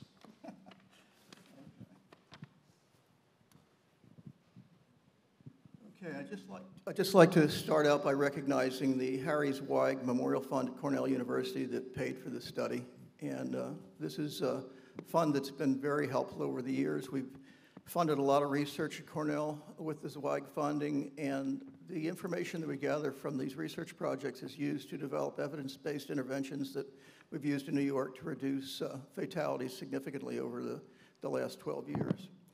So basically, all of the success we've had thus far has been based upon subjective data gathered by veterinarians examining horses for, for the most part and a look at some epidemiologic uh, tendencies and such have been helpful as well. But I think we, we are bottomed out pretty well in, that, in our ability to do that. And I think that we, we really need to use advanced technology to take another step forward to help us identify these horses that are at risk of injury. So as we said, these monitoring devices have been around for quite some time, both in humans and in horses, but think of them as, as a Fitbit, you know, a little more sophisticated perhaps. The one that I'm familiar with is about the size of a cell phone, weighs a couple of ounces. Um, now this unit, uh, it has a GPS unit in it and three accelerometers that measure acceleration in three dimensions, longitudinal front to back, vertical up and down, medial and lateral side to side. So the frequency of transmission, each sensor transmits at 800 hertz. So we're sending 2,400 bytes of data to the satellite every second. The GPS uh, has five um, five uh, pulses per second. So it's a very sophisticated device. We know exactly where it is in three dimensions throughout the race. This device is not connected to the horse. This device fits into the saddle cloth like a, fit, like a tracker, like a Trakus device, and is held in place there. It's very light. We, the, the, first thing we did at Saratoga, the question was, can we do this in, in an active, high-tempo racing environment? I mean, it's one thing to put a sensor on a horse in training, but can you put these 10 sensors on 10 horses and have them go out there and, and do well? And everything go okay, and you come back and un unload those sensors and, and use them for another race? That's was the first question we had to answer, and, and yeah, we can do that. I think this is a really important piece. The galloping horse gait is complicated in a lot of ways, but, but this uh, algorithm of this computer breaks it down into three phases. The hind limb stance phase is whenever there's a hind limb on the ground. And you can see on the left here that we've got some squiggly lines that look kind of like an EKG, but this is smooth data on these horses. Those are the three different acceleration vectors that we're looking at. And you can see there's a fair amount of symmetry during the hind limb stance phase. At this point, the horse is loading his hind legs like gigantic springs. And then in the next phase of the stride, we have the forelimb stance phase. That's whenever a forelimb is on the ground. And you can see there's a lot going on here, but basically this is the phase when the, all that energy that's been developed in those springs from the hind limbs is now being kept, caught and managed by the front legs. This is a concussion phase. And you can, it's not hard to understand why most of our injuries in the front legs of these horses, but there's a lot going on here, as you can see in that phase of the stride. The third phase of the stride is the period of suspension. This is a time where the horse takes a breath and it's the only time when the horse really has an opportunity to change the next stride. Uh, if, if, he had a, if he had pain when he came down on the left front in the last stride, while he's in the air, he can rotate his axial skeleton and make changes so he'll bear less weight on the leg for the next stride. But that's where a, a lot of things are happening that we, we never really saw what was happening there. And you can see there's a fair amount of symmetry between the acceleration vectors in this phase. So what are we what are we getting out of these sensors? We're, we're able to measure the amount of energy the horse is putting into the race. We're, we're able to measure the amount of concussion he's experiencing during the race. We're able to again show these vectors in three dimensions so we know exactly uh, subtle gait changes in hundredths of a second can be identified with looking at all this data. The report, the output of the data then is in, a, in the form of a traffic light. The horses are either going to have a green, a red, or a yellow alert depending upon their gait fingerprint. Every horse has a unique fingerprint. When a horse is moving at slow speeds, there's an awful lot of noise in the gait. When the horse is moving at very fast speed, there's, there's much less noise. The, the gait is much more consistent because the horse is really working from his subconscious uh, memory. He's not, he's not using conscious thought so much any more than if you or I were walking down the road, we're not consciously thinking necessarily where our feet go unless there's pain involved and then you make a conscious decision to make a change. So this is all basically a programmed default way of moving that each horse is a little bit unique in that regard. And what we're measuring here is we're looking at a group of elite sound race horses and developing a population mean. Here you can see a, a solid blue line with dotted lines above and below it. That's the, the median um, power output during a race of, of a horse. And then the dotted lines on either side represent one standard deviation from that median. The uh, green line stays in that range pretty much of the time, and that's a green light race. A yellow race is one where the line deviates outside that one standard deviation, and then that's between basically between one and three. And then if they exceed three standard deviations from the mean, we have what we call a red alert. Now that, that means there's something happening in this race that needs to be investigated. There's, there's a change here. The, the source is deviating very, very significantly from the mean. And the higher they deviate away from that, mean, that normal, the more significant the change is and the, and the more the horse needs greater scrutiny. This was a very interesting uh, case at Saratoga. We started in the middle of July, and, and we really didn't actually know exactly what our output was going to look like and how it could be useful. This was a horse that, uh, in the total power on the left and the total vibration on the right, the pink line is the, uh, the recorded horse in this race. The dotted lines and the blue line is the population mean from other horses that we had at Saratoga. And everything looks pretty good at this point for the race. These charts show a different story. These are the, the individual vector analysis accelerations, and the dorsoventral means that you can see this horse is well below this, the population mean throughout the race, and particularly so between 50 and 60 seconds into the race, he had a very low power drop there. In other words, his, his effort dropped away quite a bit at that point. In the second chart, you see longitudinal vectors, you can see the horse accelerated pretty well throughout the race until, again, about 55 seconds into the race, there is a rapid phase of deceleration at that point. And if you look at the medial lateral chart, you'll see two very big negative peaks here where the horse was shifting his weight significantly out of balance, in particular around 55 to 60 seconds into the race. When I got this data, I, I, didn't know exactly what it meant, and I called the trainer up. This, I get this data the following day. I called the trainer and asked him if I'd come take a look at the horse because I was concerned about him.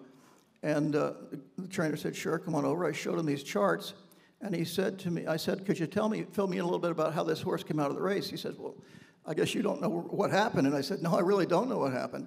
He said, Well, this horse finished the race great. The jockey hopped off, and the trainer was there in the unsaddling area. Everybody was happy. Finished second place in a maiden special weight, two year olds in Saratoga.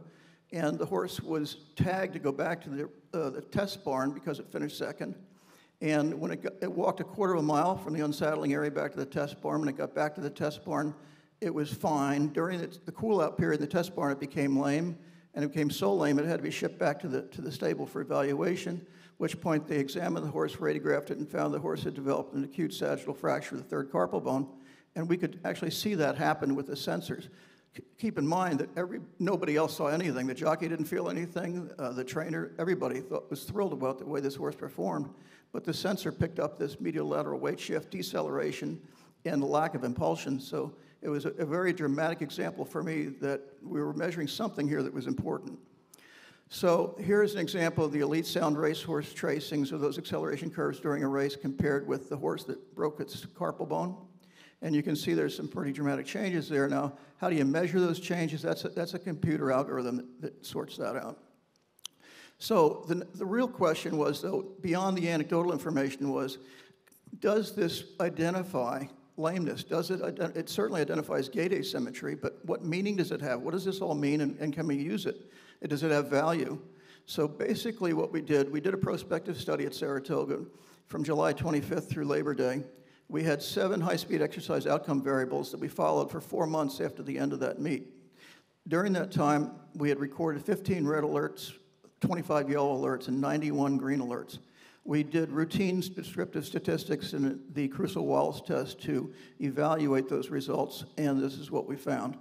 First of all, the green are the green horses, the yellow are the yellow horses, the red are the red horses.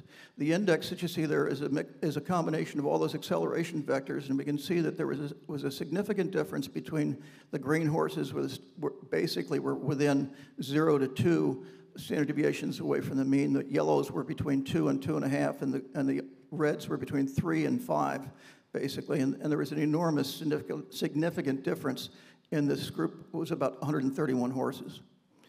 So we found that the three of these outcome variables were significantly different. First of all, the number of days to the next race was extremely significant. So the red horses did not make it back to race again for a significant period of time, more than the yellows and the greens. The other thing was that the red horses also did not complete as many races during a four-month follow-up period. And finally, they did, also did not complete the same amount of high-speed furlong events and timed workouts. In the four months after these races, there was no significant differences between the yellows and the greens in terms of making it back to the races. However, between the reds and, and the greens, there was a significant difference, and there was also a significant difference between the yellows and the greens. Interestingly, only 40% of the horses that had a red classification were able to race at all for the next four months after the analyzed race, compared to almost 80% of the greens and the yellows. I thought that was, was, was powerfully significant. Obviously, the, the p-values in those numbers are, are instru fully instructive on their own value, but these were very significant data uh, with a population size of 131 horses. So the, these sensors are practical and scalable. They're, they're screening devices. They're not diagnostic tools, but they are screening devices that can detect subtle gait abnormalities, that is, subclinical lameness. None of these horses were lame before the race, obviously, or they wouldn't have been allowed to run. But we were able to see things happen during the race, and we were able to identify horses that were unlikely to make it back for a period of four months after that race. Now, a normal thoroughbred racehorse in New York runs about every month, 34 to 40 days. So if a horse is not coming back for four months, that's a really big problem, both from a standpoint of equine welfare and from the standpoint of economics for the trainer. So what we're able to do with this device is actually detect lameness in, in early stages to provide for timely intervention. Typically speaking, the, the, regulatory veterinarian in the racetrack does not get involved with a horse unless it fails a pre-race examination. And we have uh, a, an adversarial relationship at that point between the regulatory veterinarian and the trainer. This device allows us to identify unsoundness very early in the process where we can actually work with a trainer and say, look, your horse is not lame today, but the warning signs are very clear. You need to get this horse evaluated by a veterinarian. He needs to have a good, good diagnostic workup because something's going on here that's preventing him from competing and being up to his normal potential. And so with that that redefines the whole relationship between veterinarians and trainers. That veterinary client-patient relationship is enhanced by this device because now you have a different kind of a conversation. Instead of saying you're not going to run today, the conversation is together, we got to figure out what's going on here, both from an economic and a welfare standpoint, so we can keep this horse in training and he can do well. The next steps then, we came back to, to Belmont, Fall Meet, and Aqueduct, and in Saratoga, we were only able to measure all of the horses in one race a day because that was a starting point. We wanted to walk before we started running. And when we got down to Belmont, we did every horse in every race and were able to get that data. Did the same thing at Aqueduct. Because we had now repeated measure opportunities, uh, we have individual horse fingerprints as well as population fingerprints.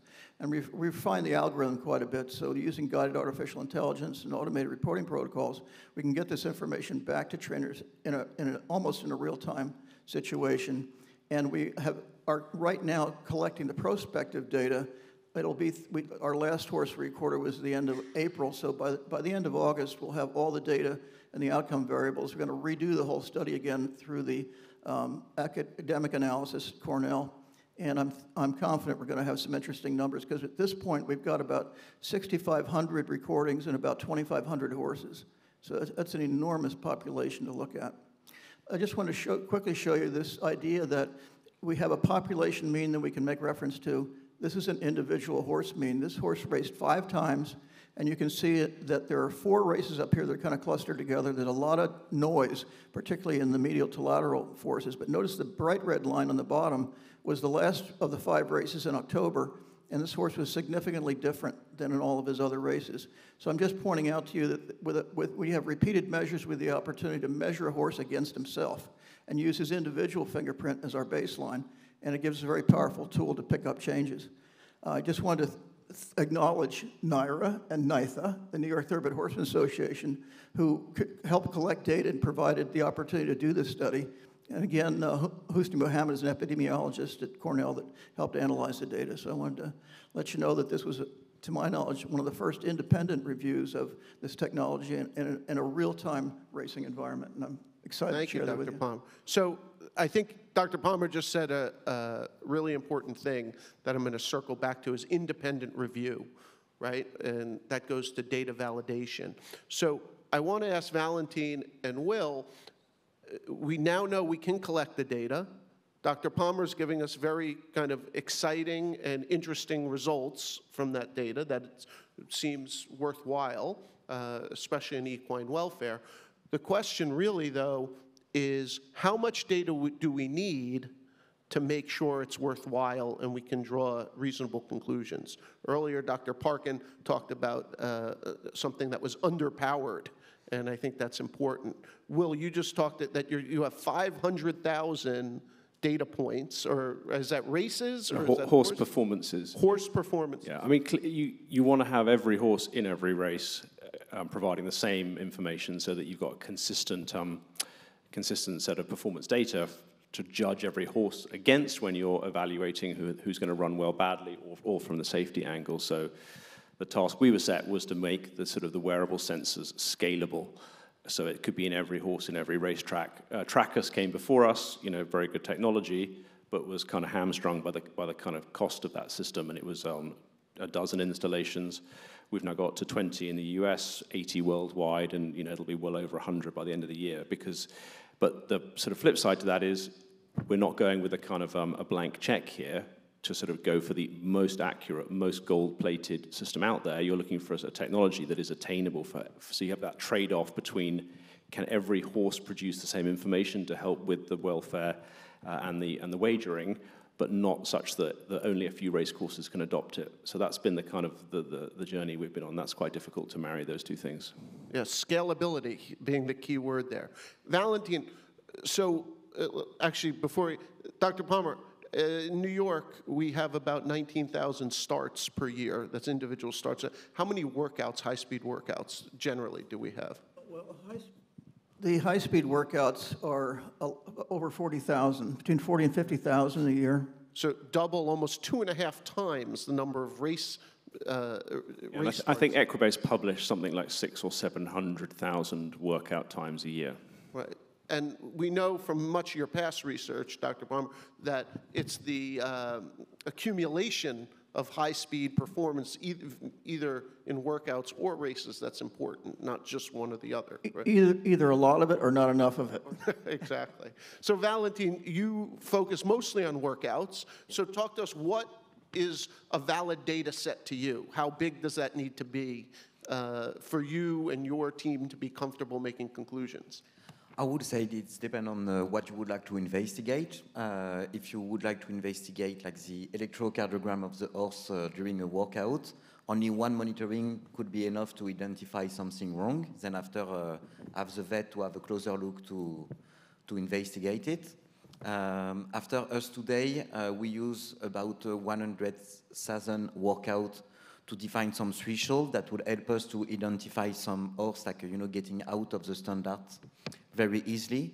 But we need to be very careful with the workout data uh, because uh, we need also to look at them in like an individual perspective because from a trainer to another, they will have different way to warm up the horse, different way to make the horse, uh, you know, trotting or not just after the workout, etc. From a track to another, also the data will be impacted by the quality of the ground, condition of the, of the track, etc. So it's always very important uh, to make sure we will have some qualified data to compare always what is uh, comparable. Great. Uh, there's some slide. Do you want to talk through that slide quickly? That's Oh yeah, sure. So that was just to put some uh, some image on uh, the platform we have developed. So here, like you have some example of uh, the playback of the training, the different graphs you can find, some analytic tools, the mapping of the training, etc. And also uh, something we we wanted to tell you today, like it's us, we are very enthusiastic about some research program. We have a lot of research and vet using our product today to investigate new things. So uh, we have conducted, conducted ourselves a lot of uh, uh, validation studies, uh, mainly for the electrocardiogram and, investigate, and investigation of the different arrhythmias, etc. So we are also able to provide and uh, the raw data from our device to investigate like a new type of uh, areas, like new things. Fantastic. So, so we have all this data. I'm going to assume the more data across tracks, right? Not just, so New York, we're boldly charging ahead, but I think, could we all agree that having data across tracks, across surfaces, the more the better? Absolutely. Okay. So uh, let me give everyone a perspective for a second. Uh, Will mentioned Trakus before. Trakus has been at many of our tracks for many years. Uh, looking at New York, we had uh, our 2019 data had four and a half million rows of, of data from one year of Trakus. So that's kind of a lot for your Excel spreadsheet to handle. My next question is, are there any data scientists in the audience? I know we have a number of veterinarians, but is anyone taking classes in data science? Okay, so Dr. Palmer, asking you, if you're a veterinarian and you're interested in this field, what do you need to do to be able to handle all this data? Well, there are a couple of ways to handle it. Uh, you're right, Joe. The, the, the really, the, the, this is a new frontier, no question about it, and it's baby steps right now. And I can tell you that uh, I was trained at the University of Pennsylvania in 1976, same era as Dr. Bramlage. We're kind of old compared to a lot of young people in, these, in the industry right now. But, but back in those days, I mean, I'm, I'm not sure I could have even spelled epidemiology. You know, I think that, that you, have to, you have to have training in epidemiology. You have to have training in statistics. And to work with, with uh, a data set, to work with, with an experiment, even in, in the one we just did at Belmont and Aqueduct, to take, to take you know, 6,500 recordings, lines of data, and then, then there's millions of bytes in there. When you're looking at that, you absolutely have to have a, a basically, I like to call them data wranglers. These are people that know how to work with large databases and have the computer power to, to do that. And, and a lot of this involves using artificial intelligence, which is kind of a catchphrase this day. But the, the most valuable way to do that is you don't just throw all the data in a computer and expect to get an answer out. You have to teach the computer or guide the computer to tell them, you know, what, what the important things are because a lot of covariables are going on in there and you need to strip that all down. In, from the TPD perspective, the last few years have been about acquiring the data, you know, getting onto as many race courses as possible, having a big enough data set. The present and the future is all about um, producing front ends and, and, mining that data. So we're hiring huge numbers of data scientists, um, generally far younger than me, brains the size of planets, and the, the marriage of the size of this data set with some of these programming languages of like Python, you know, um, MATLAB, you know, R, but really Python 2 is what we, I guess we're doing a lot of it. I don't know that much about it, but it, it's, it's quite staggering how quickly these programs can, can evaluate this data and punch out um, meaningful results. So that's it's, it's super exciting. We, we create in-running odds. That's making 10,000 calculations per horse per second to predict who's going to win the race. We can refine that model the whole time. So it, it's an exciting marriage of sort of computer science and, and programming with huge data sets, machine learning, neural networks, all those buzzwords that people use probably and don't really mean them. In, in this game, we're really using that uh, machine learning the entire time. So racing is actually at the forefront, I think, of, of, of working with these big data sets. And um, yeah, anybody who's a budding data scientist, do get in touch with me because we can never get enough of them. Valentin, are you looking for data scientists too? Um, yes, us, we have some uh, data scientists in, into our team uh, that are always there to provide some trainers, like uh, all the training and the information they would need to use the data, to complete their feelings, their knowledge, etc., to, to complete the decision process, sorry, into their daily job. After what we see now in some countries such as Australia, we have some trainers that hired some uh, performance analysts to look at all the data. Like we have some trainer in Australia, they have like a 25 device they use every day for every workout. And so they have a team of uh, four people only to look at the data. So you have someone that will uh, uh, just to do all the data, data analysis, even develop some uh, new code to look at the data. You have another person that will be there to transmit the information to the trainer or to the owner, and you have some people after that will be there also to make sure like uh, all the daily scenario of use is uh, running well, like uh, putting the device, downloading the data, etc. I was going to say that we were discussing this last night. That the the the the, the gap is the uh, is how do you marry the best of horsemanship and all of that natural instinct that everybody who's been in this room over the hundreds of years and bought good horses, you don't want to, you, you want to harness the human brain's ability to, to train a horse, read a horse, with some of the scientific, some of the data that Valentin's system produces. Um, and whilst we're doing a hell of a lot of um, uh, evaluation of the data, it's more around the entertainment of the sport, the wagering, training, uh, you know, football teams, soccer teams, NFL teams, they've all got a data science person who's just looking at the data. And I'm sure they're sitting around and very much debating, does the data back up or contradict what the, the scout might say? Um, racing is going in that direction, but very few trainers are trained by numbers today, right? And that's probably, and that's sort of slowly changing with, with Valentin, his good product. But finding some room in the economics of training to fit in that extra salary of the people to evaluate the data and marry that with brilliant horsemanship is, um, is a big challenge. So that, that leads me into my next question. Uh, speaking of the, let's say the American sports leagues, but I know the Premier League and Australian rules football also are similar. Uh, they actually have broken things out where they've kind of standardized data collection. This is the expectation of what we want. And then they have a wide range of analysts. To use the NFL as an example, they have league wide analysts, and then each team has analysts. And then there is a vast kind of hobbyist, um, let's call them hobbyists, or some are even commercialized hobbyists now, uh, like Pro Football Focus, who does their own analysis of this stuff. Um, Dr. Palmer, what can we do to A, standardize the information that we're collecting across all racing and training venues, number one, and then two, how do we encourage research, realizing that typically uh, we've kind of had closed silos in this sport? I think that uh, introduction of HISA is going to make a huge change here because they're, they're going to, they were already are requiring a lot of data.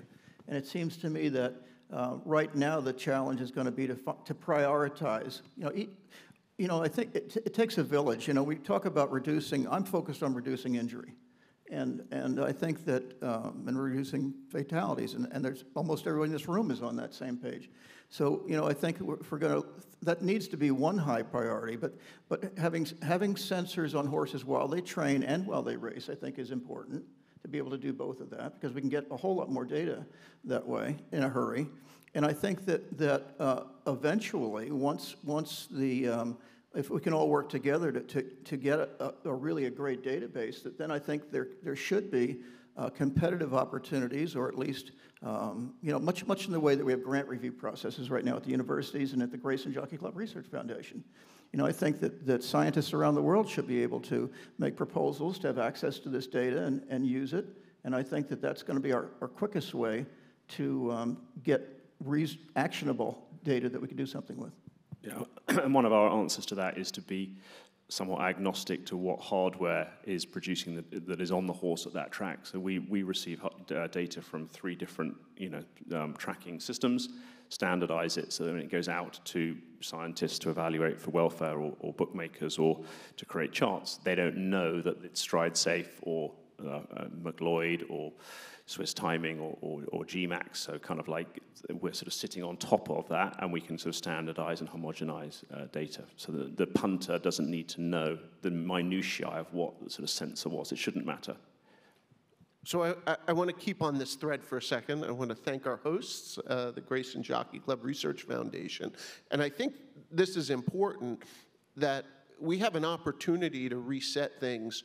We have the opportunity to grab this data set, a kind of novel data set uh, for us, and we can let the research inform our opinions, right, and have a real scientific method here, as opposed to what we sometimes do, let our opinions inform the research. Um, so could you talk a little about how we could go about encouraging academics, uh, both within our sport and without our sport? And maybe there's ways we can find those people.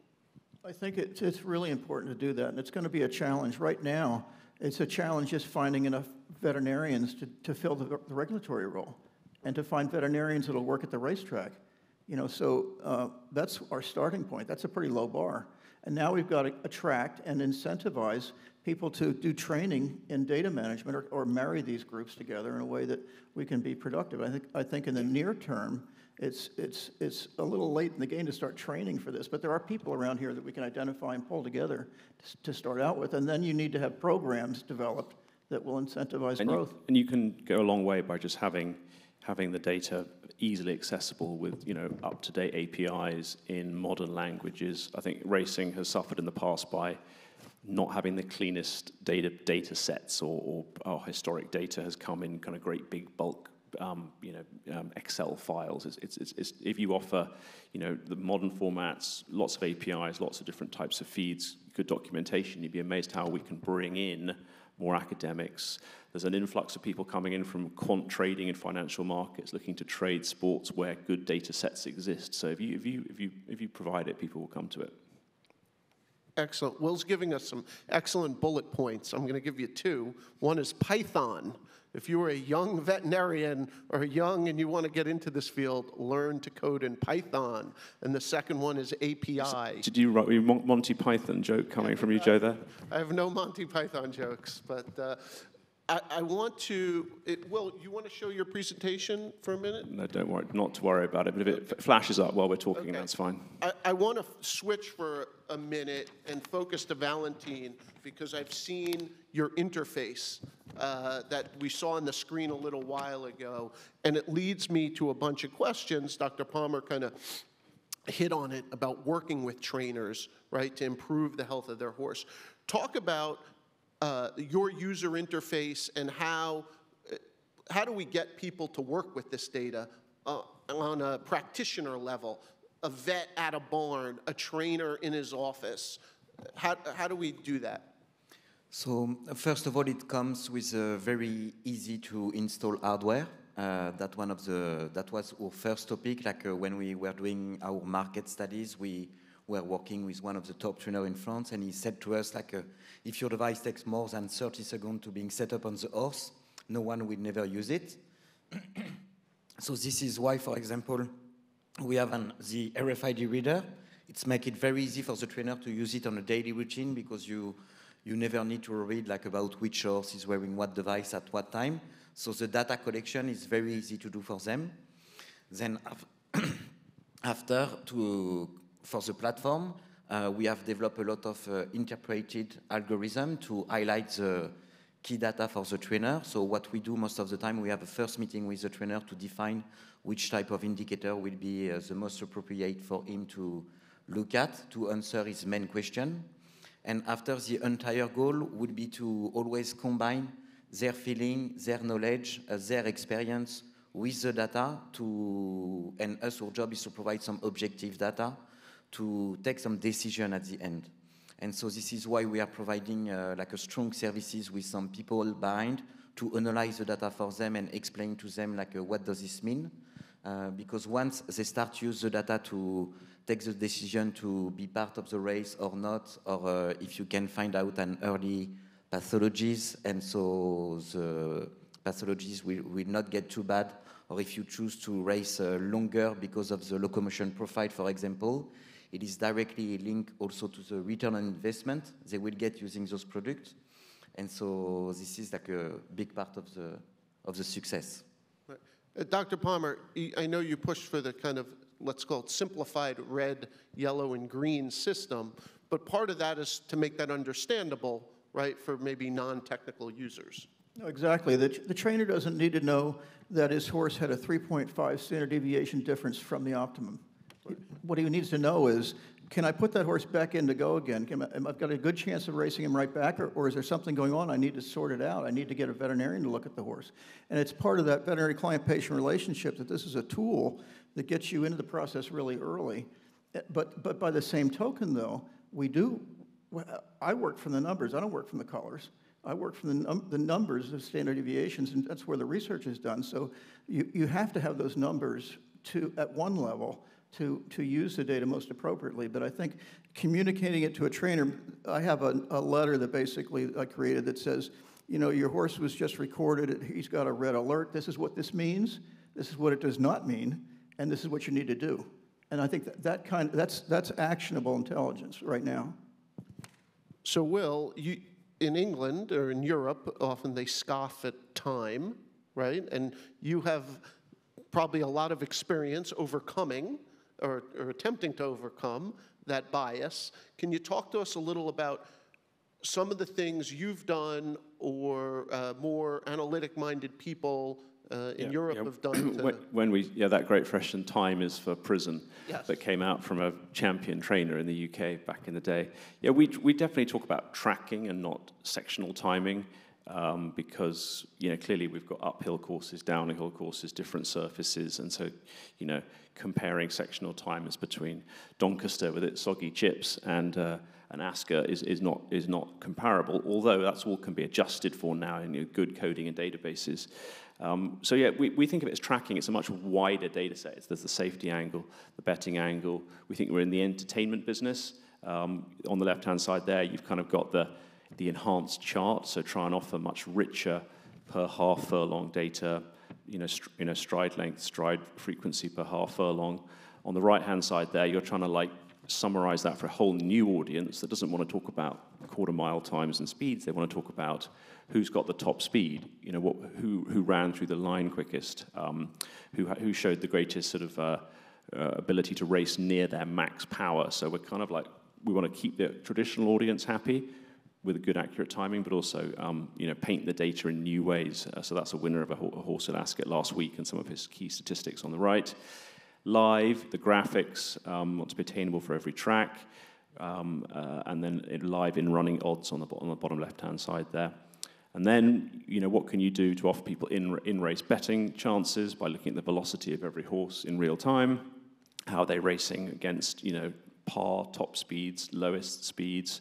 Can we, can we tell people who's kind of spent the most time walking around the paddock, which horse has been in the stalls the longest, little, little on the day kind of live betting tips. Um, and then finally, after a race, rather than just talking about um, you know, who won the race, can you, can, you, can you draw speed charts? This is a particularly interesting one from Ascot last week, where a horse called the Ridler uh, careered across the track, blocking the run of every single horse he was up against and uh, the stewards can't yet use that information, but they hopefully will soon. And you can see that that horse in blue, how much its velocity was um, was cut off by that. That creates huge talking points. We had hundreds of thousands of pieces of people engaging with that. That's a much better way of telling the story rather than running the replay 700 times, which is what the TV companies have done uh, to date. That, that's excellent. That last slide was excellent because I remember watching that race and watching him cut off a number of horses. So seeing it in um, that format is, is really validating. And then there's new types of bet. Some would say they're quite frivolous. They are a little bit frivolous, but a new audience that's going to come in, that's going to bet on NFL, that's going to bet on, on, on basketball and hockey. They want to maybe bet on, you know, who's going to reach the top speed, who's going to do the fastest final furlong, as well as in-race wagering. So yeah, we're we're spread across a whole number of fronts, and the question is, can we adapt our huge data set for a welfare point of view? Um, can it spit out some of the kinds of things that uh, Dr. Palmer's talking about, as well as bringing more people into racing to engage with it? So I'm going to get back to that in a second. I just want to ask Dr. Palmer, so you've actually dealt with New York NYRA-based trainers with this data, going to them and saying, hey, your horse may have a problem. What's the response been? Well, it's, it's been kind of interesting. Uh, when I was reviewing the Saratoga results, I, would ha- I, had a, I was tracking those horses in a progressive fashion, looking at what they were doing, and I would see a horse win a stake at Saratoga and then drop off the radar screen. And, and, I, and I didn't know what happened to him. So I'd call the trainer, who is now in Florida, and I'd say, by the way, I just want you to know, you won a great stake in, in Saratoga. I kind of thought this horse might go with you to Florida, but I haven't seen anything, you know, recorded workouts, what's going on. I mean, the recording we have looks like he might have had a problem in that race. And, and there's usually, there's a long silence on the phone for about 20 or 30 seconds, and then he says, how did you know that? He said he, he's at WinStar right now. He's recovering from surgery. You know, so the trainers are, uh, they were initially very frightened of this technology because the word was out that if we got a red alert, Palmer's going to scratch your horse. And so after, after, you know, after 5,000 horses, I said, how many have I scratched? None you know, that's not what we're doing here. This is an educational deal. And so they, I think the trainers are, are fairly consistently very, very supportive of it. They're very interested in, in the information you can give them. It's like a great piece of insight that they would not ordinarily have. There's rumors running rampant on the backside that aren't true. Is that is shocking? Just simply shocking. so, Valentin, you work a lot with the trainers uh, in the morning. It, try to explain what is, uh, who, not specific individuals, but how are they using this information a little more? I know you, you touched on it before when talking about your interface. Are they stretching horses out, running in longer distances because of that? Are they pointing, are, are they able to get them ready for the races faster because they can see their fitness levels, um, uh, you know, without having to overwork them? Sure. So each trainer will use a different angle most of the time to use the data. So first you have uh, all the welfare and health uh, aspect. For example, uh, you will monitor your horse a few times. You will always do the warm-up phase with your horse, so you will know exactly what is his average heart rate during the warm-up phase. Uh, let's say the horse is around 125 beats per minute every day. If one day you see the heart rate going up to 140, 150, it will probably mean there is something wrong that needs to be investigated, maybe a pain or something uh, something else, so you can contact your vet directly, or your vet can also have access to the data by distance to monitor those parameters for you. Then uh, after you will have uh, another very easy way to use the data. Let's say you will monitor your uh, last workout before a race.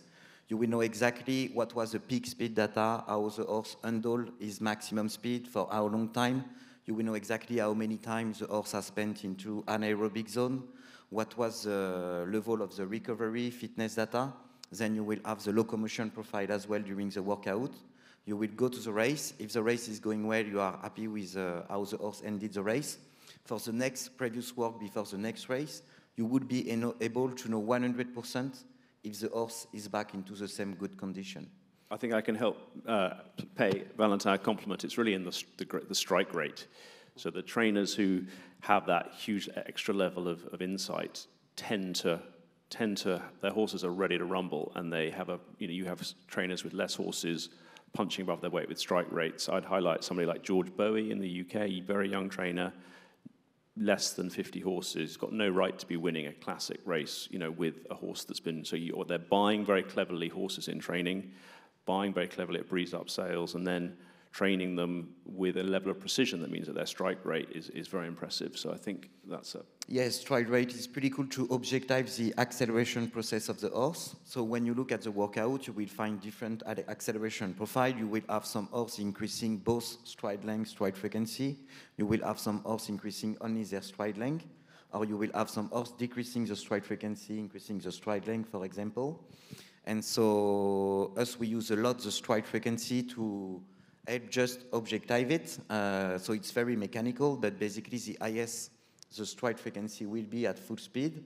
From a mechanical point of view, the less distance the horse will need to get to his maximum speed. As an owner, it helps you get that horse to the right distance with the right running tactic much more quickly. And in the UK, terrible prize money, that's less of an issue here. We dream of your prize money levels. Um, you know, maybe it's not such a thing, but the transport costs, you know, the inflation in training fees, transport costs, you can't be spending $500, $1,000 traveling to a race, and then you're going over like the wrong distance or your, your running tactics are a little bit wrong, because that's just eating up potentially eight weeks of feed and costs. And that's how we're burning too many owners in this game, is that we're not sort of going straight to the right tactics and the right distance. And if we can like narrow the angles on that and keep more owners enjoying the racing experience, that's good for the whole ecosystem. So what I'm hearing is there's somewhat of, we have this data set, and there's a melding of its uses. There's equine welfare, the topic of the summit. There's performance. Maybe there's wagering, display, etc. In human sport, I guess I'm going to go to Dr. Palmer on this. In human sport, let's say in pitching in baseball, they found that efficiency of performance actually is highly correlated to injury prevention. And would you expect to see a similar result? I know we don't have that data yet, but would you expect to see a similar result here? Well, I, I think in, in Little League Baseball, you know, teenagers were suffering tremendous injuries from, from doing too much pitching. And the American College of Surgeons and the Little League did a study and figured out, well, you know, if they just put some restrictions on how many pitches those kids could throw, the problem goes away.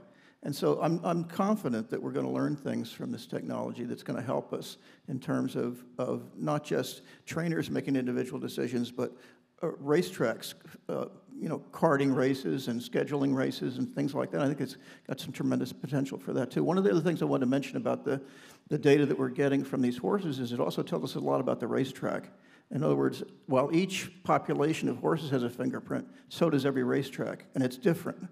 And so, and so I, I, fully expect when we see the data from Belmont and, and Aqueduct compared with Saratoga, we're going to see some differences in terms of quality of horses, the speed of the racetrack, the, the way the, the horses move over the track. And so, you know, the, the, horse for the course kind of data is going to be able to be quantified really accurately with this. That's, uh, the punters will be excited for that. Will, were you going to say something? Uh, no. Okay. Uh, um, okay. This is my final uh, question for you guys, and you feel free to expand. I'm going to use a, an American baseball analogy. I'm going to start here with Will, and we'll work down the. Uh, what inning are we in? If, if, you don't know baseball, we have nine innings. Um, what inning are we it's in? It's just too long baseball. I can't yeah. watch it for that long, and the season never ends either. but anyway, uh, I think we are. We're now into the exciting, exciting big, I give a new analogy, big wide open space where we've got enough content now. It's about what we do with it. So um, I'd say we're, we're, we're over halfway. Is that, is that an okay over answer? halfway, okay. But for baseball, that means there's top years of the left. Fifth, top of the fifth. I'd, I'd switch that analogy to a racetrack if I could. Fair enough. and I would say that we're well out of the starting gate. And, but I'd say we've got a long way to go. We're, we're just, again, we're, we're gathering some amazing data. We're analyzing it, but there's a lot of work that needs to be done to, um, to make this scalable across the country and to, to learn as much as we can from it. So I'd, I'd say we're probably entering the first turn. Okay, and let me follow up with you, Doc.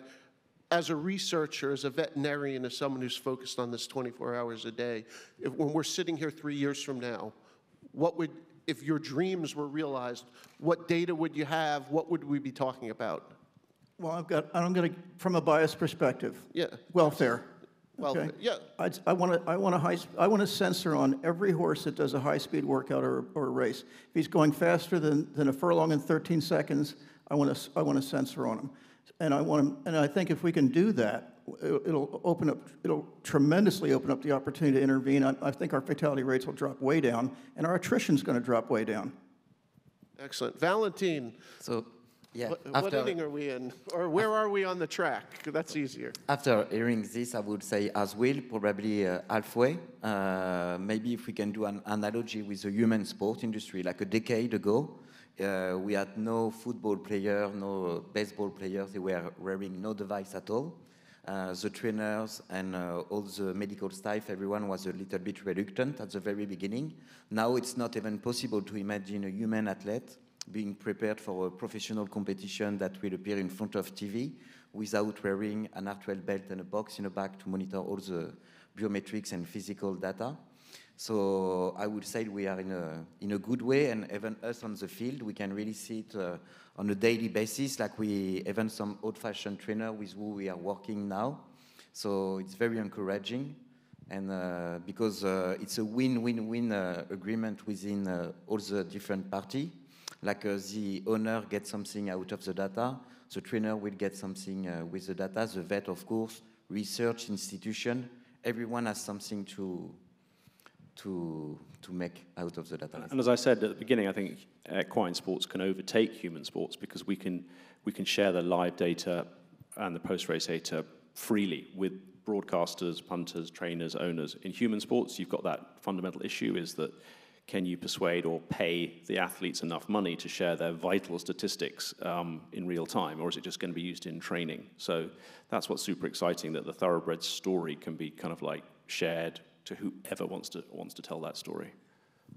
Okay, guys, thank you. I'm going to use my final minute to give you the zealot's pitch here. Okay, I'm me being the zealot. There's not a human football player or soccer player at a professional level who's not using a catapult vest.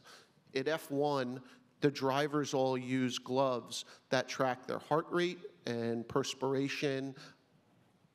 Excuse me. Weightlifters are using push bands to understand their load human sports about 10 years ahead of us on this. And as Will just pointed out, they have things like players' unions and privacy concerns. Not that we don't have things like privacy concerns and equity issues, making sure all trainers get access to this. And who, what are the security um, provisions on this data and who owns the data and all that that needs to be knocked out uh, amongst us. But we're 10 years behind but we can catch up and we should catch up. It's not just for the benefit of the betting public, but it's really for the benefit of these horses. It gives us tools and opens us up to people we've never uh, been exposed to before who can truly help us. We're kind of a closed community, we're a small community in the sporting world, but this data and the sort of analysis that goes with it could really alter the trajectory of the sport. So let's all invest, uh, right? We spend, right on this stage, we spend millions of dollars on horses, the hundreds of millions in one session. And That's just your budget. yeah, sadly, no. But, uh, and to get people to invest in this technology, in the analysis especially, um, we owe it to the horse, we owe it to ourselves, we owe it to the industry, quite frankly. Uh, we need to spend dollars. Anyway, thank you all. Thank these great panelists. And uh, anyone else? Thank No? you, Chair. My pleasure. Annise? Thank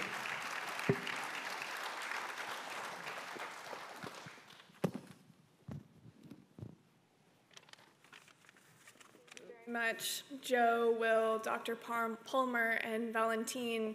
It's amazing to hear about the progress that we're seeing with equine wearable technologies like this and the potential that it has to really inform decisions when it comes to equine performance and health and welfare and safety.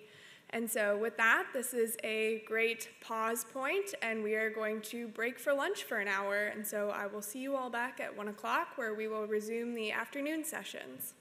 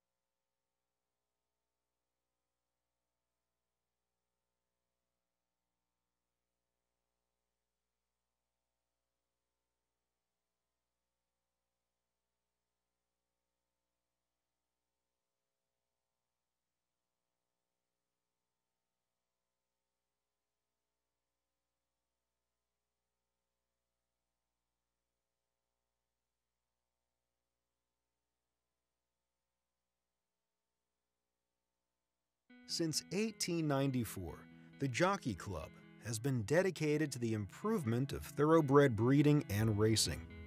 Its initiatives range from health and safety of athletes to promotion of the sport.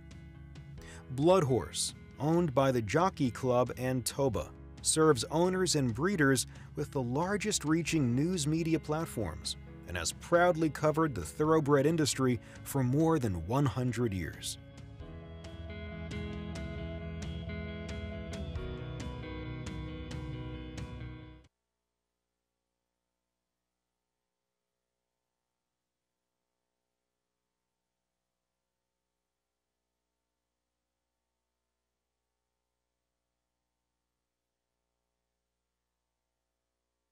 Hello, everyone. Welcome back. We are going to get started again with our afternoon presentations. Many positive changes and innovations have occurred for the health and safety of our equine athletes since the first summit in 2006. Both regulatory and association veterinarians have witnessed several of these changes, including pre-race exams, monitoring horses between starts, advancement to the void claim rule, stronger vets list rules, and extended withdrawal times for medications. I'd like to welcome Dr. Mary Scollay Ward, Executive Director and COO of the Racing Medication and Testing Consortium, who will introduce and moderate the Regulatory Veterinarian Panel.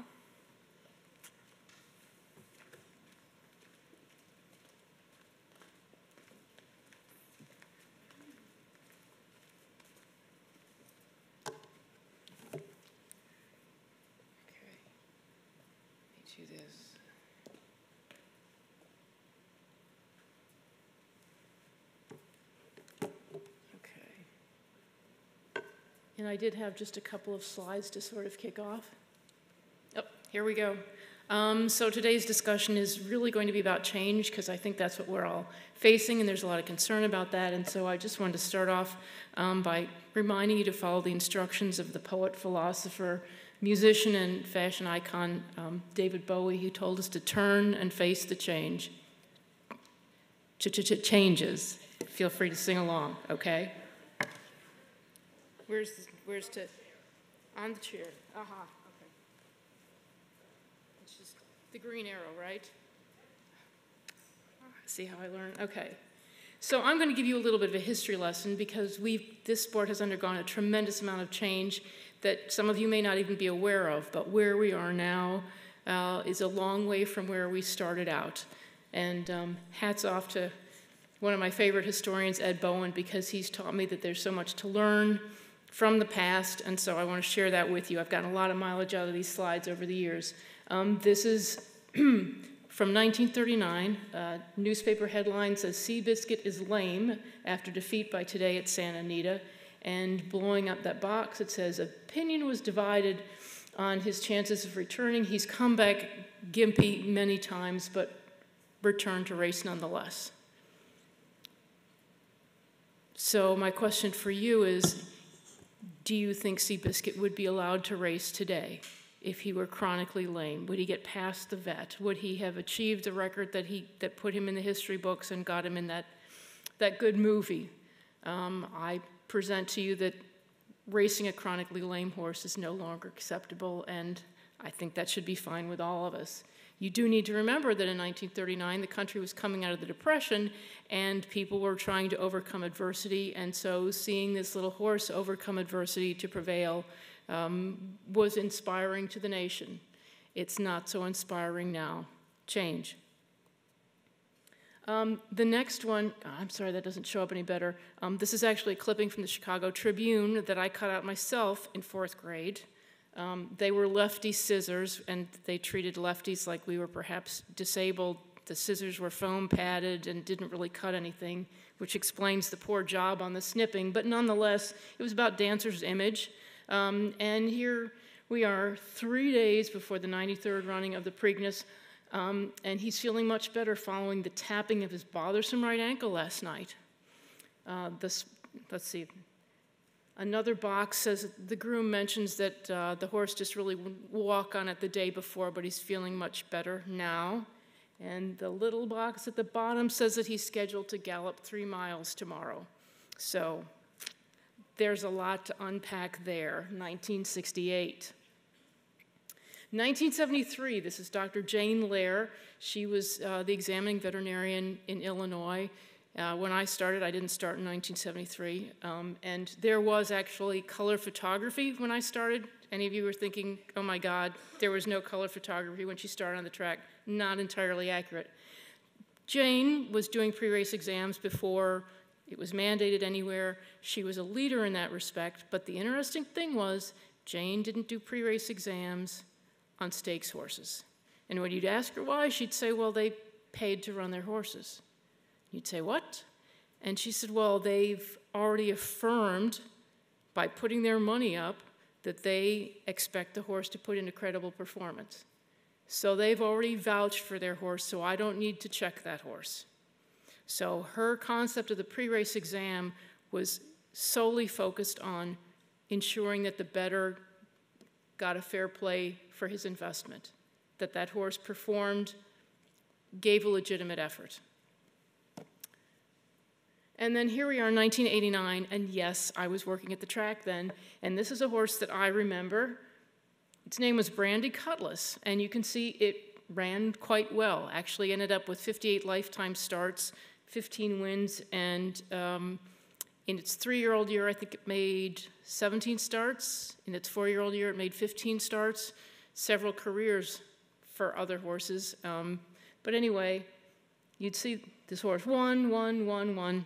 Obviously, a very successful racehorse at his level. Each time he ran, he limped back to the winner's circle. And I would call the state vet from the phone in the winner's circle and I'd say, Swede, Brandy Cutlass lame right front. And he'd say, Mary, did he win? Knowing full well that he won because we did have TV back in those days. And I'd say yes, and he said, Then what more do you want from the horse? He may have been lame, but he beat all those other horses. He doesn't need to be on the vet's list. And every week, every time the horse ran, I'd call him and say, Sweet, he's lame right front. It's, this isn't right. And he said, But he won. He said, We'll put him on the vet's list when he's lame, and he runs second. Hopefully, you understand that that is no longer um, a credible approach to protecting our racehorses, but that's the history that we come from, and that's the change that you might, may not be aware of. And so, with that, I'm going to introduce our panel who are going to talk about more contemporary changes. Um, some of them don't even know what a rotary phone is, but that's okay. They're changes that they've seen. Um, Dr. Will Farmer is Equine Medical Director for Churchill Downs Incorporated. the racetracks under his purview are obviously Churchill Downs, Fairgrounds, Presque Isle Downs, and Colonial Downs. Lots of downs. Okay. Um, next, we have Dr. Jackie Bradley. She's the commissioned veterinarian at Prairie Meadows in Altoona, Iowa. And all the way on the end, we have Dr. Lynn Hovda, who is the chief veterinarian for the Minnesota Racing Commission. So we're going to do a couple of quick questions to introduce you to them and their experience, and then we'll, then we'll get down to the changes. Um, Will, we'll start with you and just work down the row. When did you start working as a racing regulatory veterinarian? Four days before the 2008 uh, Derby, which was Eight Belles and Big Brown year. Um, truly baptism by fire. Um, but uh, it was quite an experience for me, my first day on the racetrack, because uh, prior to that I had no real racing experience. Um, I grew up on the farm, did uh, horses when I graduated from veterinary school, uh, took a job out of necessity and for working for the commission with my wife being in dental school in University of Louisville, and so I wanted to do horses and I had the opportunity, so I, I just kind of followed that, and uh, that was my, my first experience. Well, welcome aboard. Thank you. Jackie? I started becoming a regulatory veterinarian in 2014, and it actually was at the dog track in Dubuque was my first three years as a stepping stone to Prairie Meadows after that. Okay. Um, and you have an interesting backstory since Will gave. Let, let's hear yours because I think that should be something a lot of our racetrack operators will be interested in. In uh, 1999, when I graduated from high school, I was walking through our local horse fair, and a gentleman pulled me over to the table and said, You need to sign up for this program. And it was the Iowa um, Quarter Horse Racing Association, and they had a Racing for the Future program that allowed high school students to shadow the trainers and to learn how the entire backside worked. Through that program, I also got sent to Lone Star and did the same thing down there. And it kind of jump-started my career into racing. The following year, I helped with the program. And then later that year, I um, started working in the test barn where I worked for nine years as a pee catcher. Um, and then I went out into mixed animal practice and then finally was called back, like I said, to the uh, Greyhounds as the stepping stone back to Prairie Meadows. And once I started back there, I knew I was home. Dr. Hovda? Well, I'm of your vintage, probably know what a dial-up telephone is. So it's been at least 20 years that I've been the chief commission veterinarian. I actually started my career working hot or walking HOTS when I was in veterinary school. Went on to do an internship and a residency in um, large animal medicine. And then uh, worked for one year on the backside at Canterbury Downs, which is now Canterbury Park, and decided that um, I wasn't quite mentally prepared to be a backside veterinarian, so I went over to the dark side and became a regulatory veterinarian. Okay. So, next question, we'll just start with Will and move on down. How has your job changed since you started? So I think that um, you know, as all of our lives have changed, uh, as with the progression of technology, uh, that's probably been one of the biggest areas um, where things have changed. Uh, when I first started uh, with the Kentucky Racing Commission back in 2008, we were right, we, I started right at the beginning of change. They had started to implement um, using the InCompass system, which is a uh, internet-based database uh, that is now universally used across the United States for pre-race exams. And to see that become incorporated into our daily uh, position uh, of doing our exams prior to, prior to 2008, uh, pre-race exams were certainly done in Kentucky. However, the emphasis was more of are they upright, are they walking around the stall okay? The hands-on, the trotting portion of that um, was not emphasized as much as it was 2008 and then, you know, obviously through today. So I think those are some of the, uh, it just is continually advanced um, as technology has moved forward, um, obviously with increased regulation, uh, some of the medication regulation, and some of our um, other welfare issues uh, to advance um, how we do our job forward. So when I started, we did have InCompass, and we were already doing the uh, full physical exams in the mornings. So the biggest change that we've had has kind of been recently in the last two or three years on evaluating the risk factors in the mornings before the horses um, actually even hit the track so we know which ones are on our, on our radar. I think perhaps the biggest change for me um, personally and professionally was when we added a standard bred track in Minnesota because, well, I know a lot about quarter horses and um, a lot about thoroughbreds. I really didn't know very much about standard breds, so I had to take a deep dive into standard breds and spend some time at a few other tracks, so I came up to speed on them. Okay, thank you. So I'm going to ask you now, each of you get just one. You can have the same one or different. What is the single most impactful change for horse safety and welfare that has occurred in your career? And it could be something that's an industry-wide initiative. It can be something that happened locally to you. We'll start with Lynn this time. Um, for me, the biggest change has been the change in the medication policies and the rules and regulations. And Mary and I have talked about this a few times, and I think Scott Palmer as well. When we started doing this, um, intra-articular uh, injections of corticosteroids could be given, at least in my state. We have a 48-hour rule, so 48 hours out from racing, you could still put a needle in a joint. And then we were lucky enough to move that out to five days in my state, and we moved it out to seven. We've moved it out to 14. And um, if currently we have some other policies in play about the number of times that you can put a injection in a joint and, and still have the horse run. So for me, it was the changes in medication. And that also includes the changes in the thought process of phenylbutazone and um, the other NSAIDs that are used because it really pushed me over the edge when I would hear people who I know knew better stand up and say, well, it's just like giving an aspirin.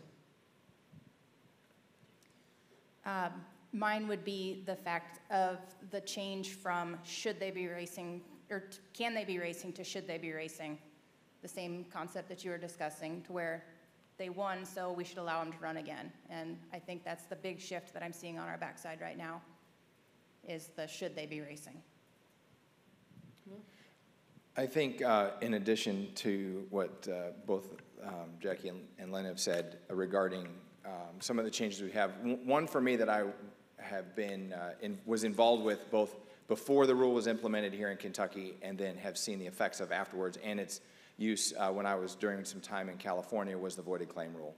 Um, I think that the voided claim rule has really uh, made leaps and bounds because it has changed the approach to entering a horse in a claiming race. Um, and the, we have de incentivized the idea of I'll make it someone else's problem. And um, while it is certainly not a foolproof system or a system or a rule without uh, controversy, I do think the overall intent, the, over, the overall arching effects that it, have, it, it has had on our uh, overall population, because many of our races, vast majority of our races are claiming races, the effect is, is profound. And I guess I just interject at this point, sort of a shout out to the regulatory veterinarians. That is probably one of the toughest, most pressured jobs to do is examine the horses for the void claims. I don't know anybody who enjoys that, and they do a professional and consistent job. And so just props to them because it's it's not something anybody looks forward to doing. I've had them on both sides. I've had this, the, the losing and the winning, and both arguing, you know, the opposite thing. So yeah, you do tend to get caught in the crossfire um, between that. Uh, I think many states have gone to, you know, trying to make that as, um, I don't want to say a private decision, but to exclude, to try to keep those parties away from being able to try to influence the veterinarian because you do need you need some quiet time to be able to look at the horse, be able to do your exam thoroughly. But it's it is it's a very difficult place to be. But at the end of the day, as regulatory veterinarian, uh, my sole concern is the welfare of the horse. And if there's something there um, that that I can identify and document, uh, and there's a concern, I, I, I can act on that. Actually, I'm just going to second Will on that one. And um, the veterinarian in our test barn who's doing these is doing a wonderful job. And I laughed at her the other day. I said, Well, we need to get you a support group. And she said, You are my support group. Fair enough. Um, and I'm just going to throw in a plug for the equine injury database. Got a special place in my heart for that. But many of you don't know in 2007, when Barbara was injured, many of us at different racetracks were getting questions about how often does this injury occur, how, you know, how many horses recover from this, and none of us had an answer. None of us had an answer. And it certainly made us look like we weren't very good stewards of our horses if we didn't know what was happening to them and whether or not they were recovering from the injuries. So every time Tim talks, I just kind of swell with pride because he has done remarkable stuff with the data that these guys make sure gets put in the system on a daily basis. Okay. So now, Will, I'm going to ask you to put your uh, smaller racetrack hat on. And for all three of you, in, in no particular order, have there been challenges in regulating a sport that is not a signature industry in your state? And conversely, have there been situations where it's been easier to implement change because it's not a signature industry in your state? Yeah, so to kind of just explain with, with Mary, um, you know, obviously I have a vast variety of racetracks that uh, I'm involved with through um, Churchill Incorporated. And so definitely have all, all levels. Um, and there are unique challenges with each of those. Uh, in certain states, um, we have very, very strong horseman groups, and they tend to have, be very boisterous and very powerful when it comes to uh, deciding some of uh, how uh, commissions act or how they move. Um, and so that, from my standpoint, on a regulatory standpoint, is very, very challenging. Um, to be creative, to work with the structures that are already in place, to be able to uh, bring in some house rules uh, where we can, to try to uh, improve the safety and welfare in a jurisdiction that may not always seem to come as strong on welfare and safety. Um, and then to, on the converse of that, uh, another jurisdiction where um, I think overall, because it is a smaller jurisdiction, we have actually made some changes that were well embraced um, and have actually then been picked up by the Racing Commission to become uh, re- uh, state regulation. So I think that that's a huge win when we're able to start at the ground at the ground level at the racetrack, and then the commission is able to see the effectiveness of that, and then incorporate that into their rules. Our biggest challenge um, that I see at the smaller tracks is actually the monetary constraint of not being able to have some of like the PET scan and the bigger equipment that would be very nice that the larger tracks have. Um, and yes, on the converse side, it is easier to implement some of the decisions that need to be made because we don't have all of the insight. And, and I'd say you make a really good point because the criteria for soundness and safety and welfare uh, can't or shouldn't be lowered at these racetracks, but the resources and the accessibility to the level of medicine that might be needed to maintain horse health can be hugely problematic. So Correct. that's a that's an ongoing challenge that I see. Some of our practitioners don't even have a digital radiograph. They're still hand developing their films. Lynn? I've been actually thinking about this as we're sitting here. I, I think for me, um, it's prob- probably one of the easiest things to do is get our rules changed so that we can update them on a yearly basis. And being at a smaller track where you know the people, you know the people in the HBPA or you know the people in the MHRI, and you can sit down with them face to face and negotiate makes getting a lot of the rule changes, whether they're house rules or they're actually written into your, your um, rule book, a lot easier. And I'm just going to say for us as well, even though our veterinary school is just 20 minutes away from us, it's a lifetime away in terms of what we can do for diagnostics, and that's a major problem. Okay. Next question. Um, what changes would you like to see?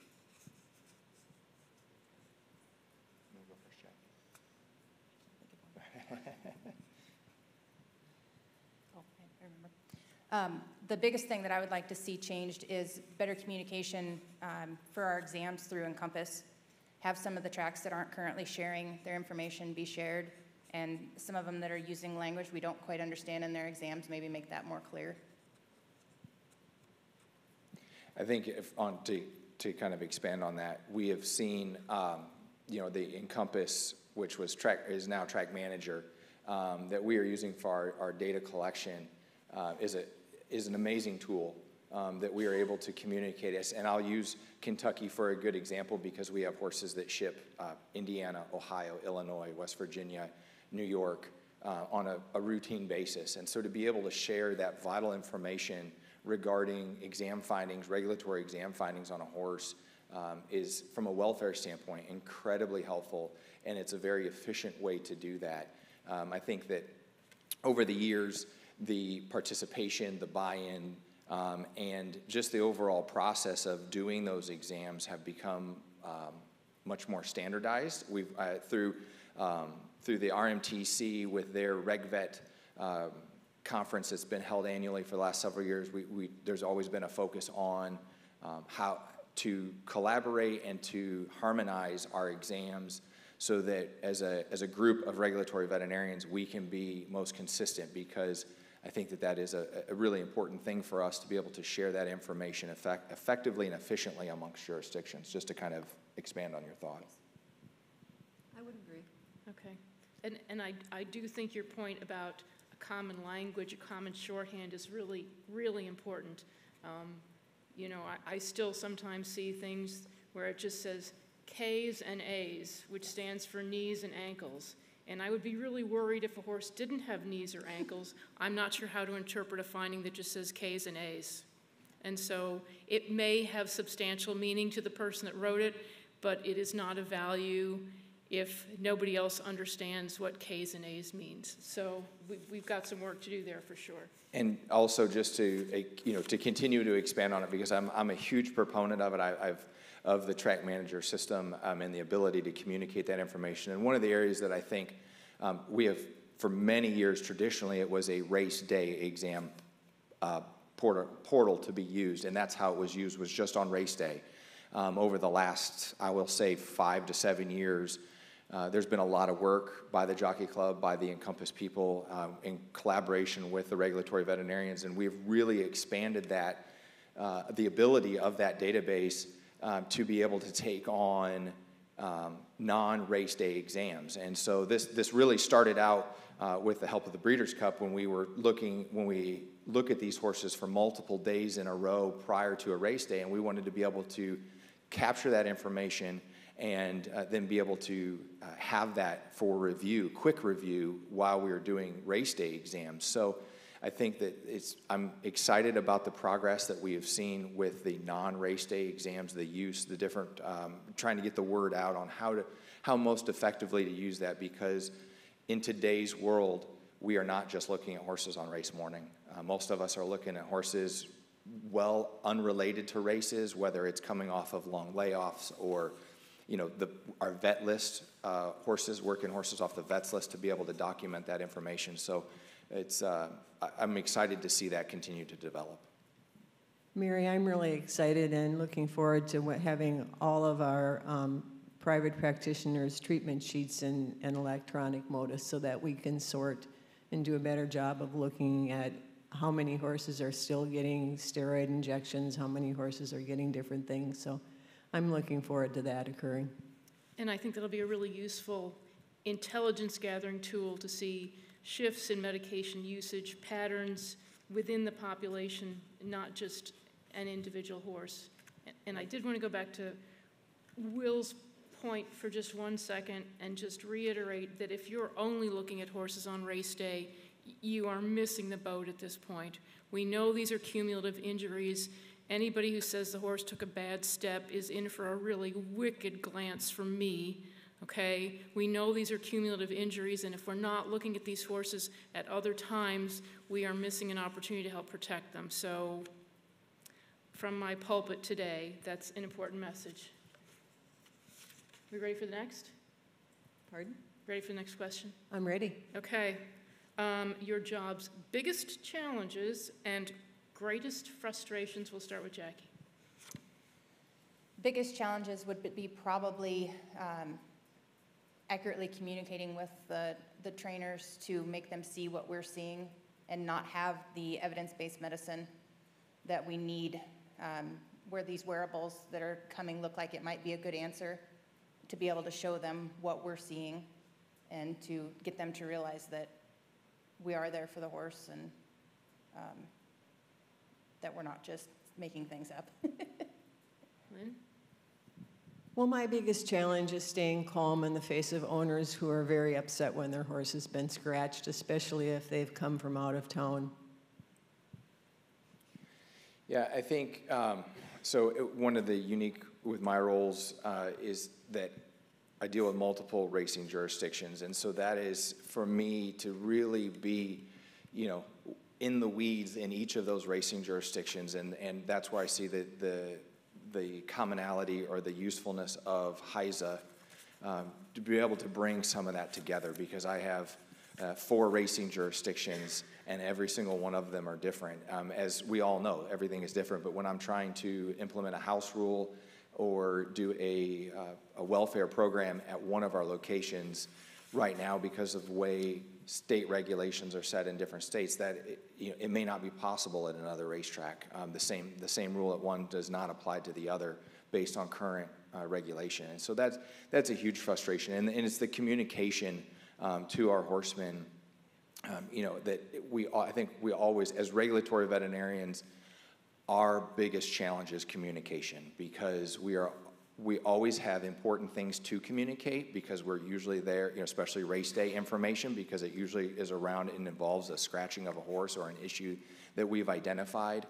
And so I think as a as a group, as a as a talking to the regulatory veterinarians, um, the biggest thing that we that we need to continue to work on is our communication. And I think as regulatory veterinarians, our level of sensitivity to the race day sound horse um, has gotten um, finer and tighter uh, with regards of, of what we are allowing to go to the racetrack and the communication of that to trainers especially to our private veterinarians, because they are our allies in this. And so a lot of times, as a regulatory veterinarian, it tends to be confrontational because it's us versus them kind of, a, of an atmosphere.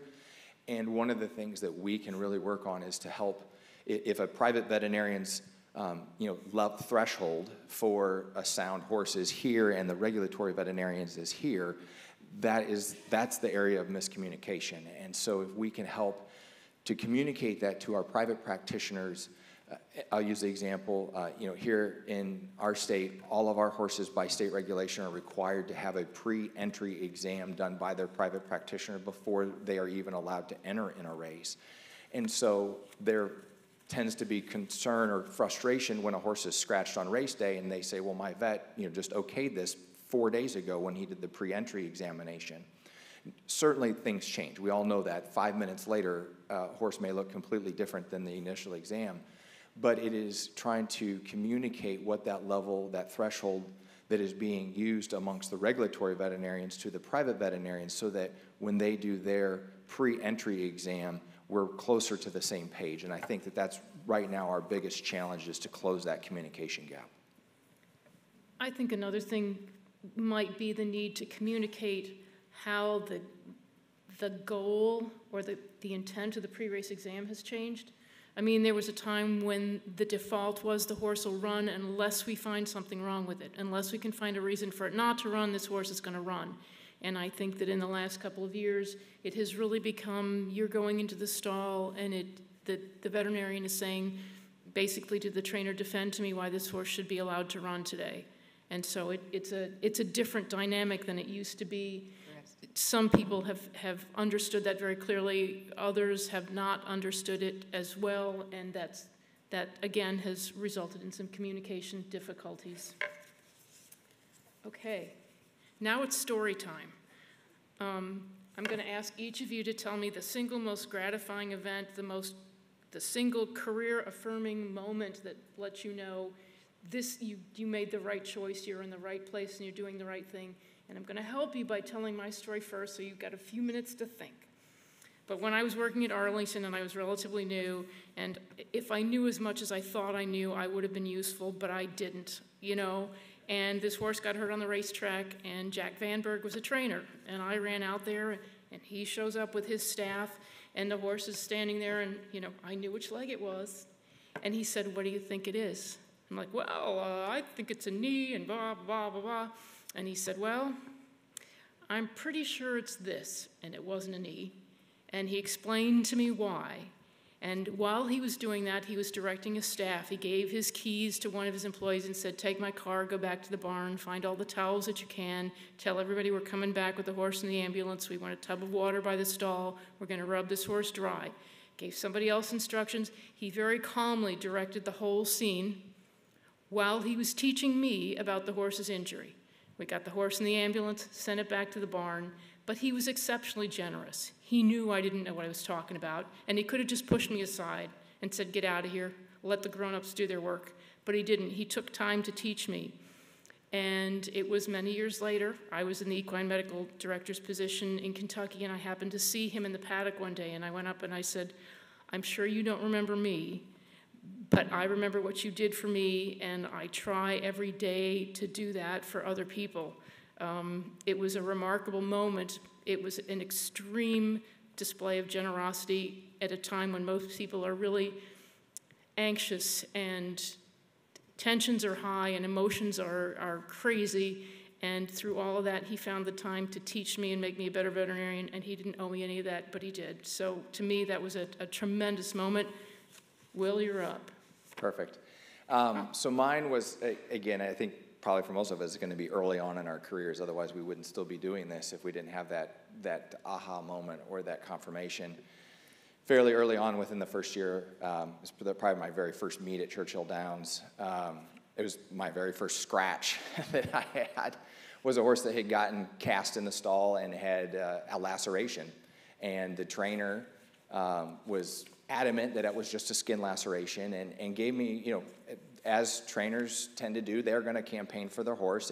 He felt that the horse was not injured enough to, um, to not race that day. And, and I stood my ground, and when we came back and followed up, uh, had conversations, well, sure enough, this horse had probably at the same time caused a hairline fracture. And so, because uh, the horse did never really recovered and ended up doing diagnostics and found a hairline fracture. And so, you know, that for me was like, I stuck to my guns. It was hard in the moment, especially that those first. It's still hard. It's not something that we look forward to scratching a horse, um, it, no matter whether it's a five thousand dollar claim or, or Mary and I have been involved in scratching horses out of the Kentucky Derby. It's not a fun thing to do at any point in time, but when you do, when you stick to your guns and, and at the end you find out that absolutely that was the right decision and, and I was able to protect that horse, um, that was all I needed for me. That really sealed the deal for me. And I was like, this is where I am. My personality is such that I'm not a real fiery person. I tend to be,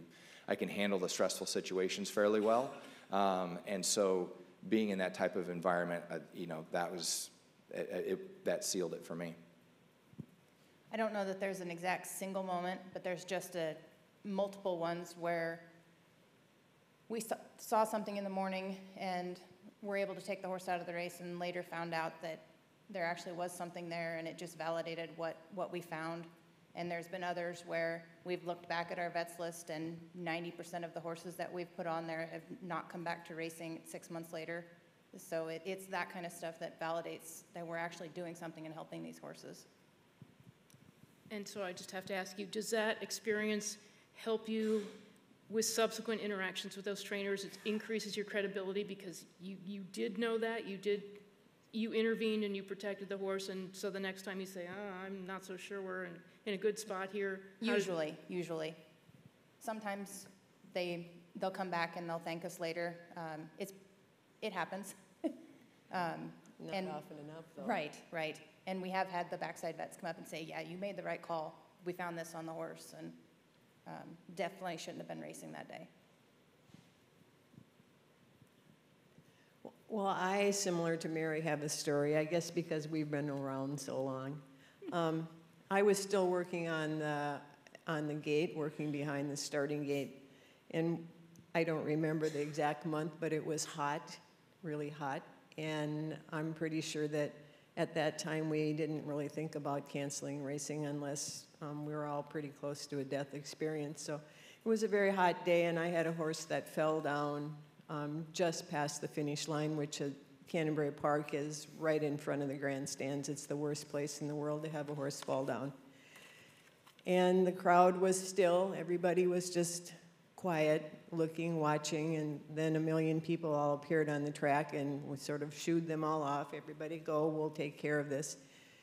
And I had two of the best gate crew I could ever ask for sit on that horse's neck while I got it treated. And we waited and waited and waited. And I got the horse ambulance out there and um, had it backed up perfectly. And I had the crew get off their neck. And he stood up and got on the ambulance.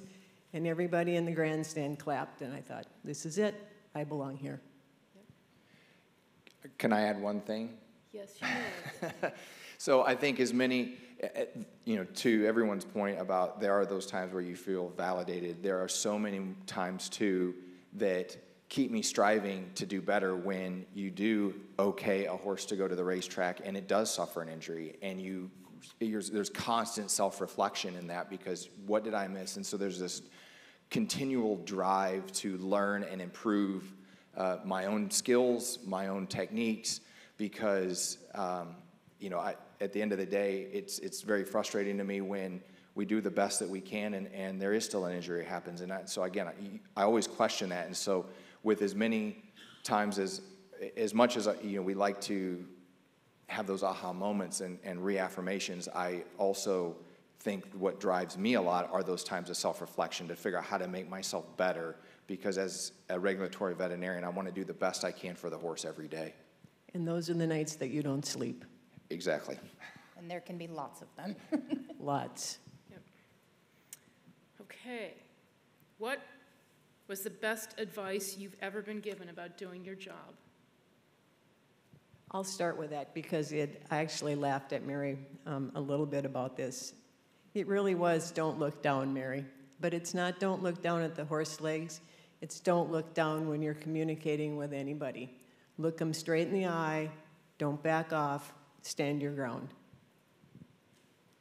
Mine was learn to be the veteran quarterback and have a bigger field of vision and not just focus on one thing, but look at the whole picture. You might miss things if you're focused.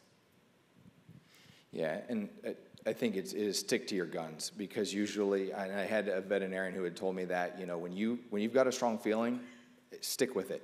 And um, as I tell trainers now, um, I have big enough shoulders that if I'm wrong, I will admit it. If I, if I scratched a horse that they've done the diagnostic workup and um, they were not able to confirm what I felt that I was seeing or my, or my uh, to confirm my exam that I had on a pre-race scratch, um, I'm, I'm okay to stand up to say what I felt that day, I wasn't comfortable with. Um, but to stick to your guns because nearly every time they are correct. Your, your initial instincts, um, your intuition about you, what you're finding, what the horse is telling you as you're doing your exam is correct. And I'm- Mary? I'm going to go ahead and say mine. Um, It was said to me by Dr. Paul Smith, who was the Illinois Racing Board veterinarian for the harness tracks in Chicago, when I had been doing some harness work before I decided to go to the thoroughbred side in a regulatory position. And Smitty was a little worried that people were going to run over the top of me. I know some of you may think that's funny.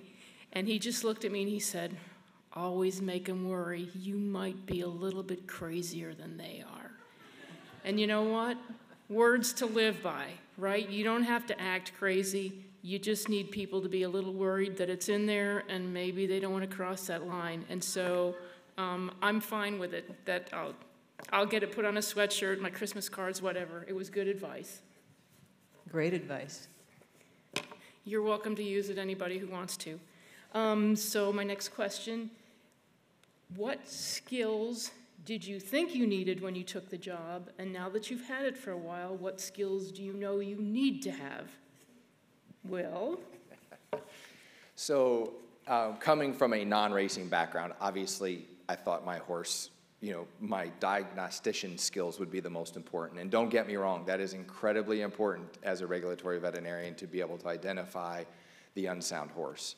But what I quickly learned were my communication and my um, uh, skills to be able to resolve conflict, conflict resolution skills, um, because very quickly I realized that most of the, the issues that come with a regulatory veterinarian all resolve around um, conflict resolution. To be able to you know, clearly communicate why and stand for what you're doing, um, knowing that there's going to be an unhappy party in that conversation. And so I think the conflict resolution was, was the thing I totally underestimated. I, you know, I kind of, in the back of my head, thinking I'm going into a regulatory position. Um, and that's something still to this day is, is a constant. I mean, you know, as we are approaching, approaching and getting ready to go, um, you know, with HISA coming on on July 1st, we're spending a lot of time working through how do we implement that, that our tracks. And again, you know, there's constant conflict and constant debate, and I think a lot of that's healthy, and we can work through that. And it's just figuring out how to work and walk your way through those situations. Definitely the conflict rev, rev, rev, eh, excuse me, um, resolution, but as well as um, investigative skills, whether it be a um, investigating the data in the mornings to see the risk factors, or post race or post injury, um, or even going through a truck. Just the investigative skills that I needed to develop. Well, I'm pretty sure I came into being a regulatory veterinarian just about blind to everything that I would ever need. But as I moved up, starting in the test barn and then working behind the starting gate, finally into the chief commission spot, I can tell you that I had no idea of the leadership skills that I would need. Whether I would be a leader for my group of veterinarians, which was an N of one when I started, and now we're, I think, eight or nine strong or whether I'm a leader in the field by sitting here chatting with you, or whether I'm a leader for um, the trainers and the grooms on the backside. I had no idea. And conflict resolution comes right along with leadership. Okay. So one of the things I've learned over the years is that most regulatory veterinarians sort of view this, it ends up being sort of a calling. Either you get it and you're all in, or you don't stay. So what would you say to a veterinary student who is contemplating regulatory medicine? What, what, what does it do for you? Why are you doing it? And would you encourage a young veterinarian to get involved? So I'll start with the fact that I think that over the decades, the position of a regulatory veterinarian has changed from, and, and I will lean on both Lynn and Mary to, to confirm or deny, but from a more of a, from a, the, the, looking at the individual of the regulatory veterinarian, we have a much younger population than what traditionally regulatory veterinarians had been if you go back, you know, a, a couple decades ago, where it was more of a retirement type position, um, a second career, where now we have much more younger veterinarians that are coming into the into the field of regulatory veterinary medicine and making a career out of it, like I have for myself, like Jackie is for herself, um, several of our colleagues, um, and so I think that there's been a, a transition from being a uh, the experience level coming into the regulatory position has changed because you used to get a lot of veterinarians who had, you know, decades of, of private practice experience or racetrack experience coming, coming into a regulatory position versus myself who had private practice, not racetrack, but coming to the racetrack. So I think that the education, um, when I was in veterinary school, I knew nothing of this type of position. No idea that there was even a regular, you know, what this job was. If you had asked me, I would have had no idea. So I think education of our veterinary students, um, as nearly every industry, veterinarians are, are included in that, both racetrack, private practice, as well as regulatory veterinarians. We need to get our word out there because of the fact that we are short-staffed. It's a, it's a true challenge for us to find the veterinarians to fulfill uh, the needs that we are that we have and are going to be created. Um, so I think it's it's education of those uh, students to be able to understand what does this type of a position entail um, and, and to be able to understand what the skill set would be to come into a position like this. So, Jackie, you're kind of in, in a unique position because you do have veterinary students working in the test barn, so you've got a, a direct pipeline to these individuals. How do you motivate them? To, you know, how do you light the passion for the job when they're catching pee? It's a bit of a leap, right? We, we do try to stand on the rail with them and, you know, discuss what we're seeing on these horses if, if we see a lameness on them. And we do encourage them to um, tell us what they think and um, we help them. Some of them aren't quite in vet school and they're applying, so we'll help them with their, with their applications and write them references. And we just encourage them, tell them that, you know, it's a great profession and you get to see new stuff every day, even though you, you may be doing the same exams, but I'm constantly seeing stuff that I didn't think I would ever see. And it's just a new experience of things that can happen, um, good and bad. Um, but it's very gratifying to be able to see the changes that you can make and be able to help these horses. We, like I said, we have the veterinary school not more than 20 minutes north of us. So at each of our racetracks, we have veterinary students. Certainly the harness horse track, they can, those students will stand at the rail oftentimes if they're not in the test barn busy doing something. And Dr. Radishel or Dr. Taylor will talk to them about a whole variety of things with standard breds. Um, the gait, whether it's a trotter or a pacer, the different parts of the harness, the overcheck, how you take it off, why you take it off. They get a real education there. At um, the thoroughbred quarter horse track, it's a little bit different because our test barn is a lot diff- a lot busier there. Um, I make a point to spend 15 or 20 minutes just sitting in the test barn with the students. Sometimes we just laugh but we'll watch horses as they're walking around. We'll watch them cool. We talk about some things as basic as what color it is. Um, we talk about hind end lamenesses. We talk about front end lamenesses. And we make a point if we have looked at something in the morning and not liked it and asked for a radiograph, which we do frequently. Uh, our private practitioners are very good about giving us that radiograph, and we put it up on our computer in the test barn and we show them. These are the things that we see. This is what a, um, a third carpal bone fracture looks like. These are what moth-eaten sesamoids look like. this is what a bad, really bad ultrasound of an extensor tendon looks like. So we're, we're very fortunate that our practicing veterinarians are very helpful with that. The other thing is we encourage them in the morning to come and spend some time with us, especially if they're applying for veterinary school, so we get an idea of what their interest is. And so they'll walk around with us on our pre-race examinations, and we talk about you know, this, that, and everything else. And, and, and I think similar to Will and, and, and anybody else, we have some horses that we know are I don't want to say stellar, but you know, let's go to Barn B2 because we know we have a really good set of osselets there, and you're not ever going to really see osselets at the veterinary school.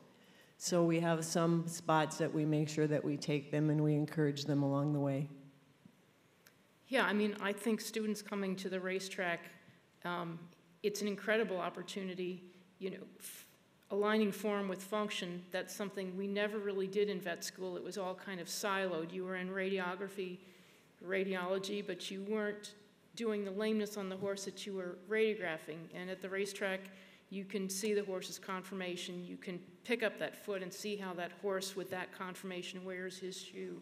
You can see how he travels and what stress points might be on the leg because of abnormal conformation. You watch them travel at speed on the racetrack. If, if one gets injured, they ride back in the ambulance with the horse and the commissioned veterinarian. They can see the radiographs. In some cases, they can scrub in on the surgery, see the post op films. I mean, soup to nuts, it is a, a tremendous educational opportunity. I think we just need to let more people know that it's there. We had, when I was, when I was in Florida, we would get students rotating through, I think it was maybe Maryland Regional Veterinary College, they did a lot of external rotations. And so one of the rotations had to be um, regulatory industry. And so a lot of the students went through a meat packing, meat processing plant. But racetrack regulatory also fit into that. And we had a student who signed up because she didn't want to go to a meat packing plant. And I don't blame her. I don't either.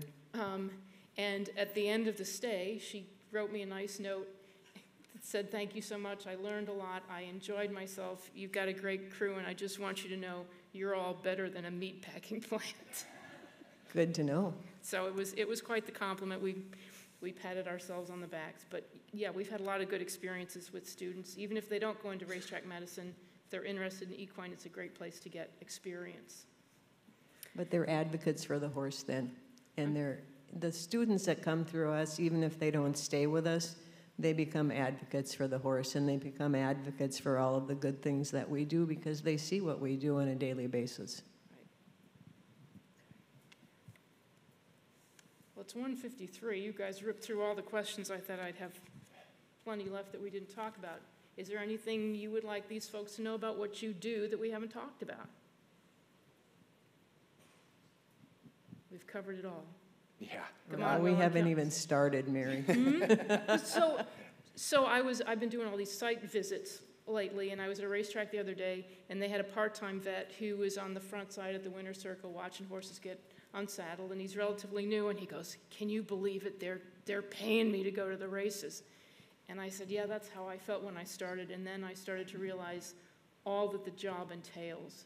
And I mean, the one thing that I will say is every day in this job, I have laughed and I have learned something. And when either of those two things stop, it's time for me to leave. It's been, it's been great for me. I've loved every minute of it. And some of it you just can't make up. No. You just can't make No. some of this stuff up. It was, I've said many times, if you took one, you know, a week in the life of and gave it to a Hollywood producer, they'd probably turn it down because it wouldn't be believable. Um, some of the story, you know, the things that we deal with, but it's, it's always learning. That is the one thing I do love about uh, this position is that there is no day is the same. Um, you know, every single day there's something new, continually learning, um, and situations that arise to be able to that that require a regulatory veterinarian to think on their feet, um, to think uh, you know, beyond just themselves or that horse, to go back to the, the quarterback analogy of to be able to see the whole field um, on, on how things are playing out. Um, it, it just gives you a really different perspective. And, and I sure I speak for nearly every regulatory veterinarian when I say when we watch a horse race, it's very, very different than how anybody else watches a horse race. Um, because uh, very seldom can I tell you who won a race. I'm looking for the, the you know, the bobbles, the, the, the awkward steps, the checks, the, those types of things that are occurring during a race that happen very fast. And I can tell you who did that during a race and at different points in the race and, And where how that they come happened. back. But I couldn't tell you who won the race necessarily just because I'm so focused on other things. And it's, uh, it's, it's a unique uh, perspective, I think. It's definitely changed even how I look at other horse events. I go to a horse show now and I don't watch horses on the rail the same as, as I used to. It's, I'm constantly evaluating them like I am at the racetrack. So it, it makes every aspect of being around horses a little different. Yeah, I'm not a person you'd want to go to a horse show with either. I'm the same way. It's like, mm, I don't like that one. Maybe that one doesn't need to be there. Exactly. I, and I guess the thing that I close with is I think we are in sort of a unique position to be educating lots of people veterinarians, horsemen, owners. We have huge opportunities. And for me, some of the most gratifying moments are when somebody says something back that I said to them. Um, we did a Reg Vet CE not too long ago, and James Given, who's uh, with the BHA in equine safety and welfare, I got to go over to the Grand National this year, watch the big horses jump the big fences, and it was amazing. Um, but I was with them on some pre race exams, and he was looking at a horse, and it was not jogging well. And he said, Now, what was it you said at the meeting? What about talking your. I said, I shouldn't have to talk myself into letting a horse race. And he goes, That's it. And he looked at the trainer and he goes, We're not going to go today. And I thought, I made a difference not only for that horse, but for that veterinarian and how he looks at horses, not just that one, but everyone. And I, so I am very gratified when I hear somebody take something that I said and continue to carry it forward. It's means a lot. So, with that, I think we've we've burned up our hour in a constructive manner. Thank you all very much. Enjoy the rest of your day.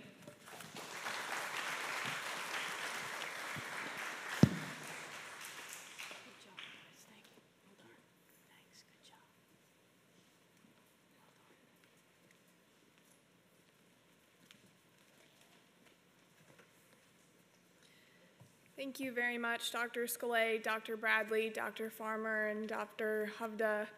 What uh, amazing insight that we just got from that uh, very in depth and honest conversation, not only from an industry perspective, but for any aspiring veterinarians out there to be able to learn more about this profession.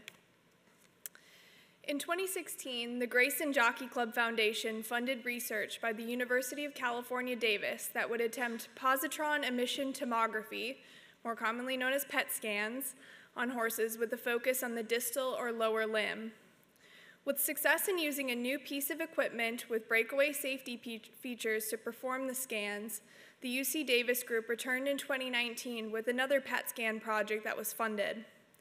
Now, this tool is being used to assist veterinarians in diagnosis, turning research into action. Joining us to discuss positron emission tomography and the knowledge gained from over 1,000 racehorse fetlocks is Dr. Mathieu Spriet, Associate Professor of Surgical and Radiological Sciences at the University of California, Davis. Welcome, Dr. Spriet.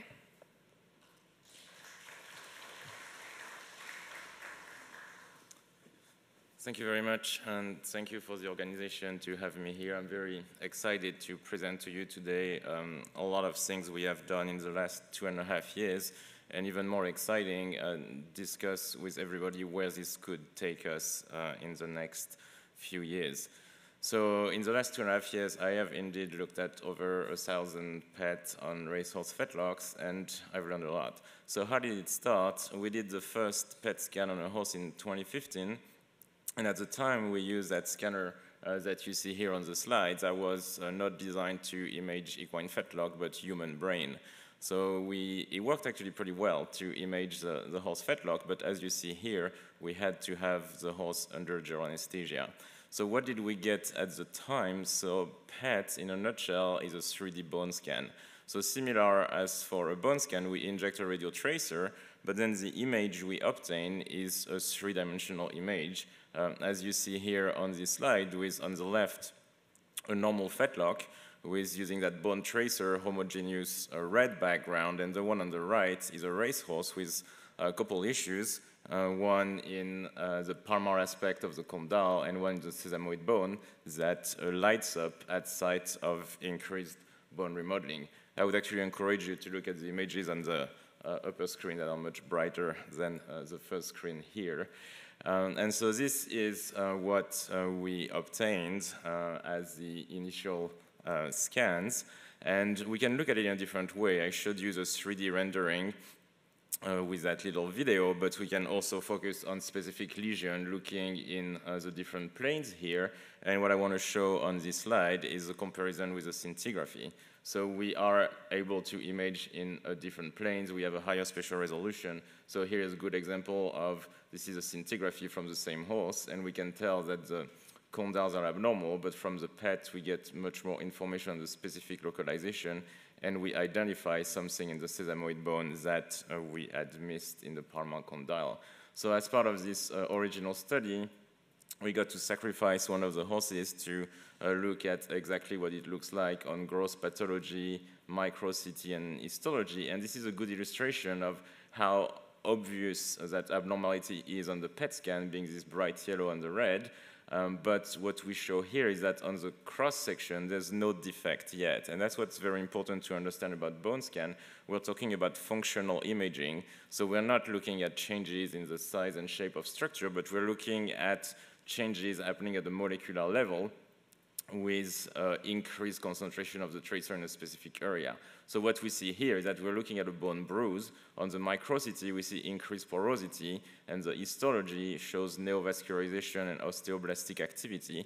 But what it shows here is that we can find some very early changes. So this was all very exciting, but anesthetizing horses at a racetrack is uh, not uh, practical.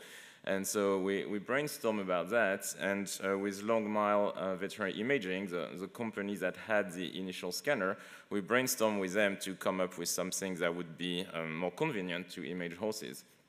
And uh, this is uh, the scanner uh, that we designed. So the detector are similar to the one in the brain scanner you saw before, but the ring is oriented horizontally and opens freely to be able to image uh, the horse standing.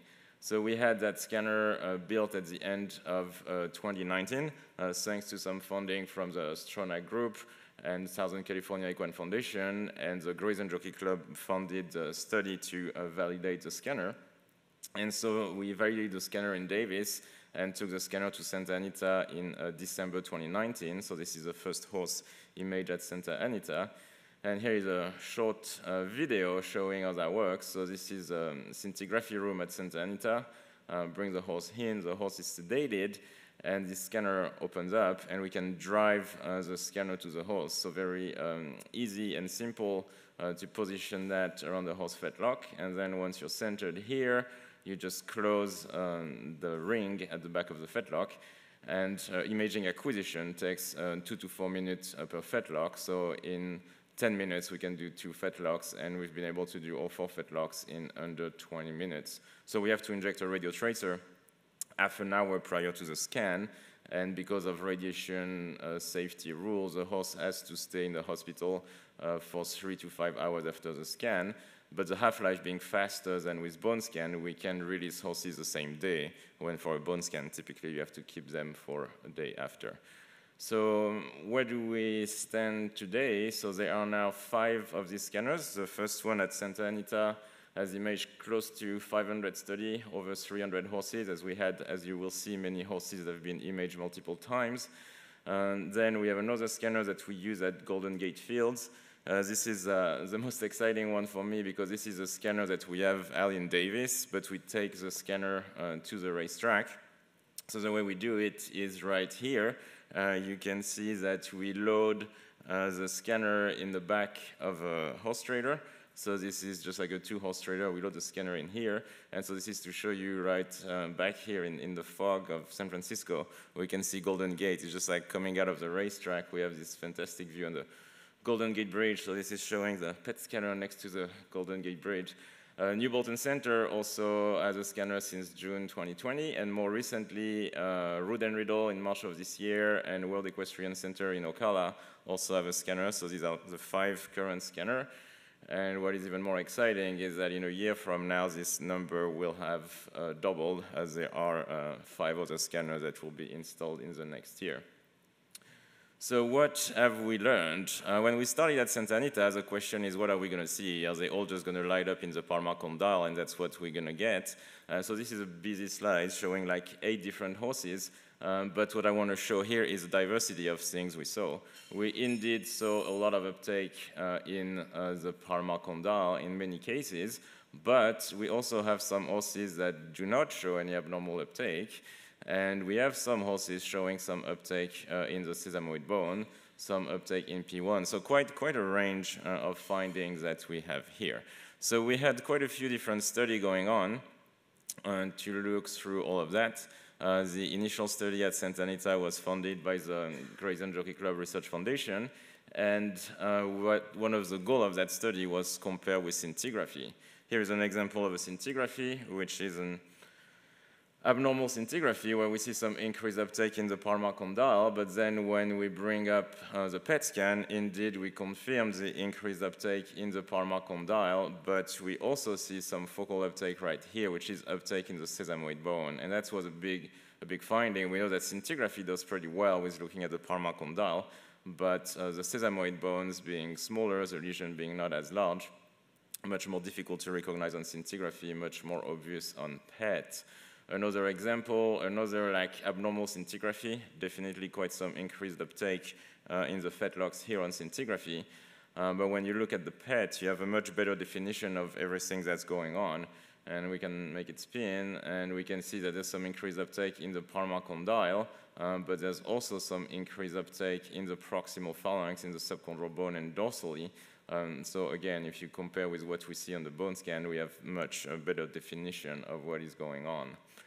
Uh, we also did some comparison with MRI, and uh, a couple example here, a case of severe uh, palmar osteochondral disease or POD. And so these are pretty well um, characterized on MRI. And here is a good example. We have a pretty uh, severe POD in the lateral palmar condyle and um, very good uh, correlation here between the PET uh, and the MRI an example here of more mild POD, and same thing on the MRI, the changes are not um, as severe as in the previous case, and the PET is similar. We can see on this one symmetric biaxial uh, mild POD.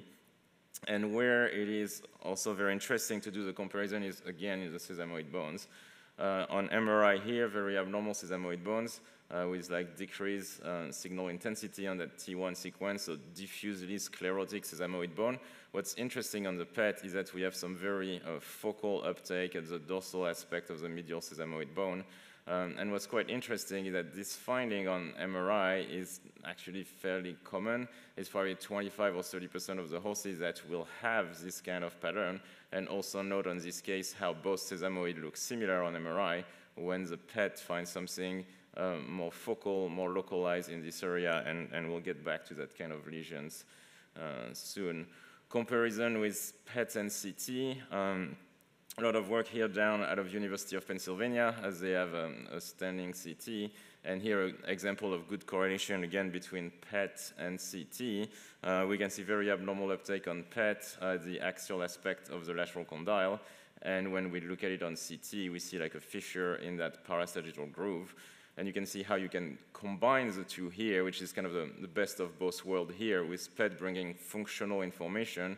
We know there's something very active in that parasagittal groove, and the CT brings the structural information. We see that there's a crack in that um, condyle, and knowing that this is something active, this is definitely going to be a case uh, at high risk uh, for further displacement uh, of a fracture. Uh, another example here is again in a sesamoid bone, and uh, again, pretty obvious uh, finding on the PET with that focal increased uptake in that sesamoid bone. And on the CT, the changes are much more subtle, uh, but there is a little bit of a, of a focal lucency here, uh, confirming that we have an active uh, resorptive lesion at that level. So this was for comparative imaging. Another great advantage of PET is that we are able to do some quantification. And so that's what I'm showing here. I have a case with uptake in both palmar condyle, and I can measure what is called like an SUV for standardized uptake value, which is looking at how much radioactivity in a specific area, depending on the amount of radioactivity, the weight of the horse, and corrected for decay. Uh, so this is something that really help assess like the, the severity uh, of the uptake. And so this has been uh, particularly helpful to grade these lesions and what I'm showing on these slides are all the front fetlock we did in the first year at Santa Anita. And I'm using different grades, uh, one, two, three. And uh, I'm using a ratio of the uptake in the area of interest in the lesion versus the background. And so grade one would be less than double background, grade two between two and three times background, and grade three more than three times background. So I can localize a lesion and then give it a grade of severity. And this is what we found in all the clinical cases in the first year at Santa Anita. So not surprisingly, the palmar condyle are the most common, with the medial palmar condyle above 50% and uh, the lateral palmar condyle a bit less frequent. And then the sesamoid bone, and again, the medial sesamoid bone more common than the lateral sesamoid bone. And then some dorsal uptake in the cannon bone, and uh, dorsal P1 with P1 subchondral bone a little less common. So this is uh, all the findings we had in the front fetlock. Uh, very interesting to compare with the hind fetlock, which is, I like to say, the hind fetlock is different species, as we have a very different distribution of the findings, with the lateral plantar condyle being by far the most common abnormality in the hind fetlock. And when we're looking at the sesamoid bone, we also have the lateral sesamoid bone more common than the medial which is the opposite of the front limb. Um, another really interesting um, aspect is to be able to further localize the abnormal findings in the sesamoid bones. And this is looking at all the uptake in the front sesamoid bones, and we've divided it uh, in different areas. And the dorsal aspect uh, of the sesamoid bone, which is that example that we have here on the top row, is the most common, especially the medial aspect of the dorsal sesamoid bone, most common abnormal site. Then we see some uptake on the abaxial aspect, the attachment of the uh, suspensory ligament, which would be the second most common, and then the apex of the sesamoid bone. But I want to go back to this one, the medial PSB, medial sesamoid bone dorsal, which is the most common, and uh, this would be like a good example of it. Uh, so articular surface of that sesamoid bone, uh, dorsal, abaxial, typically on that medial bone. And about at the time I started looking at these images, Dr. Stover and her team were doing some really good work investigating the fracture of the sesamoid bone. And what they found is that a lot of these horses fracturing the sesamoid bone had evidence of um, early resorption in that spot. And independently, we identified the same spot. And so it was like very exciting when we saw that. As this is considered like a risk factor for fracture, very exciting that this was something that we could um, assess on the PET. So this is definitely the one um, lesion we are worried about, and this is one of the worst case I have seen. I've shown you the previous one with that dorsally. This one is even more concerning when it starts extending towards the palmar aspect of the bone, as we know that this is a horse that is very much at risk of getting like a mid-body fracture uh, straight uh, through this area. So this is um, definitely, um, Dr. Palmer was talking about the red flag. This is definitely a red flag, and we don't want this horse on the racetrack uh, when we see that. Another part of that initial study funded by Grayson Jockey Club was to look at evolution over time. And so the advantage of that functional aspect is that we can see uh, things uh, change pretty quickly over time. And the first part was to look at horses that we had diagnosed uh, with an abnormality, and then horses were laid up, and we were following over time. And we can see that in some of these, uh, here, um, palmar condyle uptake, and uh, as uh, we can see, it um, resolved pretty quickly. At six weeks, this was resolved, and 12 weeks did not come back. And here, a more complex case uh, where we can see some palmar condyle uptake and also some sesamoid bone uptake. And this one took longer. At the six-week scan, we still see these two lesions, and after 12 weeks, we can see the palmar-condyle uptake is quite improved when the sesamoid bone uh, has persisted. So that was very interesting for us as an early study to check over time. And the first question was like repeatability of findings, making sure that what we would see on one scan would not be a fluke that we would not see at another time. And so here we definitely uh, confirmed the repeatability of the findings. And so this is what I illustrated with, with this graph here. We had all these horses scanned three times. So the first scan on the left, second on the right, and third scan um, on the further right. And so the yellow one are the more severe, like the grade 3, when the red are the grade 1. And what we looked at is that depending on the intensity of the uptake initially, this was more likely to keep a high uptake on the follow-up scan.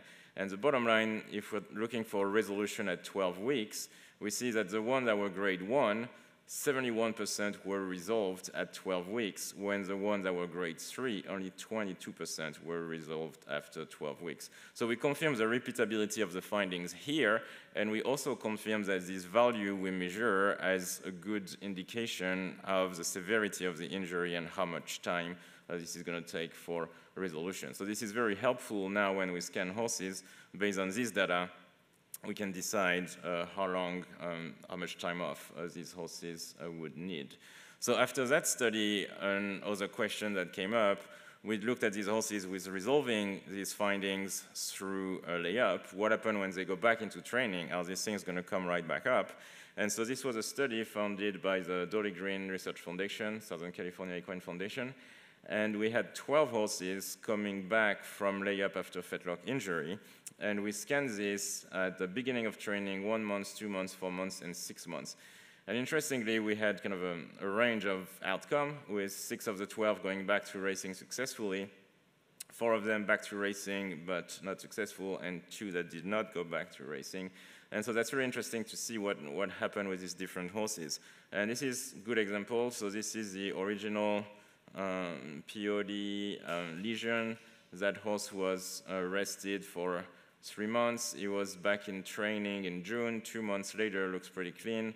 After six months in December, pretty clean. And this horse was back racing successfully. Um, we can let it spin here. Uh, and this is um, another example. Uh, yeah, projects much better again on the upper screen.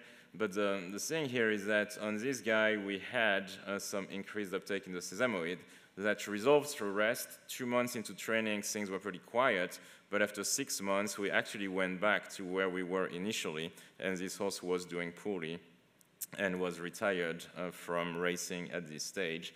So showing how we can um, objectively assess uh, these findings uh, pretty well with uh, following up on these cases. Uh, this is another example that is quite interesting because this was a two-year-old initially with that sesamoid lesion that we are really worried about. And so this one got quite some time off. We gave him initially three months and decided there was still some uptake, so he got more time off until um, March when everything was cleaned. Uh, went back and um, was cleaned still after one month in training here. Further follow-up down the road, we had that horse uh, back racing successfully and that sesamoid bone remained quiet uh, through additional follow-up scans. So this was a good example too that we found that quite concerning lesion initially with enough time off early on and with monitoring this lesion, this is uh, grade one uh, winning horses that has been doing like pretty well uh, with, with some good follow-up and careful monitoring. Uh, another really interesting study we completed last year uh, was looking at normal horses. All these horses I've shown you till now were horses with a known issue, but we were like, what is normal? What would a normal PET scan would look like? And so this was a very exciting study because we got to run that as a multi-center study. Uh, this was funded by Dolly Green Research Foundation for the two California sites, so Santa Anita and Golden Gate. And we had an East Coast site uh, with horses from the Fairhill Training Center uh, being scanned at uh, New Bolton Center. And so in each of these sites, we randomly selected 24 horses. So ahead of the weekend of racing, we would select second race horse finishing in the third position. We kept only horses in the top 50% uh, of the field. And so these guys were invited to participate in the study. And we got pretty good participation. About um, one in two kind of agreed to be part of the study. Uh, we had um, one of the track vet like look at the horse after the race, making sure he wasn't lame. If the horse was lame after the race, he was uh, disqualified from the study. So we had 72 horses within one week after a race, successful race defined as top 50% of the field, without lameness that uh, we got to scan. Uh, we scanned all four fetlock on these horses, and uh, yeah, we could do that in 15 to 30 minutes per horse. So the max we did were 11 horses in one day, so we can have pretty, pretty high throughput. And um, this is one example uh, here on this slide. So some of these horses had uh, really uh, no abnormal findings. And so that was the first observation. And what we were hoping to see is that the PET findings were less frequent and less severe in these um, horses randomly selected compared with the normal horses. And so this is back to uh, the graph I showed you earlier with this clinical horses at Santa Anita, and this is for the normal population at Santa Anita. What's very interesting is that the distribution is, is similar, and again, we see more uh, and medial more common than natural, but overall, we see uh, very few grade 3. So the distribution is the same, but we don't have the most severe changes uh, than we could see in the clinical uh, population. So this is a good reference of what we can consider normal and not uh, worried too much. What was interesting too was the comparison between the different track. And so there were um, you know, some comments about that like earlier in the day. And so the Golden Gate horses uh, had the fewer uh, sites of uptake. And so the Golden Gate population, Golden Gate has a Tapeta track, synthetic track, and we purposefully selected only horses that were training and racing on Tapeta. So we excluded uh, turf horses, as there is some turf races at Golden Gate too, but we only included horses only training and racing on Tapeta. Um, the horses from Santa Anita included both uh, dirt and turf horses, and we see a little bit more abnormalities, especially in the medial uh, a little bit some more severe grade. But again, uh, things remain much less uh, severe than in the clinical population. The Fairhill group, a bit more heterogeneous population here, as Fairhill has different training track, and also compared with the California horses who are training and racing on the same track. Uh, these guys go and race at different sites, and it's interesting that these horses, potentially exposed to different surfaces, indeed did show a bit uh, more uh, sites of uptake. So interesting to look at this comparison between the different track. Um, another like interesting finding is how much uh, real abnormal findings did we see, and we had a few, and this is one example here. So we had three out of the 72 horses, which makes about 4%, that had findings that were concerning enough that they had to get a significant amount uh, of time off. This one actually uh, did get a transcondylar screw uh, for identification of um, uh, this um, uh, uptake in the parasagittal groove. so 4% of these normal horses had findings that required uh, some significant changes, including surgery in one of them. In 15 horses, there were some uptake that recommendations were made to the trainer to back off a bit on the training. Uh, so that's what we saw in that population. Another interesting uh, small project we did here, but looking at normal versus clinical horses. This is from end of 2021 at Golden Gate. Uh, at the time, they had one two-year-old that had a bilateral sesamoid fracture. He was a lightly raised horse with no clinical findings prior to that. And based on other observation with more issues recently in two-year-old, with funding from the Stronach group, we decided to look at 12 horses, six that had clinical signs related to the fetlock, and six randomly selected in the same races, and try to see how much we would see in this two-year-old. And interestingly, uh, about half of them had some condyle changes in half of the fetlock. One quarter of the fetlock had some sesamoid changes, but we made the same observation that the findings were more severe in the clinical cases than in the randomly selected cases. And two of these guys had some uh, extended uh, time off based on the findings. So a smaller scale study in a more homogeneous population, but again, coming with the same conclusion that um, depending on what population we look at, in a normal population, we're still going to see things, but not as severe. And so bring some idea about screening and potentially trying to, uh, whether this is like here, like clinical observation, or having other tools that um, we'll, we'll, discuss in a second to help decide uh, which horses uh, should um, get scanned. And so I want to wrap it up on discussing where this is everything we've done and now what I think are the current indication and where this could take us. And I definitely see several um, indications for PET. The most, I would say the easiest one is um, diagnostic investigation of lameness. Um, but what's quite interesting is monitoring of healing and monitoring for recurrence. And I think there's a lot of, of benefit um, in, in this too, and we'll discuss that further. Uh, I'll discuss fracture healing and obviously fracture risk assessment. So monitoring of healing has been uh, very helpful, descending how much time off uh, these horses need, and as shown in the study, the initial grade can help decide whether this is two, three, or up to five months uh, off. Monitoring of recurrence so we did in that initial study a lot of scanning 0, 1, 2, uh, 4, and 6 months. And what we learned from that is that we don't need to scan that much. And the one time point that's the most critical is going to be the three to four months uh, into the training, which is when the horses uh, typically gain some, um, starting to get to their peak activity with longer work, close to, to five furlongs, because before that, it's unlikely we see some issue. But this is the time typically when injuries might recur. What's interesting too is that typically what we see at that time is the same issue that was the early issue. Um, again, further evidence that this is not stepping in a hole. This is just like these horses have some site of um, stress, of failure that tends to be the same uh, that would come back.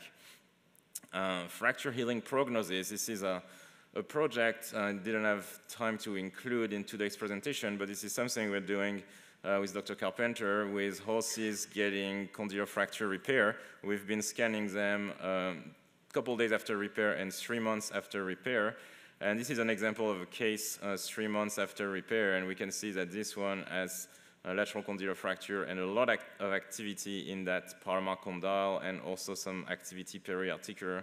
So this guy had a pretty severe like pod lesion at the fracture site and uh, quite some degenerative periarticular uptake, so poor, poor prognosis for returning to racing in this one. And um, here's so the big one, fracture risk assessment and screening. And I think that was where it was very helpful to have all the information on, on these normal horses and know what is acceptable and what is above a certain threshold. And this is where, um, this was a question I was asked when we first brought the scanner at Santa Anita, can you tell which one is going to break down? And at that time I was like, this is too early. And I think after having looked at a thousand fetlocks, I feel much more comfortable answering this question, especially because of what I've shown you. We have some very um, specific localization of the findings and comparing with what we know from all the pathology observation, when we see some uptake in a site that we know is related to, to breakdown, this is definitely a concern, and then the severity of the uptake uh, also helps with that. So there is some potential there to do some screening, and one example prior to a big event with the example of what's been done in the Melbourne Cup with, with CT or MRI. So this is one possibility. Um, but one that I am very interested about is the more like longitudinal follow-up, and it fits pretty well with some uh, discussion that were had earlier with like accumulating data on, on these horses.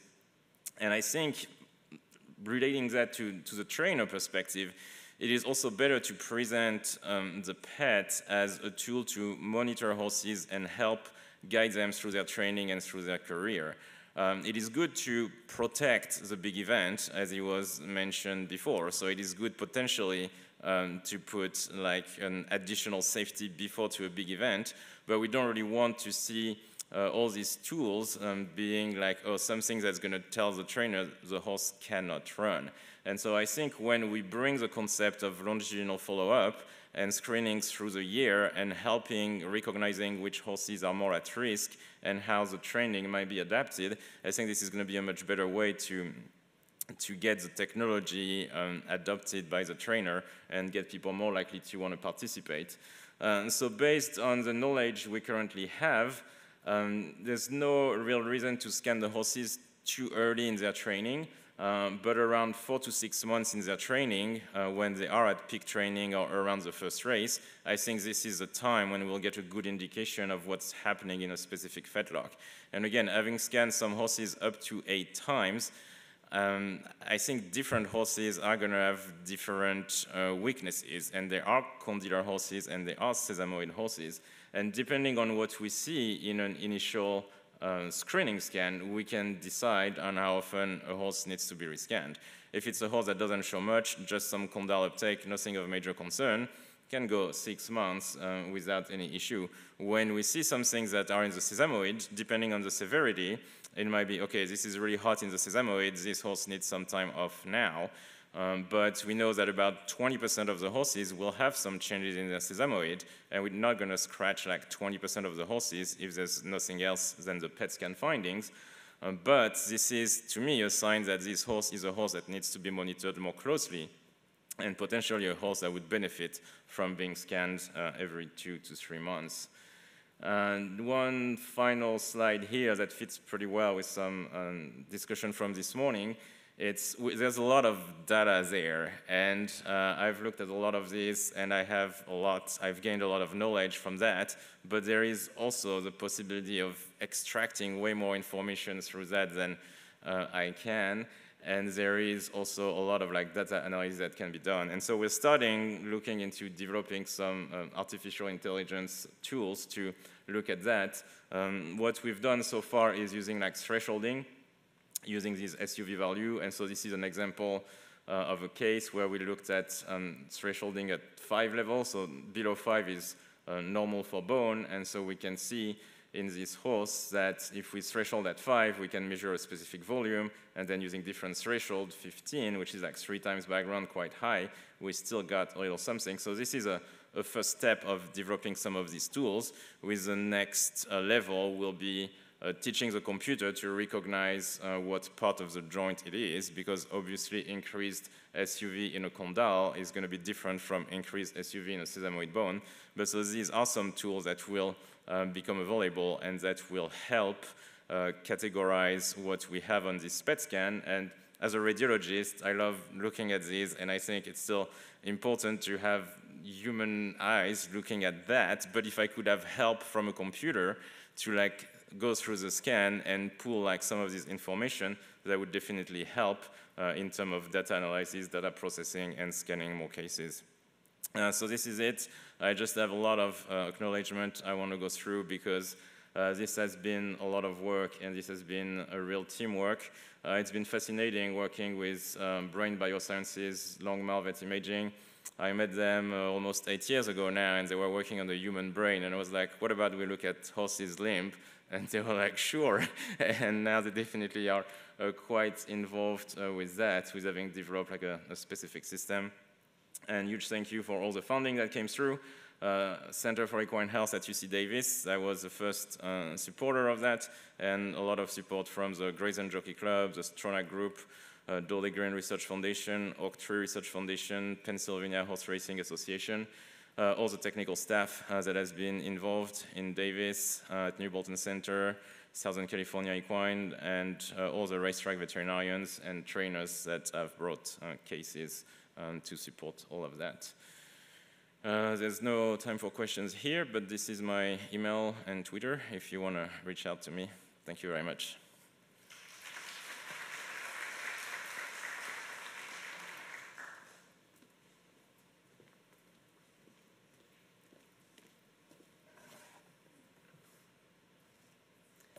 Thank you very much, Dr. Spriet. One of the initial recommendations at the 2006 Welfare and Safety of the Racehorse Summit was for a dedicated lab to test racetrack surfaces, and racing surfaces have remained on summit agendas ever since. For over a decade now, the industry has had a dedicated lab for surface testing, maintenance records, weather, wind, and more. The doctor joining us momentarily has been an advocate of the Racing Surfaces Testing Laboratory since its inception and will update us on the advances in this field. I'd like to welcome Dr. Wayne McIlwraith, founding director of the Orthopedic Research Center at Colorado State University.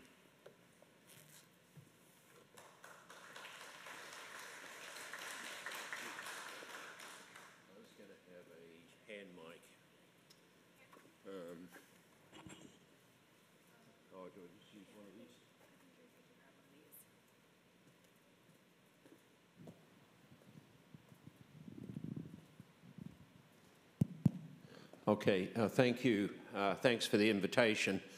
This turned out a little differently than I'd planned in that uh, um, I was going to walk through the early history of this great combination uh, combined product with project with uh, someone else changing my slides.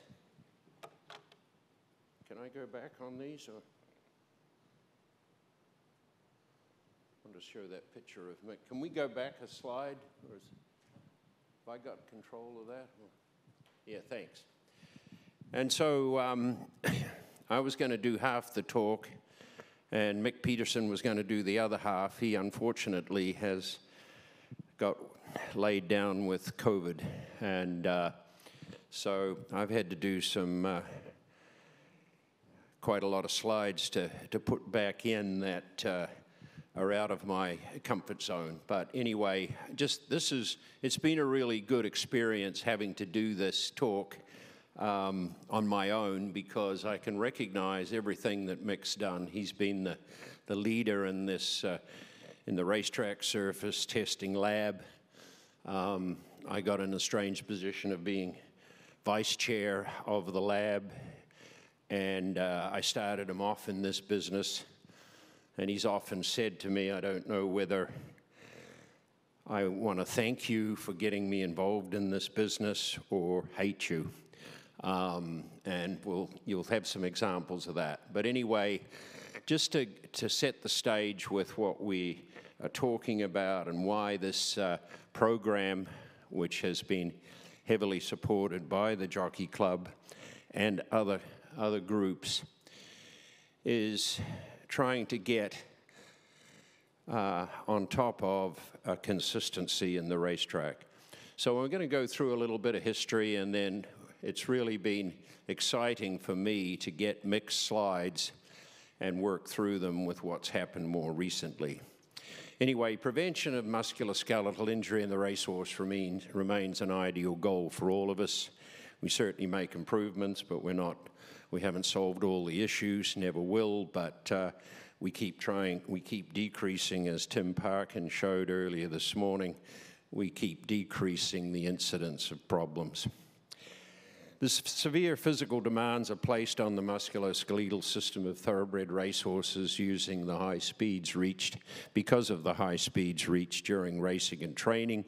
And racing surface is commonly implicated as a risk factor. And of course, as you know, we have various surfaces, we have, we have dirt, we have synthetics came along, turf, and, and various speeds with which these horses race on them. The interesting thing was is that Mick and I started doing this uh, exercise before synthetics came, and of course they became an important part of what we were looking at research-wise. So just briefly, there's multiple factors involved in musculoskeletal injury, and of course, we all know that, and we work on all these areas, or we've done work on all these areas. But the important one, of course, today that we're talking about is racetrack surface. And this is how this whole project started in 1995. Mick Peterson was a professor, a mechanical engineer at Colorado State University. He knew nothing about horses. And myself, an equine orthopedic surgeon, I knew nothing about engineering. And, but had a desire to take racetrack surface out of the musculoskeletal injury equation. Now we still haven't, we still haven't done that, but um, and now looking back, and it's 1990, it was 1995, but I've been doing surgery at, uh, at Equine Medical Center, which is, used to be across the road from Los Alamitos. There's other buildings got in the way since then, uh, since 1983. And this person on the right in the picture, Blane Schvaneveldt, is still holds the record for number of stakes wins in the Hall of Fame. A great racing quarter horse trainer, but every time I was doing surgery, uh, Blane would wander in and talk about goddamn racetrack. And so I was sort of wondering okay, they'd always blame the racetrack. And sometimes these trainers would eliminate or not consider the other factors that were involved. Was that horse sound, et cetera, et cetera. So when Mick came to me interested in looking at racetrack surface, uh, it was like, yes, that'd be great. We could maybe certify a racetrack. Well, that was a little bit difficult to do, but um, I put out a timeline, or we've put out a timeline as to how we work through this. We actually, he started getting to know what we dealt with as far as the disease process goes and what musculoskeletal injury constituted. So I've got these divided up into uh, time periods, and we're going to go through each of those. Initially, uh, Mick came over to see us at the Orthopedic Research Center in the, in the vet teaching hospital. Um, he was interested in the work that Chris Kawcak was doing. This was Chris Kawcak's PhD work with Bob Norrdin and myself. And, uh, and Sue James was also a bioengineer involved with it. And of course, this is well published, this work, but uh, basically the top two pictures are taken from uh, the Colorado uh, Thoroughbred Racetrack uh, Injury Database we had a post-mortem program that was a lot, lot smaller than the Davis one, but we, we were necropsying all the horses that, uh, that uh, suffered muscular, catastrophic musculoskeletal injury. And that picture on the top left is the opposite fetlock to the one that had the catastrophic injury. And of course, you can see the associated pathology.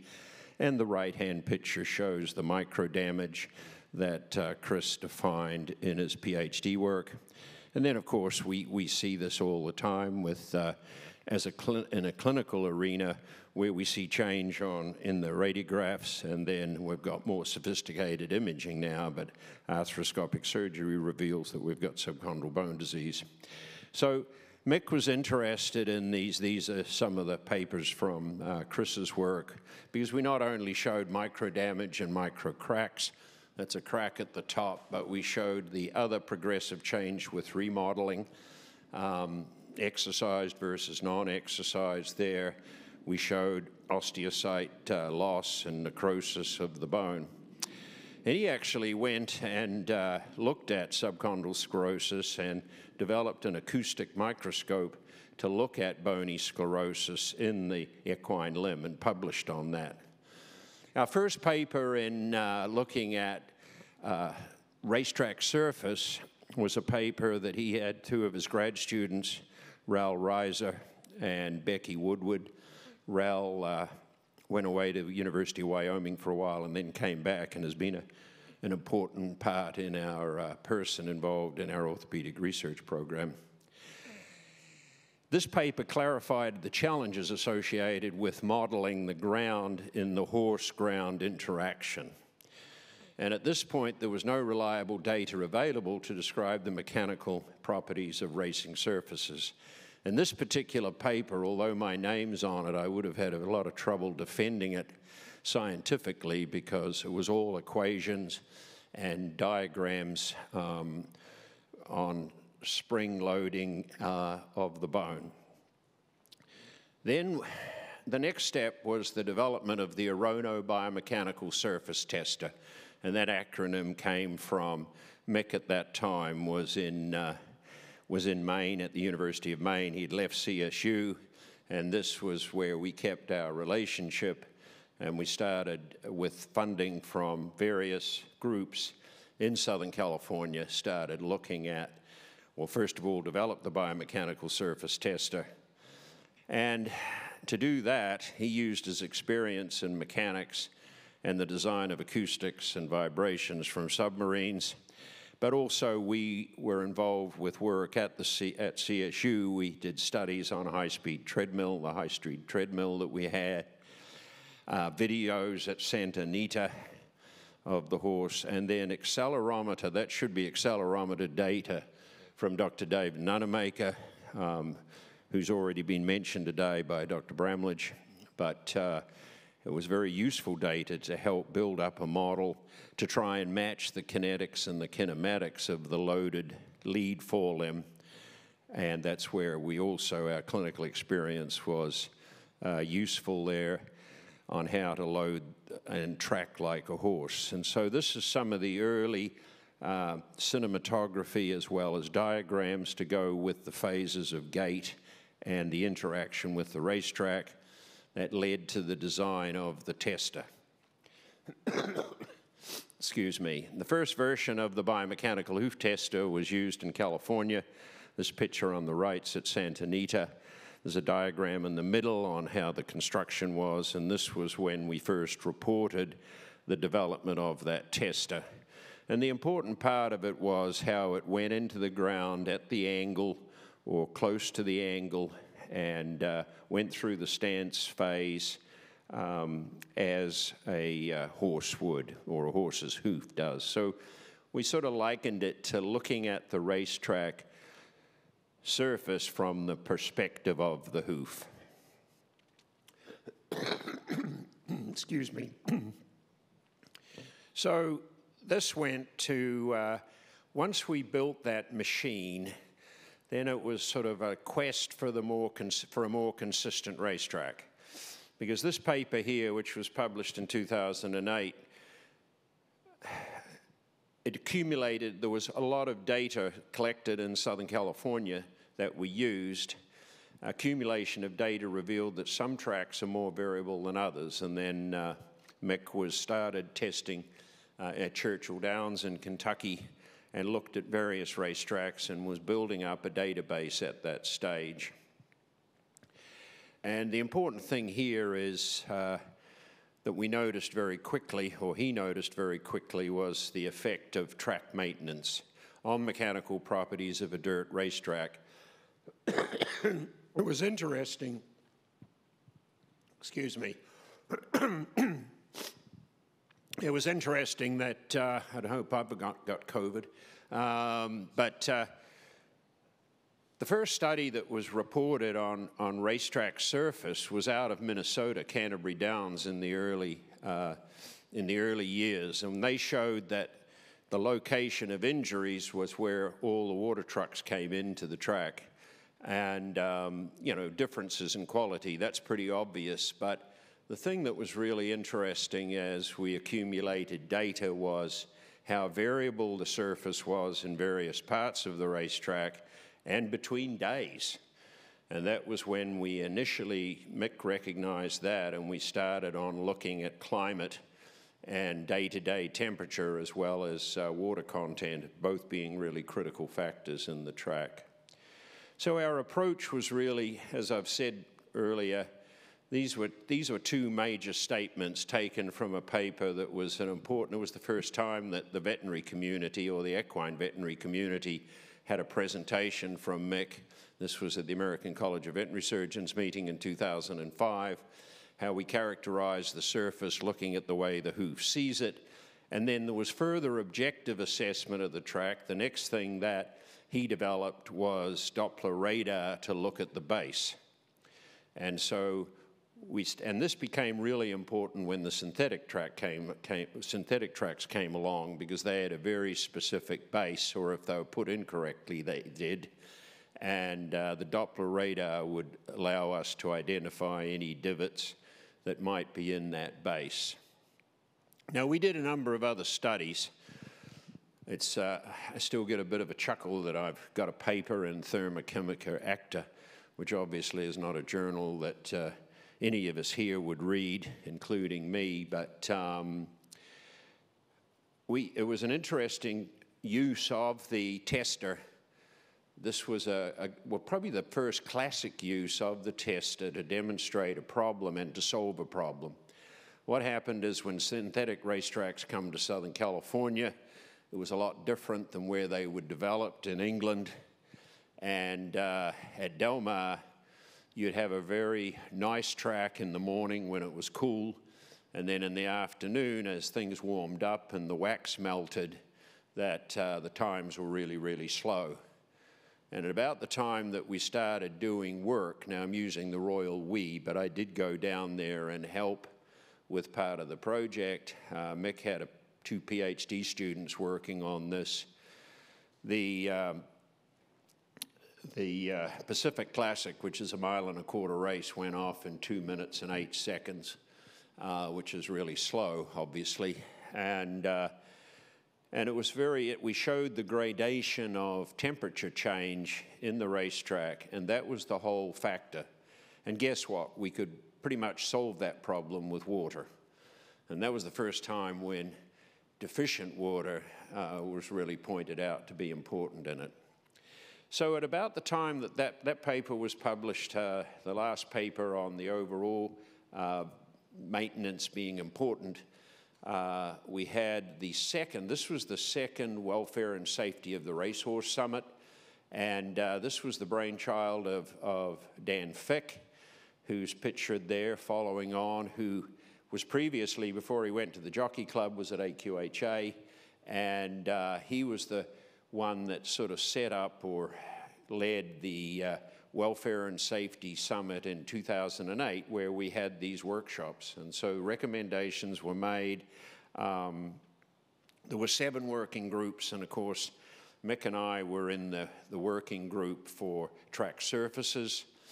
And we had a primary objective to promote consistent and safe racetrack surface conditions. And then the related objectives were research. You can read them here, but well, you may not be able to read them. Uh, down from the seats. But anyway, review existing research and inform public and industry regarding other causes of musculoskeletal injury, including microdamage, changes in training method, unrecognized disease, potential role of rider.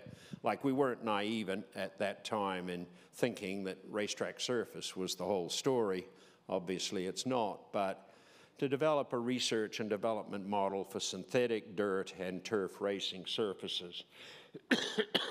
Down there, we've got complete the Peterson McIlwraith Research Project, which was rather nice because they, the Grayson Jockey Club Research uh, Foundation had just funded a research project there.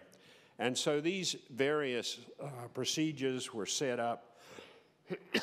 the people, we had track surface managers, multiple people in this working group and so we were talking about shear strength and load. It was, uh, it was a great discussion. It was an important part of the day.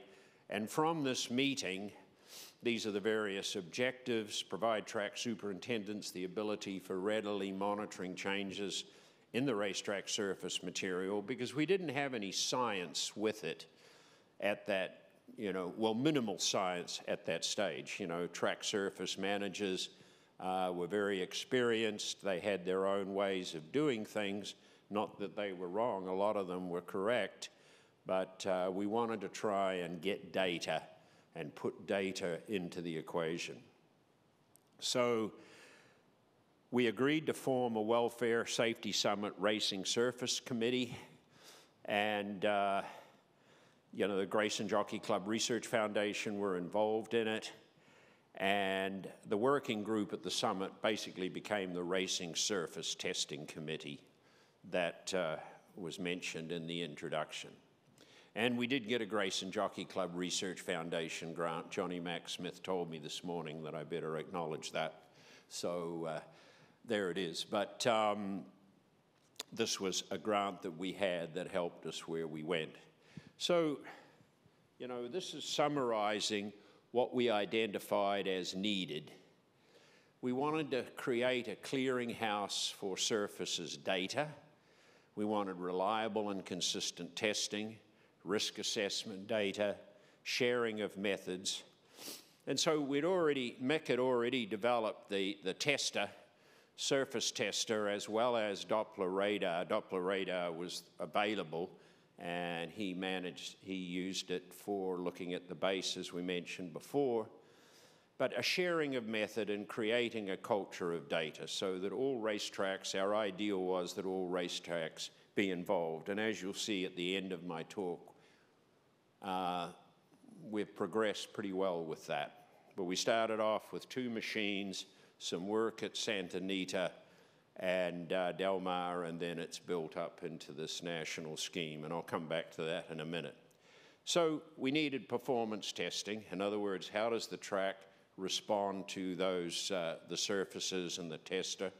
And then Dr. Sue Stover at UC Davis was doing in vitro work with her hoof in the box technique that was also providing useful data for us. Composition testing, what's in that, and we've gradually built up that to a really sophisticated lab that's here in Lexington now uh, as far as looking at components that are critical to how the track behaves. And of course, there's specific ones for synthetics, there's specific ones for dirt.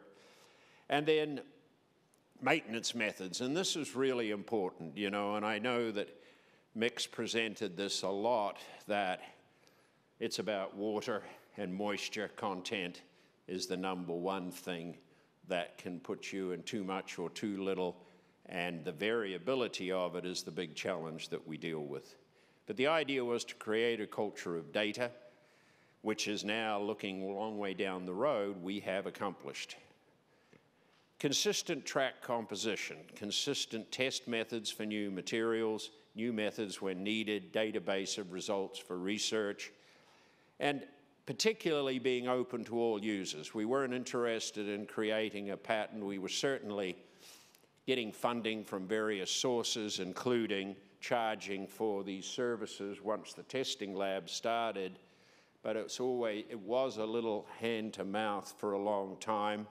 Uh, but we had good support from the racetracks, uh, considerable support from the participating racetracks at the time, as well as, as I said, AQHA, Jockey Club, and then uh, the Southern California Equine Foundation, the Dolly Green Foundation. These all became involved and would help us. But this was the goal, a single reliable lab for the industry.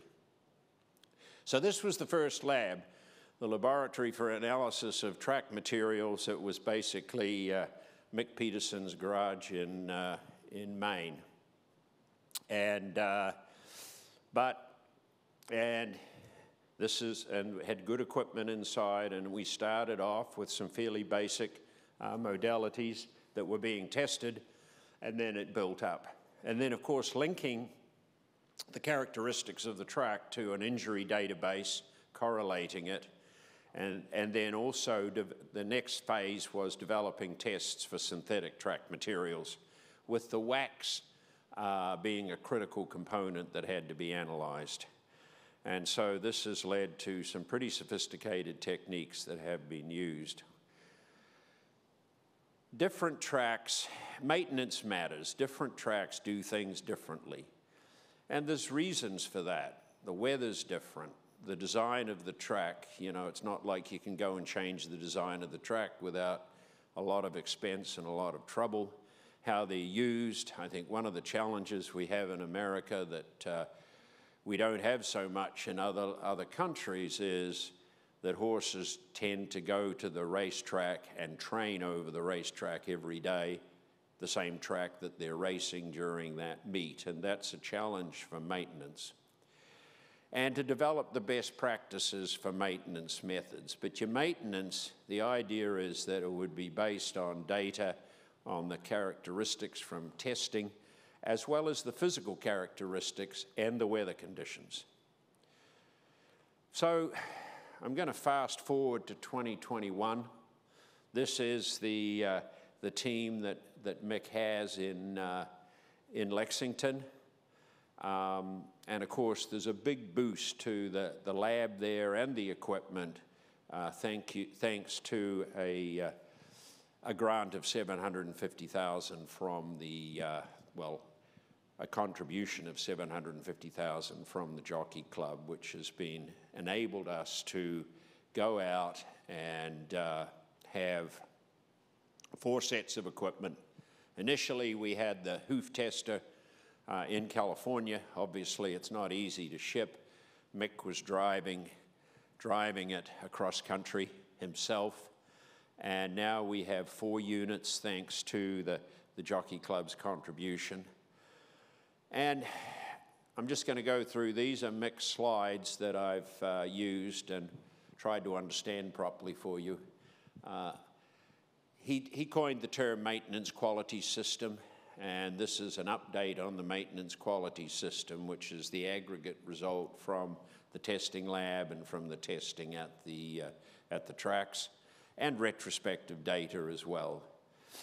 So there's three stages of MQS in this concept. There's documentation, pre-meet inspection. Now, pre-meet inspection is going and doing testing at the racetrack before the meet starts.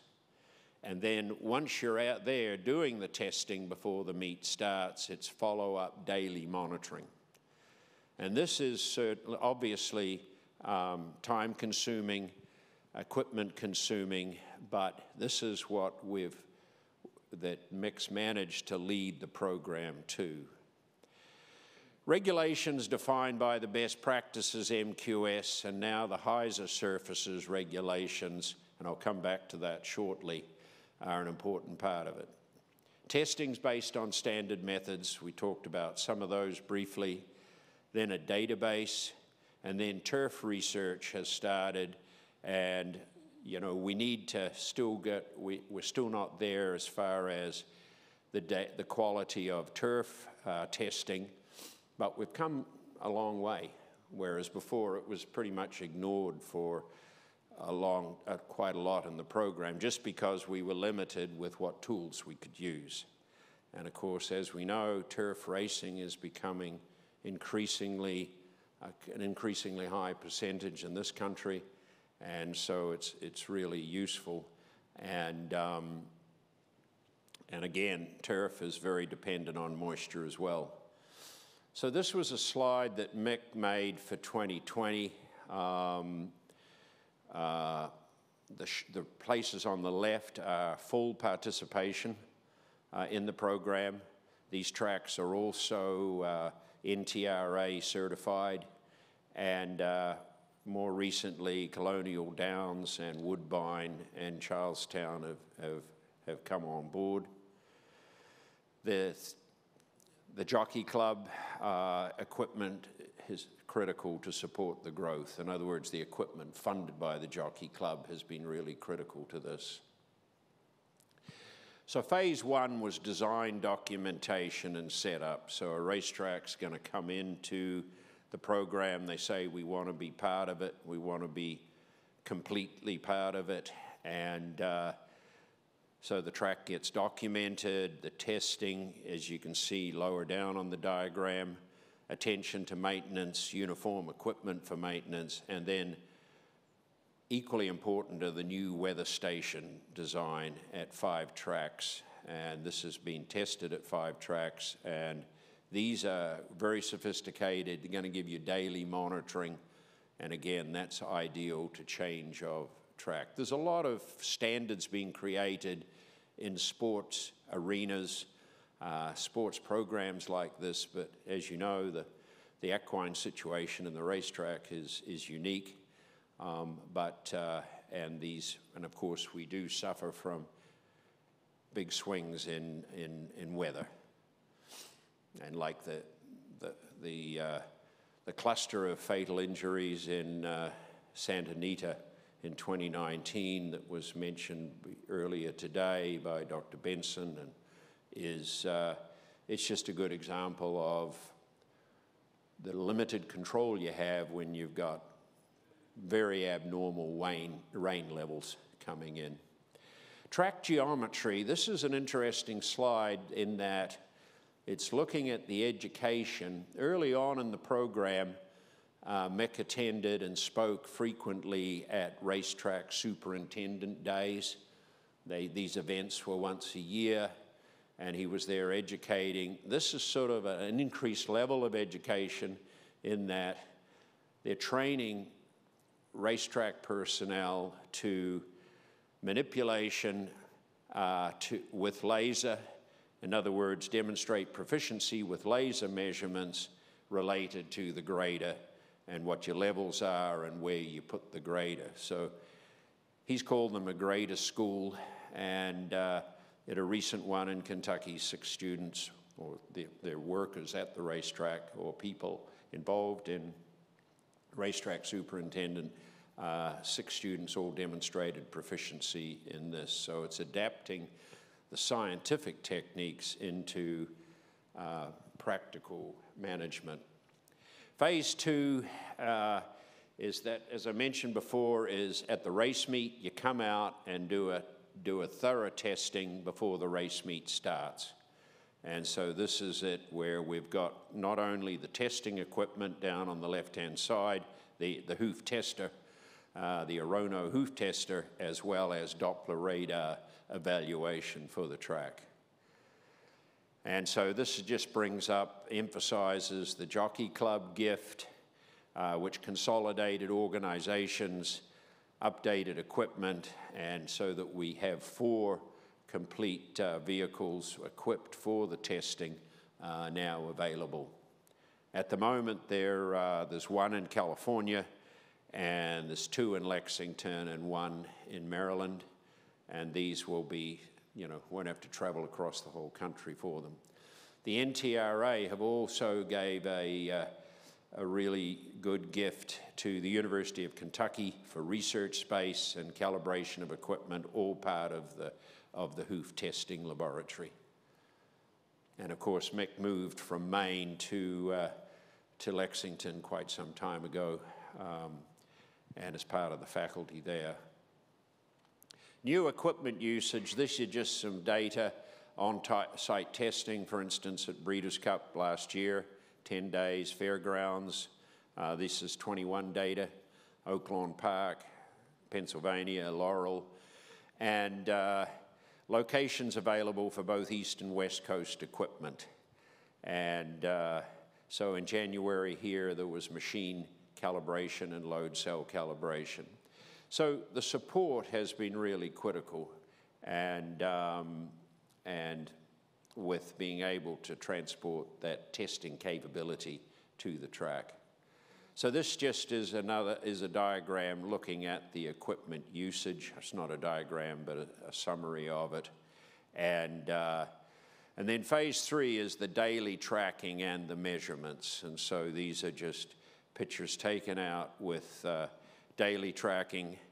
Um, and then on the right-hand bottom slide is sort of use of testing, uh, the testing equipment that they're currently using for turf. And so we are, as I said before, um, the program is expanding its abilities in turf. So last but not least, how does this relate to HISA? And these are slides that uh, Mick uh, gave me. Uh, what's been really good here is that Dr. Sue Stover, who's chair of the safety committee um, with the HISA, uh, with HISA has been proactive in fitting the standards and what we're doing, uh, what we have been doing into HISA protocols. So basically, before this was a draft, but Mick told me today that this is now in effect. Um, everybody settled on the current version of surfaces regulations.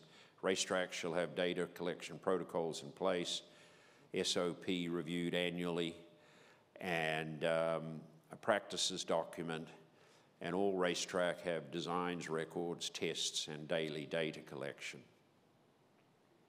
And these are just some more details that Mick gave me on the surface test methods and surface material test methods. They must be documented and consistent with testing standards, and I'll talk about those in a minute, from internationally recognized standards organizations. ASTM International, we've been involved with, but for the more agricultural oriented tests and standards, the American Society of Agriculture and Biological Engineers I found out from Mick of being more cooperative and interested.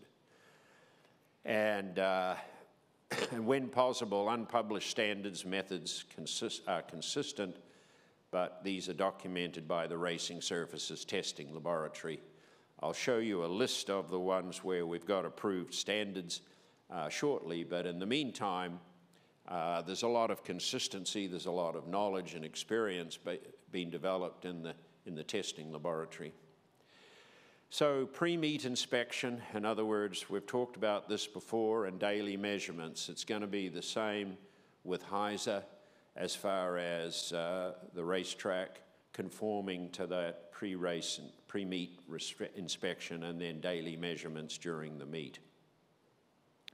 And I think what's really critical is, uh, you know, material testing regularly for composition, weather conditions being monitored at very close intervals, and moisture content is critical. There's still further things to do. Um,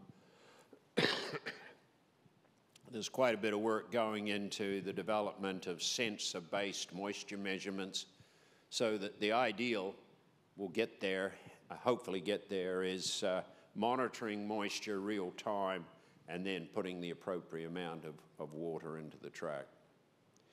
So these are the standards, ASTM uh, standards for equestrian surfaces that have been approved. Um, and you can read them here, but you'll notice that some, a lot of these have risen out of our research. Um, again, Mick's leading the research, uh, functional properties of equine surfaces, uh, wax binder removal from synthetic tracks, how easily it is removed, triaxial shear strength and cohesion of equine sports surfaces, standard test method for gas chromatography analysis of petroleum waxes used in equestrian synthetic surfaces, and standard test methods for measurements of transition temperatures, which I mentioned before, uh, which we showed at Del Mar rather graphically how much uh, melting of the wax changed the, the, the ability of the track to support the hoof. And uh, also, part of it that's, that's also really um, important is the differences between the different products as well. And this is spun over into non-racing equestrian surfaces and um, I think is going to be a continued part of uh, usefulness and we're leading. Uh, Mick and uh, um, with some colleagues in Scandinavia, we did write a white paper. Um, my role was very minor, I have to confess, but uh, had a white paper on maintenance of surfaces some years ago, and I think it'd be really good to update that. But I think that's coming with all of these proposed standards. These are proposed standards on equestrian surfaces that I think are going to be more and more important as we try and have uniformity uh, throughout the country under the HISA mentality. So the next step on standards is the American Society of Agricultural and Bio Biosystems Engineering for methods. That, this is for the penetrometer, for turf and dirt, cushion depth, as well as documenting um, the equipment used. And, uh, and we'll probably We'll focus on ASTM on materials testing, but have to default to RSTL when we haven't got things standardized. So now, I didn't, I mentioned we've talked about the importance of data and working with the Jockey Club have been working on a new data system and this is just one slide of the new database uh, interface that's going to be available, as I understand it, uh, soon. So, finishing up, you know, obviously safety is part of a bigger story. Um, you've mentioned the fact of data. The equine injury database, of course, as uh, Dr. Parkin has championed for quite some time, uh, is critical to relate that back to the machines. You can see that there's a number of components to building up that database, and particularly a number of of components that are critical for consistency of surface. Not just the equipment or the machines that, uh, that are used at the racetrack, the materials themselves, and Mother Nature has seemed to become more and more important or more and more, more, and more unpredictable. Manpower, the methods, and the jockey injury database is also critical Safety in horses or decreased musculoskeletal injury in horses is certainly correlated with safety for jockeys as well. So surfaces are one factor in the risk to the horse. But the risk to the horse, as we said, is, is a risk to the rider. And so I think this is an important part of, uh, of getting more data and uh, making the tracks as consistent as we can. I think these groups have been critical. It's been a real team effort. It's been a huge team effort uh, led by Mick, as I alluded to before. There's been a lot of doing it on a shoestring in the early phases, and it's paid off now. The investment from other support, particularly the support of the Jockey Club, is really allowing this whole dream to, to come to fruition. Thank you.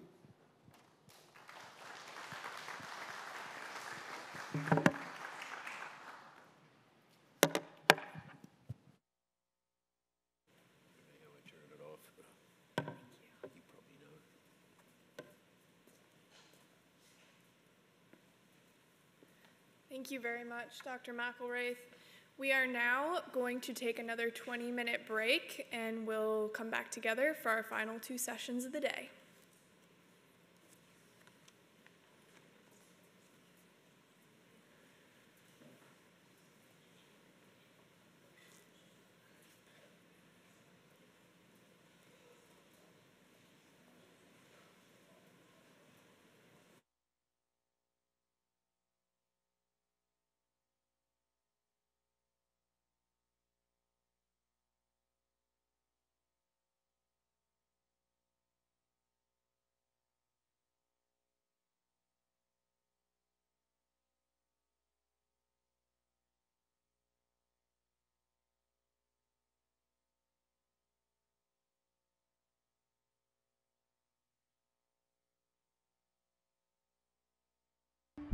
Hey,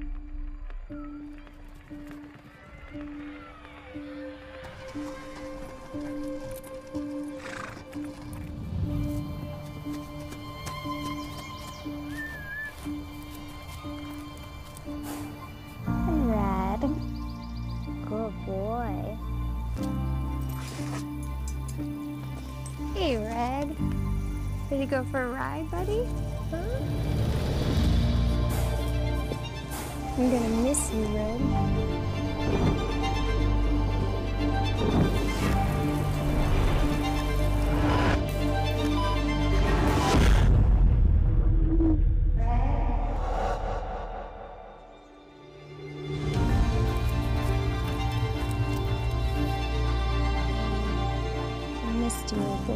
Grayson Jockey Club Research Foundation provides the best equine research to treat the horses we love thank you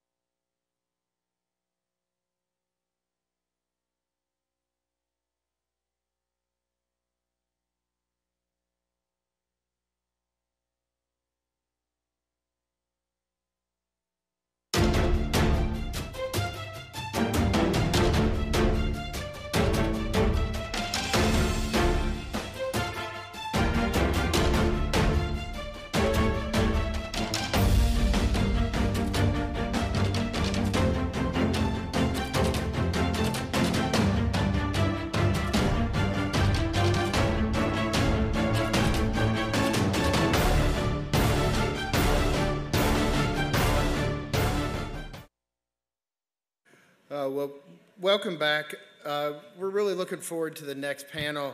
Uh, it's a panel that I actually uh, wanted to do uh, to get a different perspective on welfare and safety issues. Uh, we tend to hear a lot from the same people, and that's not a problem because that's their area of expertise. But we do have a growing generation coming into the game, into the sport and taking care of the animals we love. So, in addition to her KEEP work, Annise is also the president of Amplify. And Amplify Horse Racing is a 501c3 nonprofit promoting education and careers in the thoroughbred industry to youth and young adults. They have a mentorship program. They host in person and virtual educational events, including Equine Careers Tour Series with the KEEP Foundation a children's equine education program, a podcast, a monthly virt- virtual live stream, behind the scenes educational tours and engagement, and so much more from Amplify. Uh, it looks like they do a little bit of anything, and I'll say this is a very ambitious, uh, ambitious group of young professionals. I'm really looking forward to what they have to say. Uh, they're going to lead our generation in the future, so uh, it's good to get the shapes and ideas of what they're thinking. So, with that, I'll turn it over to Annise and the Amplify group.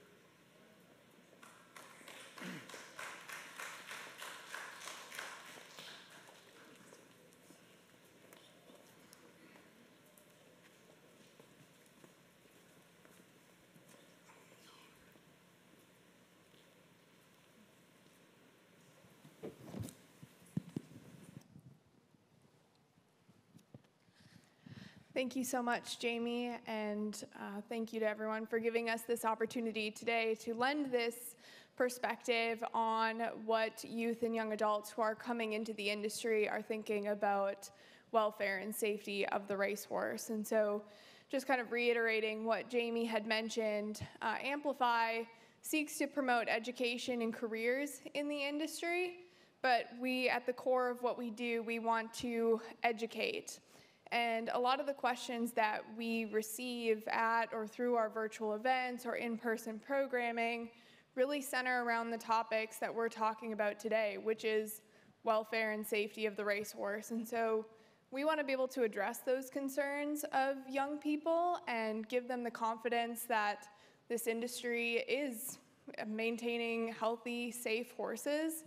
Um, and then at the same time, through this presentation, we hope to deliver to the industry some perspective on what those young people coming in, the questions that they do have, and our advice on how to address that. So, in introducing our panelists, I just have to reinforce and say that I'm so proud to have this amazing group here today. And because not only are they current leaders, we have future leaders.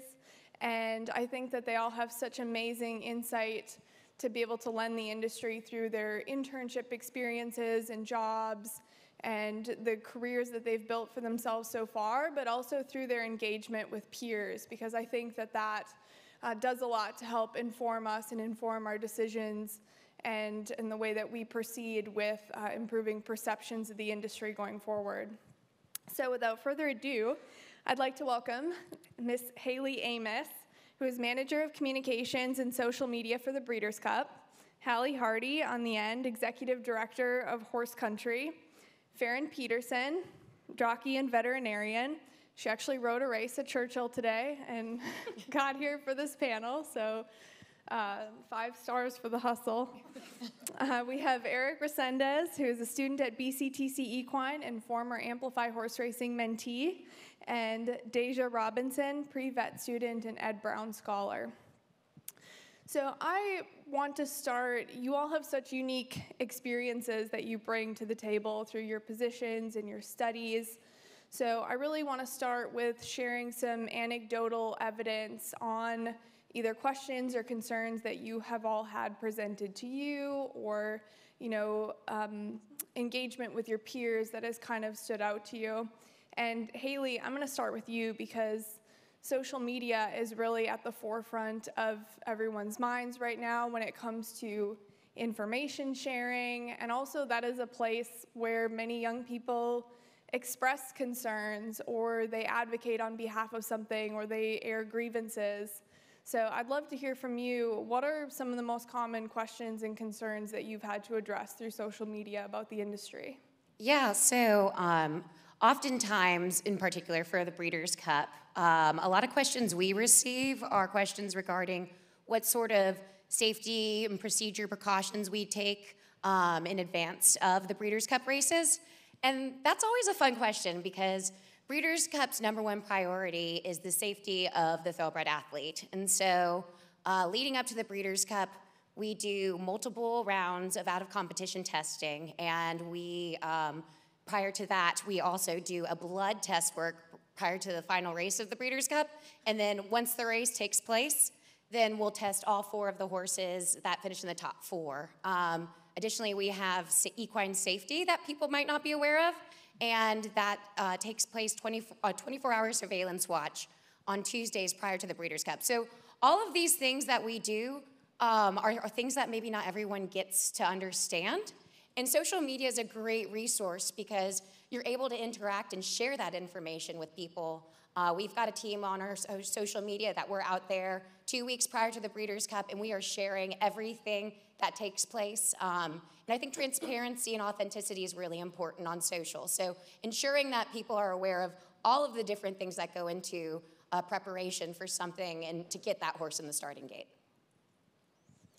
Farron, you had a very unique and busy vet school experience, and that that's when you were starting to get involved in the thoroughbred industry, initially uh, exercise riding and then becoming a jockey.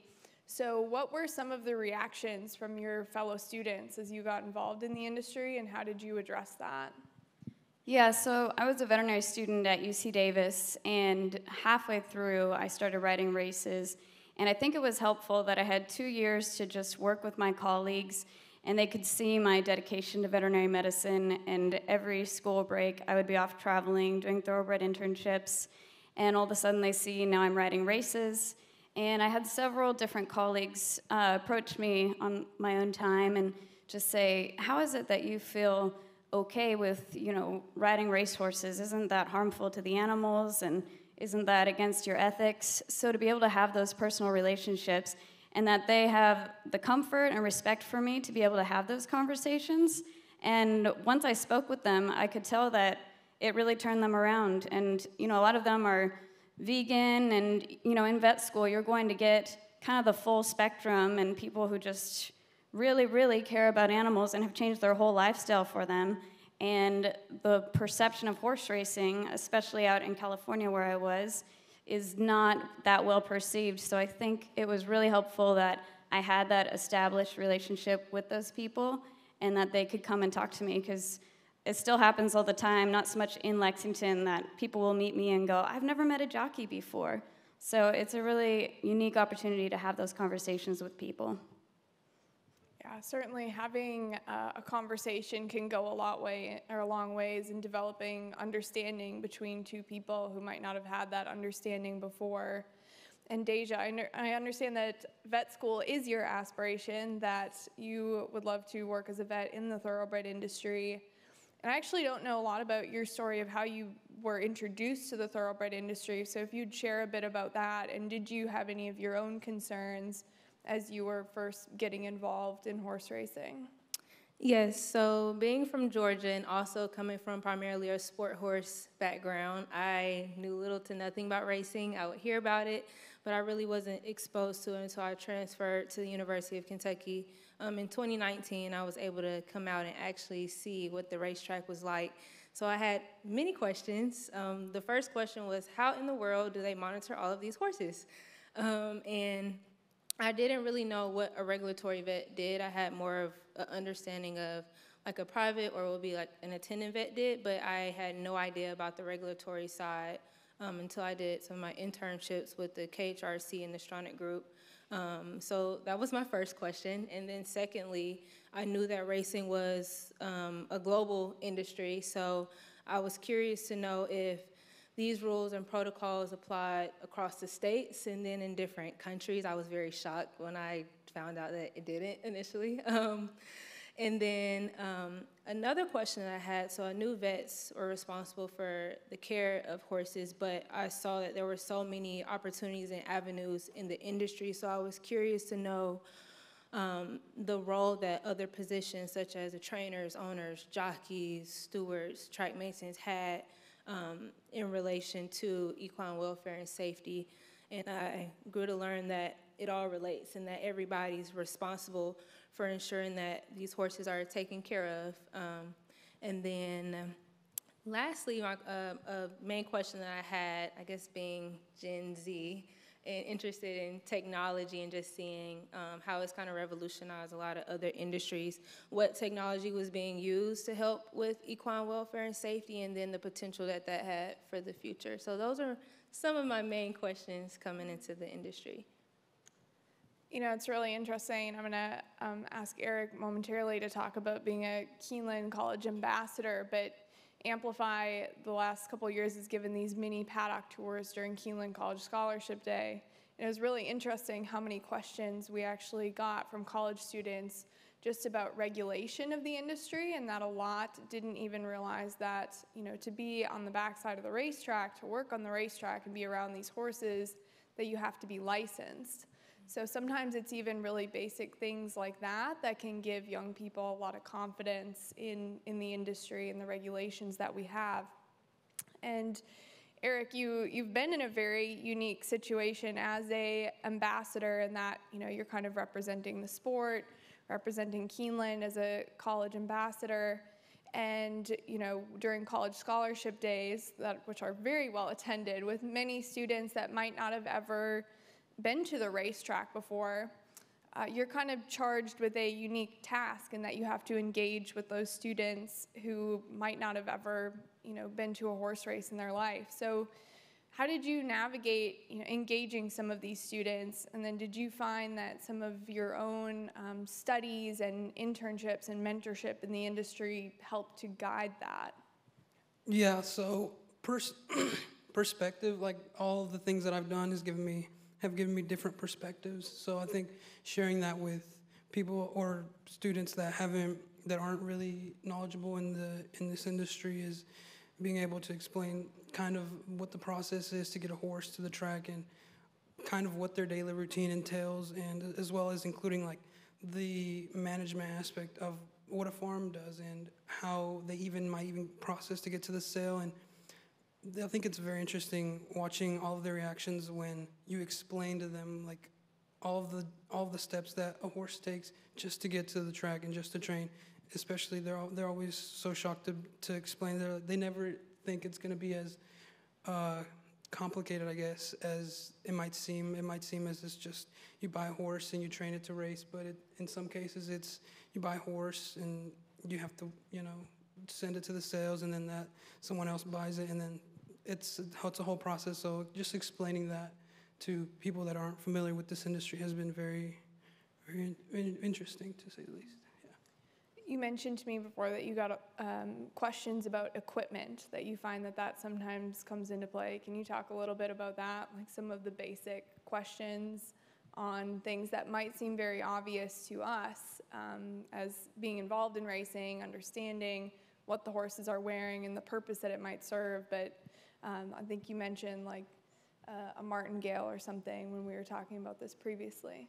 Yeah, so especially in the mornings when horses uh, have sometimes I get questions of why is the why are the saddles different why usually it's tack related or why does this horse have bandages and that one doesn't it's just explaining um, what certain bandages uh, support for which different reasons and I think it's just being able to explain it in a, in a way that someone can understand it without feeling belittled, especially because sometimes it's so basic.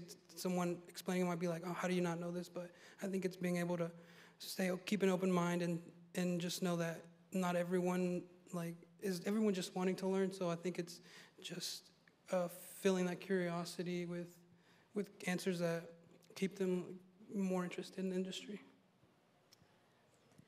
So I'm, I'm going to present the next couple questions to all of you guys, actually, and I'm going to start with you, Hallie. If you all had to summarize why is welfare and safety at the front of mind for young people who are getting involved in the industry? And then why is it important for the industry to understand and address those concerns? Yeah, well, it's a big, big old question to be asking, isn't it? I mean, I think most of us here today, um, we're fortunate uh, to, I would primarily say, engage with horses at some point in our youth, right? That's why we were passionate about following a, a career in this in this uh, industry, and it's important, I think, to each one of us that welfare and safety is is considered when it comes to the equine athletes that are in our care and that participate in our industry, and, and jockeys and, and the human athletes as well. Um, so if you know it's important to you, you have to imagine it's important to young people, and it is, is something that we um, should proactively be addressing. You know, I, I, can very much identify with, with Eric there that a lot of our horse country guests, you know, don't necessarily walk in on a tour and have this deep negative perception of horse racing. They actually know very little, which can be just as negative as having a, a, a poor perception of racing. So to be able to proactively engage and show how we care for these animals goes such uh, an incredibly far way, um, long, long way. And so I think, you know, again, if you can imagine yourself caring about why a horse breaks down on the racetrack and how we handle that and how we try to prevent that, then we should be sharing that information and, and information from events like this um, with the younger generations as well so they know and be proactive in how we share that, that information. And for anyone who's not familiar with horse country, it's a really impactful tourism initiative that's based here uh, in central Kentucky that welcomes people onto the farms and brings them on this in depth educational tour. So, just getting into that perception piece a little bit more, which you already kind of touched on. You know, what are the most common perceptions that people bring in or questions and, and comments on their tours? About their experience and, and, you know maybe that was their first interaction ever with the thoroughbred industry. Yeah so it's actually um, quite surprising and it's changed over horse country's history if we've as we've more regularly given tours. Um, you know back when we started it was your real diehard fans that were coming out to you know see their favorite racehorses that had now retired and were stallions or broodmares and they are you know, one of our greatest assets. They're out there on social media defending us constantly. But what we found, we do actually, um, as part of your checking out to book your tour, we do ask questions. And one of the questions is, how often do you interact in an equine related activity? And I think it's close to 70% either answer never or occasionally. Um, so the majority of people are coming through, like Eric mentioned on College Scholarship Day, and they, they know very, very little. Um, so it's not necessarily that they have these tough questions that they're asking. And I should qualify as well our, our target demographics are not necessarily young people, but we do get lots of kids and families through. Um, we hosted a number of FF, FFA groups, both recently for their state convention that was here in Lexington. Their national convention is in Louisville here soon. A lot of those groups come through. Um, so we do, I mean, honestly, a lot of times those students do have perceptions and have very hard questions to ask. Um, so our farms being able to um, not only just say this is what we do, but directly show it and let the students and young people and our other our guests um, interact with it. And we're lucky to have um, several aftercare uh, uh, members, so New Vocations, Secretariat Center, the Equine Adoption Center, as well as our two vet clinics here offer tours. So to be able to really show that whole life cycle from day one to, to day end of, of how we take care of our horses. And again, it's just this proactive thing. We're answering questions before a guest even knows to ask them. Um, and I can speak from my experience when I was in college. I gave tours when I was at WinStar Farm. It is so impactful. I mean, to have somebody you know, hear somebody say, "Oh, I, didn't realize you took care of them like this," or "I didn't realize that things like the Retired Racehorse Project uh, and you know the Thoroughbred Makeover happen." It, you know, for me as a young person, it makes me very proud to be part of this industry when we can speak to initiatives like those. So going back to that summary question, Haley, I'll have you address it. You know, why why do you think that welfare and safety is at the front of mind for so many young people coming into the industry? So yeah, I think you know. Um, social media is a great tool to share that information with them. Um, oftentimes, as as someone that operates an account like the Breeders' Cup, you're going to get a wide spectrum of questions, in particular um, on Twitter. That's a really good conversational piece. So it's really important to use that opportunity in that space to educate people. Um, obviously, you're entertaining too, but social media is a tool that you can do both in. And you can reach wide audiences that may not otherwise get in front of a horse, um, whether it's geographically or other constraints. There are plenty of people that we've connected with that are so far from a racetrack they've never even seen one. But to be able to share the information about horses, which they clearly are passionate about, and to share that we are taking the best care of those animals and our athletes is very vital to our audiences. Farron? So for me, it's the way that the culture is developing. You can take, for example, the food animal industry, and people who consume animal products are now asking how are those animals raised? Were they given antibiotics or hormones? Um, so it's just something that people have started caring about more recently, and so I think that transfers over to all animals, and it's great that people are caring more about animals and welfare. So I think it's our challenge to figure out they are top athletes training at a high level. They need to be cared for and treated. We need to meet their needs, but how can we also keep our public happy and engaged? Because we want young people being involved. And I'm involved in horse racing. I love horses, and I think they receive great care. So, how can we portray that to people who are seeing the other side that the media portrays? But that's the kind of questions people are starting to ask, and so they want answers from us. And Eric and Deja, I think you guys, as students, probably have the best insight into this as you're still having a lot of these conversations with your peers, or maybe, you know, getting more questions that um, Farron, Haley, and Hallie would being out of school. So, Eric, what are, what are your thoughts on that?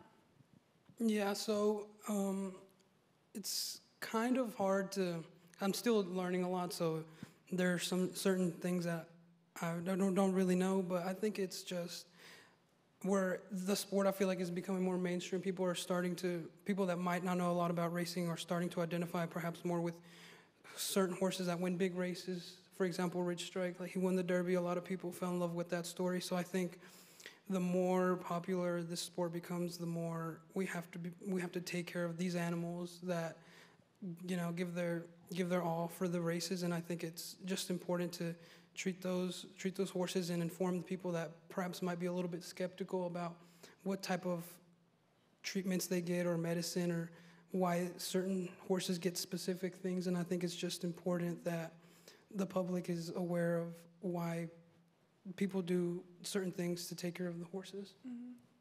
Yeah, that brings up a, a great point. We Amplified launched its mentorship program in 2021, um, which essentially pairs young people who want to work in the industry with industry professionals.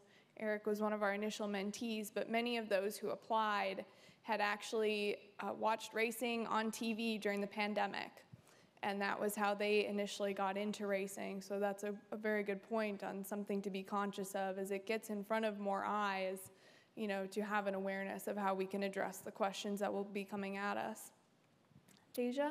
Yes, and I would have to agree, um, especially um, in a sense of just kind of the cultural influence and impact, and also the use of social media, especially just during COVID, um, and how people have just been on social media more um, and able to see kind of what racing is and all that it has to offer.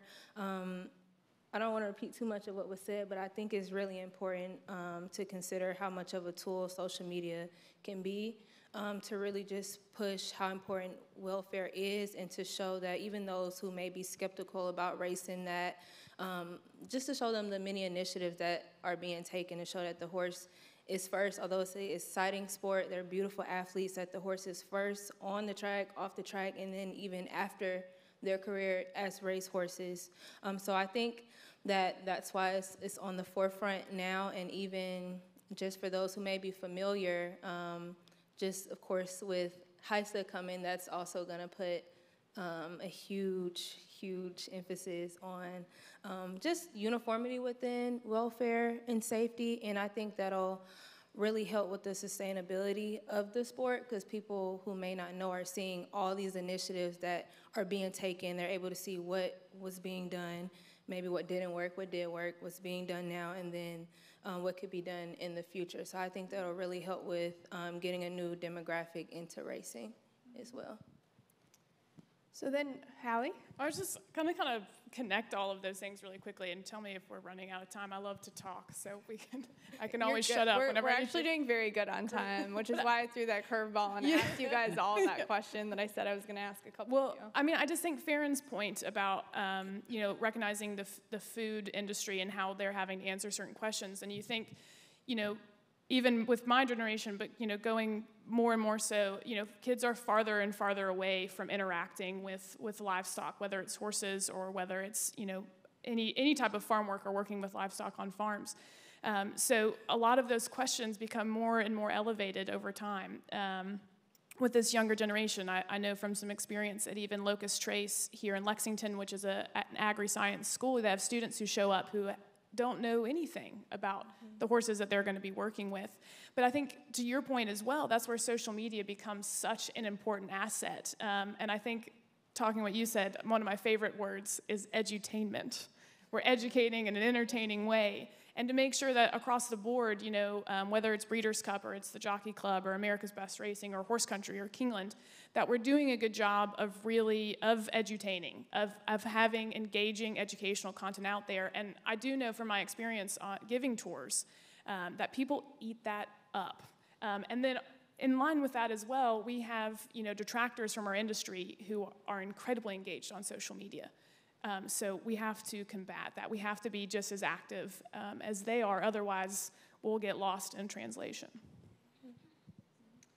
So then, kind of going from the, you know, why is it important to young people to converting that into action? I would love everyone who's watching today to actually have some action points that they can take away from this conversation and how we can continue to address this and educate and proactively engage with people on this topic. So, um, Haley, I'll, I'll start with you. What would you say are some specific targeted ways that the industry can engage with young people and continue to, to educate and address any concerns that they might have? Well, we're just going to go back to the, the exact same thing I've been saying all along, which is social media.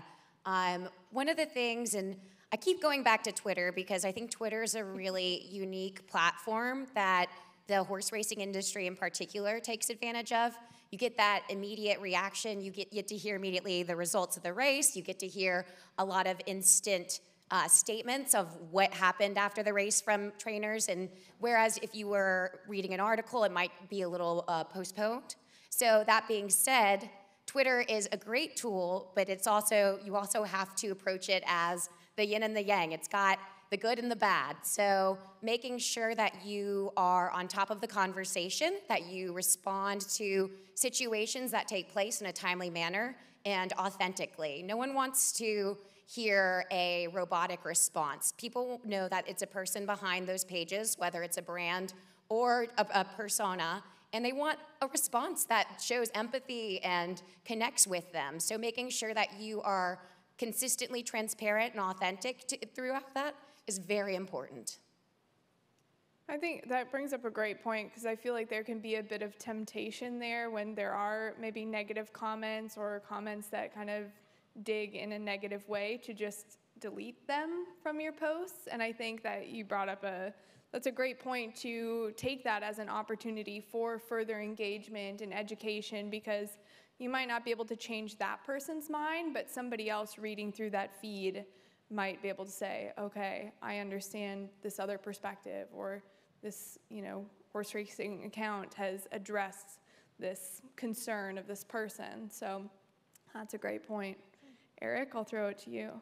Ooh, okay. So, um, yeah, so as kind of like a student perspective, I think a very good, uh, something that perhaps the industry I saw that was a little bit lacking is promoting or I guess supporting uh, organizations that promote the industry within the youth. I think I was very lucky to find Amplify Horse Racing and make that connection because networking is also very important in this industry. And it's also like you, you can work as hard as you want, but you might have to know someone important to get to know, to, to keep moving up the ladder. So I think just opening the doors more to allow everyone to network that is interested within this industry, to allow them to network with people that, that hold positions that they find interesting or that they, they would like to, to work in in the future and in supporting like schools that want to further educate the, the younger generation in this industry. Like for example, I go, I'm a current student at BCTC Equine. I've learned like a lot of stuff. I, I've done the mentorship thing. I've I've learned more about different aspects. I think it's it's very important because it provides different perspectives, and it, it's given me like perspectives. Even for example, the Keeneland ambassadorship has given me the opportunity to see what it's like uh, to be a racing secretary, how he goes about writing on uh, all of the, the condition book, and that's been very interesting. And I think just being able to support the, eh, the industry, being able to support those programs as a whole to anyone that's interested, whether that be networking or education, I think that's, that's very important. That's a great point. Just overall promotion of our programs and making sure that young people know that there are opportunities to take the next step and get more involved. Farron? I think there's a lot of importance in personal conversations. When I rode the Del Mar meet in 2019, it was when the media was hitting horse racing especially hard, and they would have protesters out front more than usual leading to the entrance to Del Mar, and so the people who were coming to attend the races had to read all these disturbing signs. So the horsemen worked together, and we stood on the other side and wrote signs uh, with phrases about, you know, the research that we're able to fund and the jobs that we offer, um, you know, and support families. So I would go to those, um, and then I would sneak over to the other side and just start talking with the people and just approach them respectfully and try to find out where they were coming from. And it was really interesting to see because um, some of them really believed horses shouldn't be in pastures, they shouldn't be on lead ropes, dogs shouldn't be on leashes. And fair enough if that's the way that they feel. But it helped me to see people are on a spectrum, and my mission isn't to change those people's minds, but the people in the middle of the spectrum who just want to know that horses are being cared for and treated well and all they're getting is the information from the media. And like most of us can attest to, we get a lot of our news from the media, and we don't go and look it up ourselves, and especially if they're not a horse racing enthusiast. And so they're going to believe what's in front of them and you know what's pushed in front of them. Um, so to be able to reach out to them and to have those conversations, so even those people who were on the extremist side as I started having conversations and telling them I'm riding the Del Mar meet, I'm also practicing veterinary medicine, I would actually see their body language change and be at ease, and they'd start to put their signs down. And one person picked the sign back up, and it was upside down. They didn't even notice, and it was great. But I just think that there's a lot of importance that as people get to know you and they watch, like, can you walk the talk, and just to, um, you know, get to know someone who's involved in horse racing. I mean, even just to add to that point, you mentioned data at some point in there, and like this event in and of itself provides us so many amazing points and pieces of data and tangible research that can be shared with people. Mm-hmm. And that is something really concrete to show someone that shows that we care. Deja? Question one more time. I want to make sure I answer it. Uh, um, so, just in talking about like tangible, specific uh, ways that the industry can start to address concerns of young people and continue to educate? I think it's just going back to kind of as we stated with being transparent and not being on the defense of people who don't understand, um, like not just being angry, but just taking that time to say, okay, this is what actually goes on. Because a lot of people in the industry have been raised in the industry, they just kind of know it in and out. But for a newcomer, it can be very overwhelming you feel like you don't know anything, and there's just so much to learn, which is also the exciting part of it because of the different people that you meet from different backgrounds of life that are all connected through their passion for horses. So I think just um, kind of moving with times and we, what we've been talking about with change, being okay with understanding that that comes along with that. Um, so just really being willing to use different avenues and be intentional about um, targeting people so they can have that exposure, whether it's through just having tours or if it's somebody who's interested, like me being a vet, um, different organizations showing what a vet does or even just what a track at a track what the racing secretary does what the stewards do just really showing all the opportunities that are there and being transparent about that yeah Absolutely. Hallie? This is my favorite question because I get to shamelessly plug horse country. no, I mean, in all sincerity, what is, uh, I mean, everything that we've kind of talked about here takes time and takes dollars, right? Mm-hmm. And so a lot of our, our organizations, and especially those at the top, have been spread really thin in terms of what they can cover, right? But now we have horse country, we have Amplify. I mean, everything that we've talked about here today, Amplify is doing, and they're not recreating the wheel. Annise is trying to find, you know, resources that exist and literally, you'll love this, amplify them and make sure people know about them and young people can connect to those resources that exist. You think of America's Best Racing, you know, one of the Jockey Club's initiatives, they're out there. And so I think for those um, here and tuning in today is to make sure that within your organizations you're uh, promoting some of these things that already exist. Maybe your organization can't tackle the perception of thoroughbred racing. I mean, that's a big, it's a big thing, isn't it? Um, but if you can promote horse country, whether um, you want to organize some tours for your um, your employees, or you have some family friends that are coming into town that might have certain perceptions, that is what we're we're here for. Um, and both between Amplify and, and what Annise has done um, with the mentorship program and really trying to directly connect with young people. Um, and with horse country, we have you know a varied list of people that come through. We have your leisure travelers that are here really primarily to drink bourbon, but also want to go on a horse farm. Um, but we're also trying to be proactive and engaging with bigger businesses um, and having you know special experiences for their employees, and then also with the likes of 4-H groups and FFA groups and you know middle school, high school um, level students as well, so they can come see. And whether that makes them maybe a, a $2 show betting fan on their phone on Derby Day. Mm-hmm. Maybe it makes them somebody who wants to pursue a career in this industry. Like I'm sure many of us had that kind of first, um, you know, first experience in this industry that said, "That's what I want to do." Or maybe they end up being, you know, very wealthy and they want to buy racehorses, which would be great for everybody involved. Um, so I think the point being is, is there are tangible, specific things happening and it's on us to do our best to participate in, in things like this so you all know about them um, and can help champion them for us as well. So it's www.visithorsecountry.com. Uh, I, I, just mean to say that there are there are great things going on, and um, you know we're, we're here to we're here for the industry in the long term. We're here to promote um, the industry. I know our Horse Country's mission is very much identified with that, and I know Amplifies is as well. And same with America's Best Racing and King on Kids Club. I'm, I'm sure I left a few other great initiatives out of that mix, but there are things happening, and we don't have to recreate the wheel. We just need continued, you know, promotion and, and sponsorship of our, our initiatives. Guys, we're kind of coming to the end of our questions. Does anybody else have anything that is just on your heart that you need to express before we wrap it up?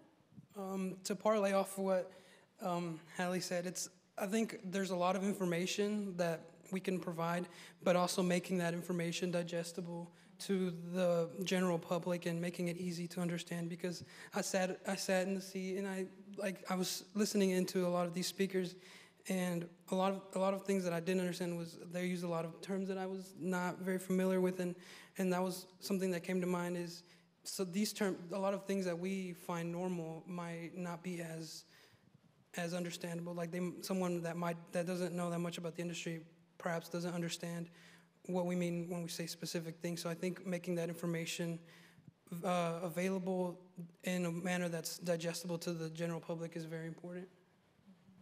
That's an amazing point. And that also gets back into what you were saying, Deja, in terms of it can be very intimidating to be a newcomer in our industry. It's so nuanced. There's so many different aspects of it, and you have to spend years learning it and learning the people to understand how they're interconnected. And we have a lot of jargon that we all just kind of throw around and we all kind of know what it means, but then sometimes it takes taking a step back and realizing that you know, when you're around somebody who's new to it, it kind of we, we need to be inclusive, and part of that is making our language very understandable to anyone until they can meet us at our level of you know having the same amount of understanding of the sport. Can I add something too? Absolutely. Um, so I think you know it's been touched on orig- originally, but networking is very important in this business. It's um, getting your foot in the door, um, having that first introduction to any type of angle in horse racing, And I think, you know, being um, a part of the industry, us as leaders can open the door to young audiences by giving resources on how they can connect with you. Um, I always say my DMs are open on my personal social media channels. You can always reach out to me there. And I've met a lot of wonderful people who do reach out. So being very open to those opportunities, in particular in the digital realm where people may not be close by to the uh, business, uh, really is beneficial for those young people who are interested in stepping in. One kind of just general last thing I, I wanted to comment on, and this is definitely apparent to me now at, with horse country, but was um, during my time, I actually worked for America's Best Racing back in 2013 um, when we did the bus tour, if that is rings a bell to anybody. It was an incredible time. We got to travel the country and promote our big race days. It was wonderful. Um, but I just I think it's important to say that those kind of efforts are not a snap your finger, we fixed racing um, kind of approach. And there's really no way for us to do that, um, really within any demographic, but definitely not with young people. I mean, we've talked pretty persistently about how authenticity is important, and it takes time to be able to build trust and commitment with, with any fan, but I think with young people as well in that space. Um, so just remembering that um, these initiatives are gonna, gonna take time. Um, and one great thing about the booking platform we use at Horse Country is we have a ton of, of data. Um, and one um, uh, marker we use is called a net promoter score, um, which probably wouldn't be a jargon that's well used in our industry, but a lot of brands use it um, as a, uh, a, marker for uh, future business and, and, growth, brand growth. Um, and so essentially, um, the question is how likely are you to recommend blank brand name. So it might be how likely are you to recommend Keeneland after a tour here, and it's a scale of one to 10.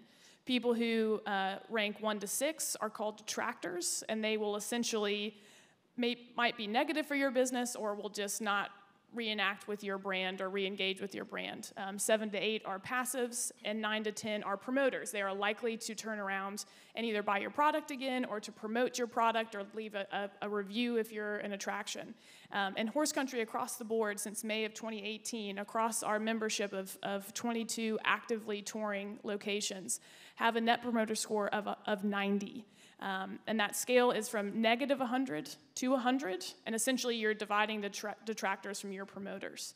So across the board, our members have a 90 NPS rating, which means that people love interacting with their, those individual brands, with those locations, and are likely to turn around and become ambassadors and promote that experience, which has to be a long term positive impact for our industry. And I would say, for my time with America's Best Racing, those that we got to host at the racetrack and go through a forum with them and really engage with them in the racing product all have a phenomenal time. They enjoy it very much so. And health and welfare and safety being a part of that too. But again, you know, how many people can you host one day at the racetrack? So to know that this is an ongoing thing, this is something we have to be proactive about, we have to do regularly, we have to target the young generation engage them in this way, or we're going to get lost, you know, in the bigger picture of things that are going to attract and engage them.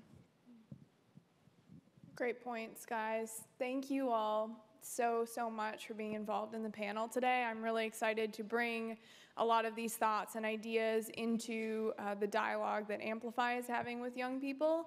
But I'd also challenge everyone watching today to just engage in dialogue, engage with young people, whether that is putting a call out on your social media to send a DM or to just have a general conversation because there's so much connection that can be made and understanding developed just through a simple conversation. So I think that in and of itself is a great starting point. point and thank you guys and thank you to everyone watching today.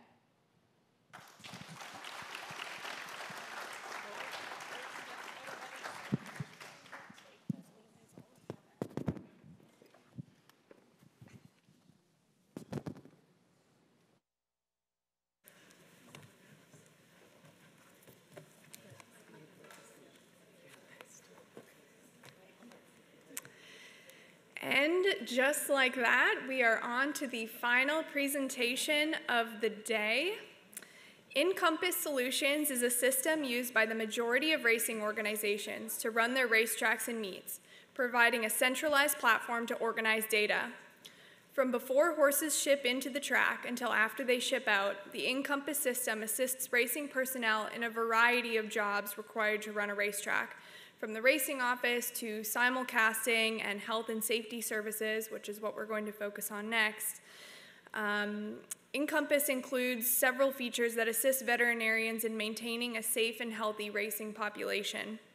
To discuss Keeneland and the InCompass programs, I'd now like to welcome Chris Dobbins, Senior Vice President at InCompass, and Dr. Stuart Brown, Vice President of Equine Safety for Keeneland, who not only oversees equine safety during Keeneland race meets, but also year round during training at Keeneland and the Thoroughbred Training Center. So, welcome, Chris and Dr. Brown.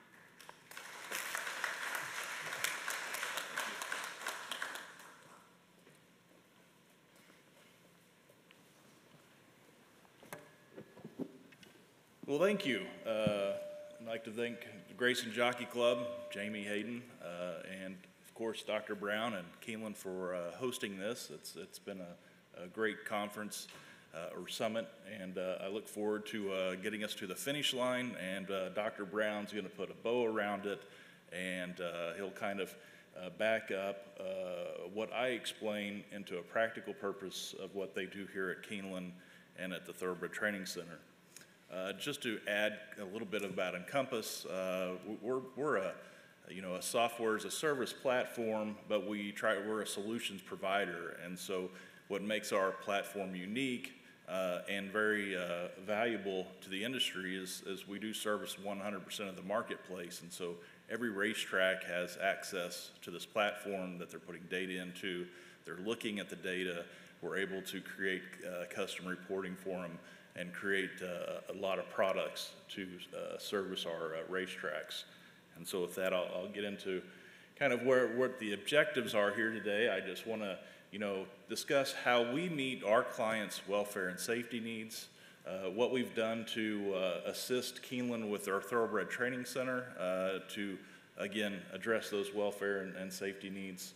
I'll give a, a, quick update on, on what we have uh, worked with HISA on in our flagship product, Track Manager, uh, which falls into that first set of uh, rules, the 2000 series, which again are the safety uh, section that we're uh, assisting HISA with, and of course assisting our customers, the tracks, to, to leverage the, the data they put in to assist them in their, their reporting and their requirements to HISA.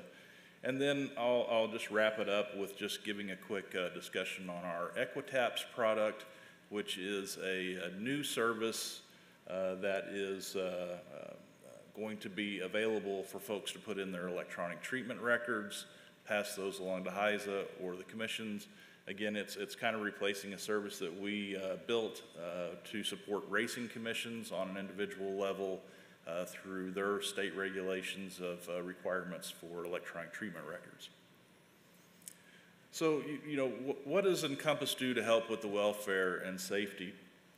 Uh, you know, we, we create a lot of custom reporting packages, which Dr. Brown uh, will definitely go into and provide a lot of examples of, of in today's uh, reports, their, their inventory control, uh, and then we, we, we added another section in that I believe was touched on in the regulatory panel, uh, our non-race observation, which assists uh, veterinarians to, to put in examinations outside of just your uh, race examinations. Uh, you know, I'm sure you, you, you, were able to hear a lot of uh, great comments from that panel on the use of those products. We host the pre-race exam module for all the tracks across the country. We host the EID module uh, as well for all the tracks across the country, uh, and as well as the vet lists. And so we built this uh, area of the non-race observation uh, for, again, uh, the ability to put in more information about the horse, uh, to tie that all together with your pre-race exams, uh, and have a, a, bigger picture of what you're looking at uh, when you're evaluating the horse before a race or just in your day to day as Dr. Brown and his team do here at Keeneland. We integrate those electronic treatment records uh, into a lot of that reporting. So again, uh, single reporting, instead of doing all the hours of research, you're able to run single reports that give you that uh, view of, well, here's a PP of a horse's history on the track, a PP view of here's its pre-race exams that have occurred, a PP view of any non-race observations that have occurred. We get to then also throw in, you know, all the treatments that have occurred with that horse, uh, any vet list history. So again, they're getting that full picture of a horse's history uh, when they go out and do an exam, evaluate a horse, uh, and decide whether he's, uh, you know, uh, capable of participating that day or not, or uh, and, in some cases it's not that he's participating that day, but just seeing a horse on a track, the vet walking around looks up this information and may have a conversation with the trainer about the, the physical status of that horse. And then the risk reporting that we've created, a lot of that emerged from a, a lot of Dr. Dr. Parkin's data that's emerged out of uh, the EID and these conferences. Uh, and so, you know, we look at high-speed furlongs. Uh, we look at uh, as the horse had vetless history. We look at as a horse had not started before he's four, as he had so many furlongs before he's ever started. There's a lot of different factors uh, that we, we, we look at. And again, Dr. Brown will, will get into uh, some of that aspect of what they look at here. But each racing environment's a little unique, and each uh, customer has some unique parameters that fits their population of horses that they want to monitor a little more closely. So the Thoroughbred Training Center, uh, Dr. Brown came to us and said, you know, we really need to look at this population of horses a little more closely like we would look at our population of horses here at Keeneland. And so we created that facility uh, for the Thoroughbred Training Center in our track manager product to act just like a racetrack. So Dr. Brown has the ability to now, you know, look at trainer inventory reporting, uh, assign stalls over at the facility, monitor the in and out uh, process uh, at the training center, and again, all the safety reporting along with that, with inventory starts and entry data for other tracks, along with the risk factors that Dr. Brown likes to look at that pertain to that uh, inventory of horses.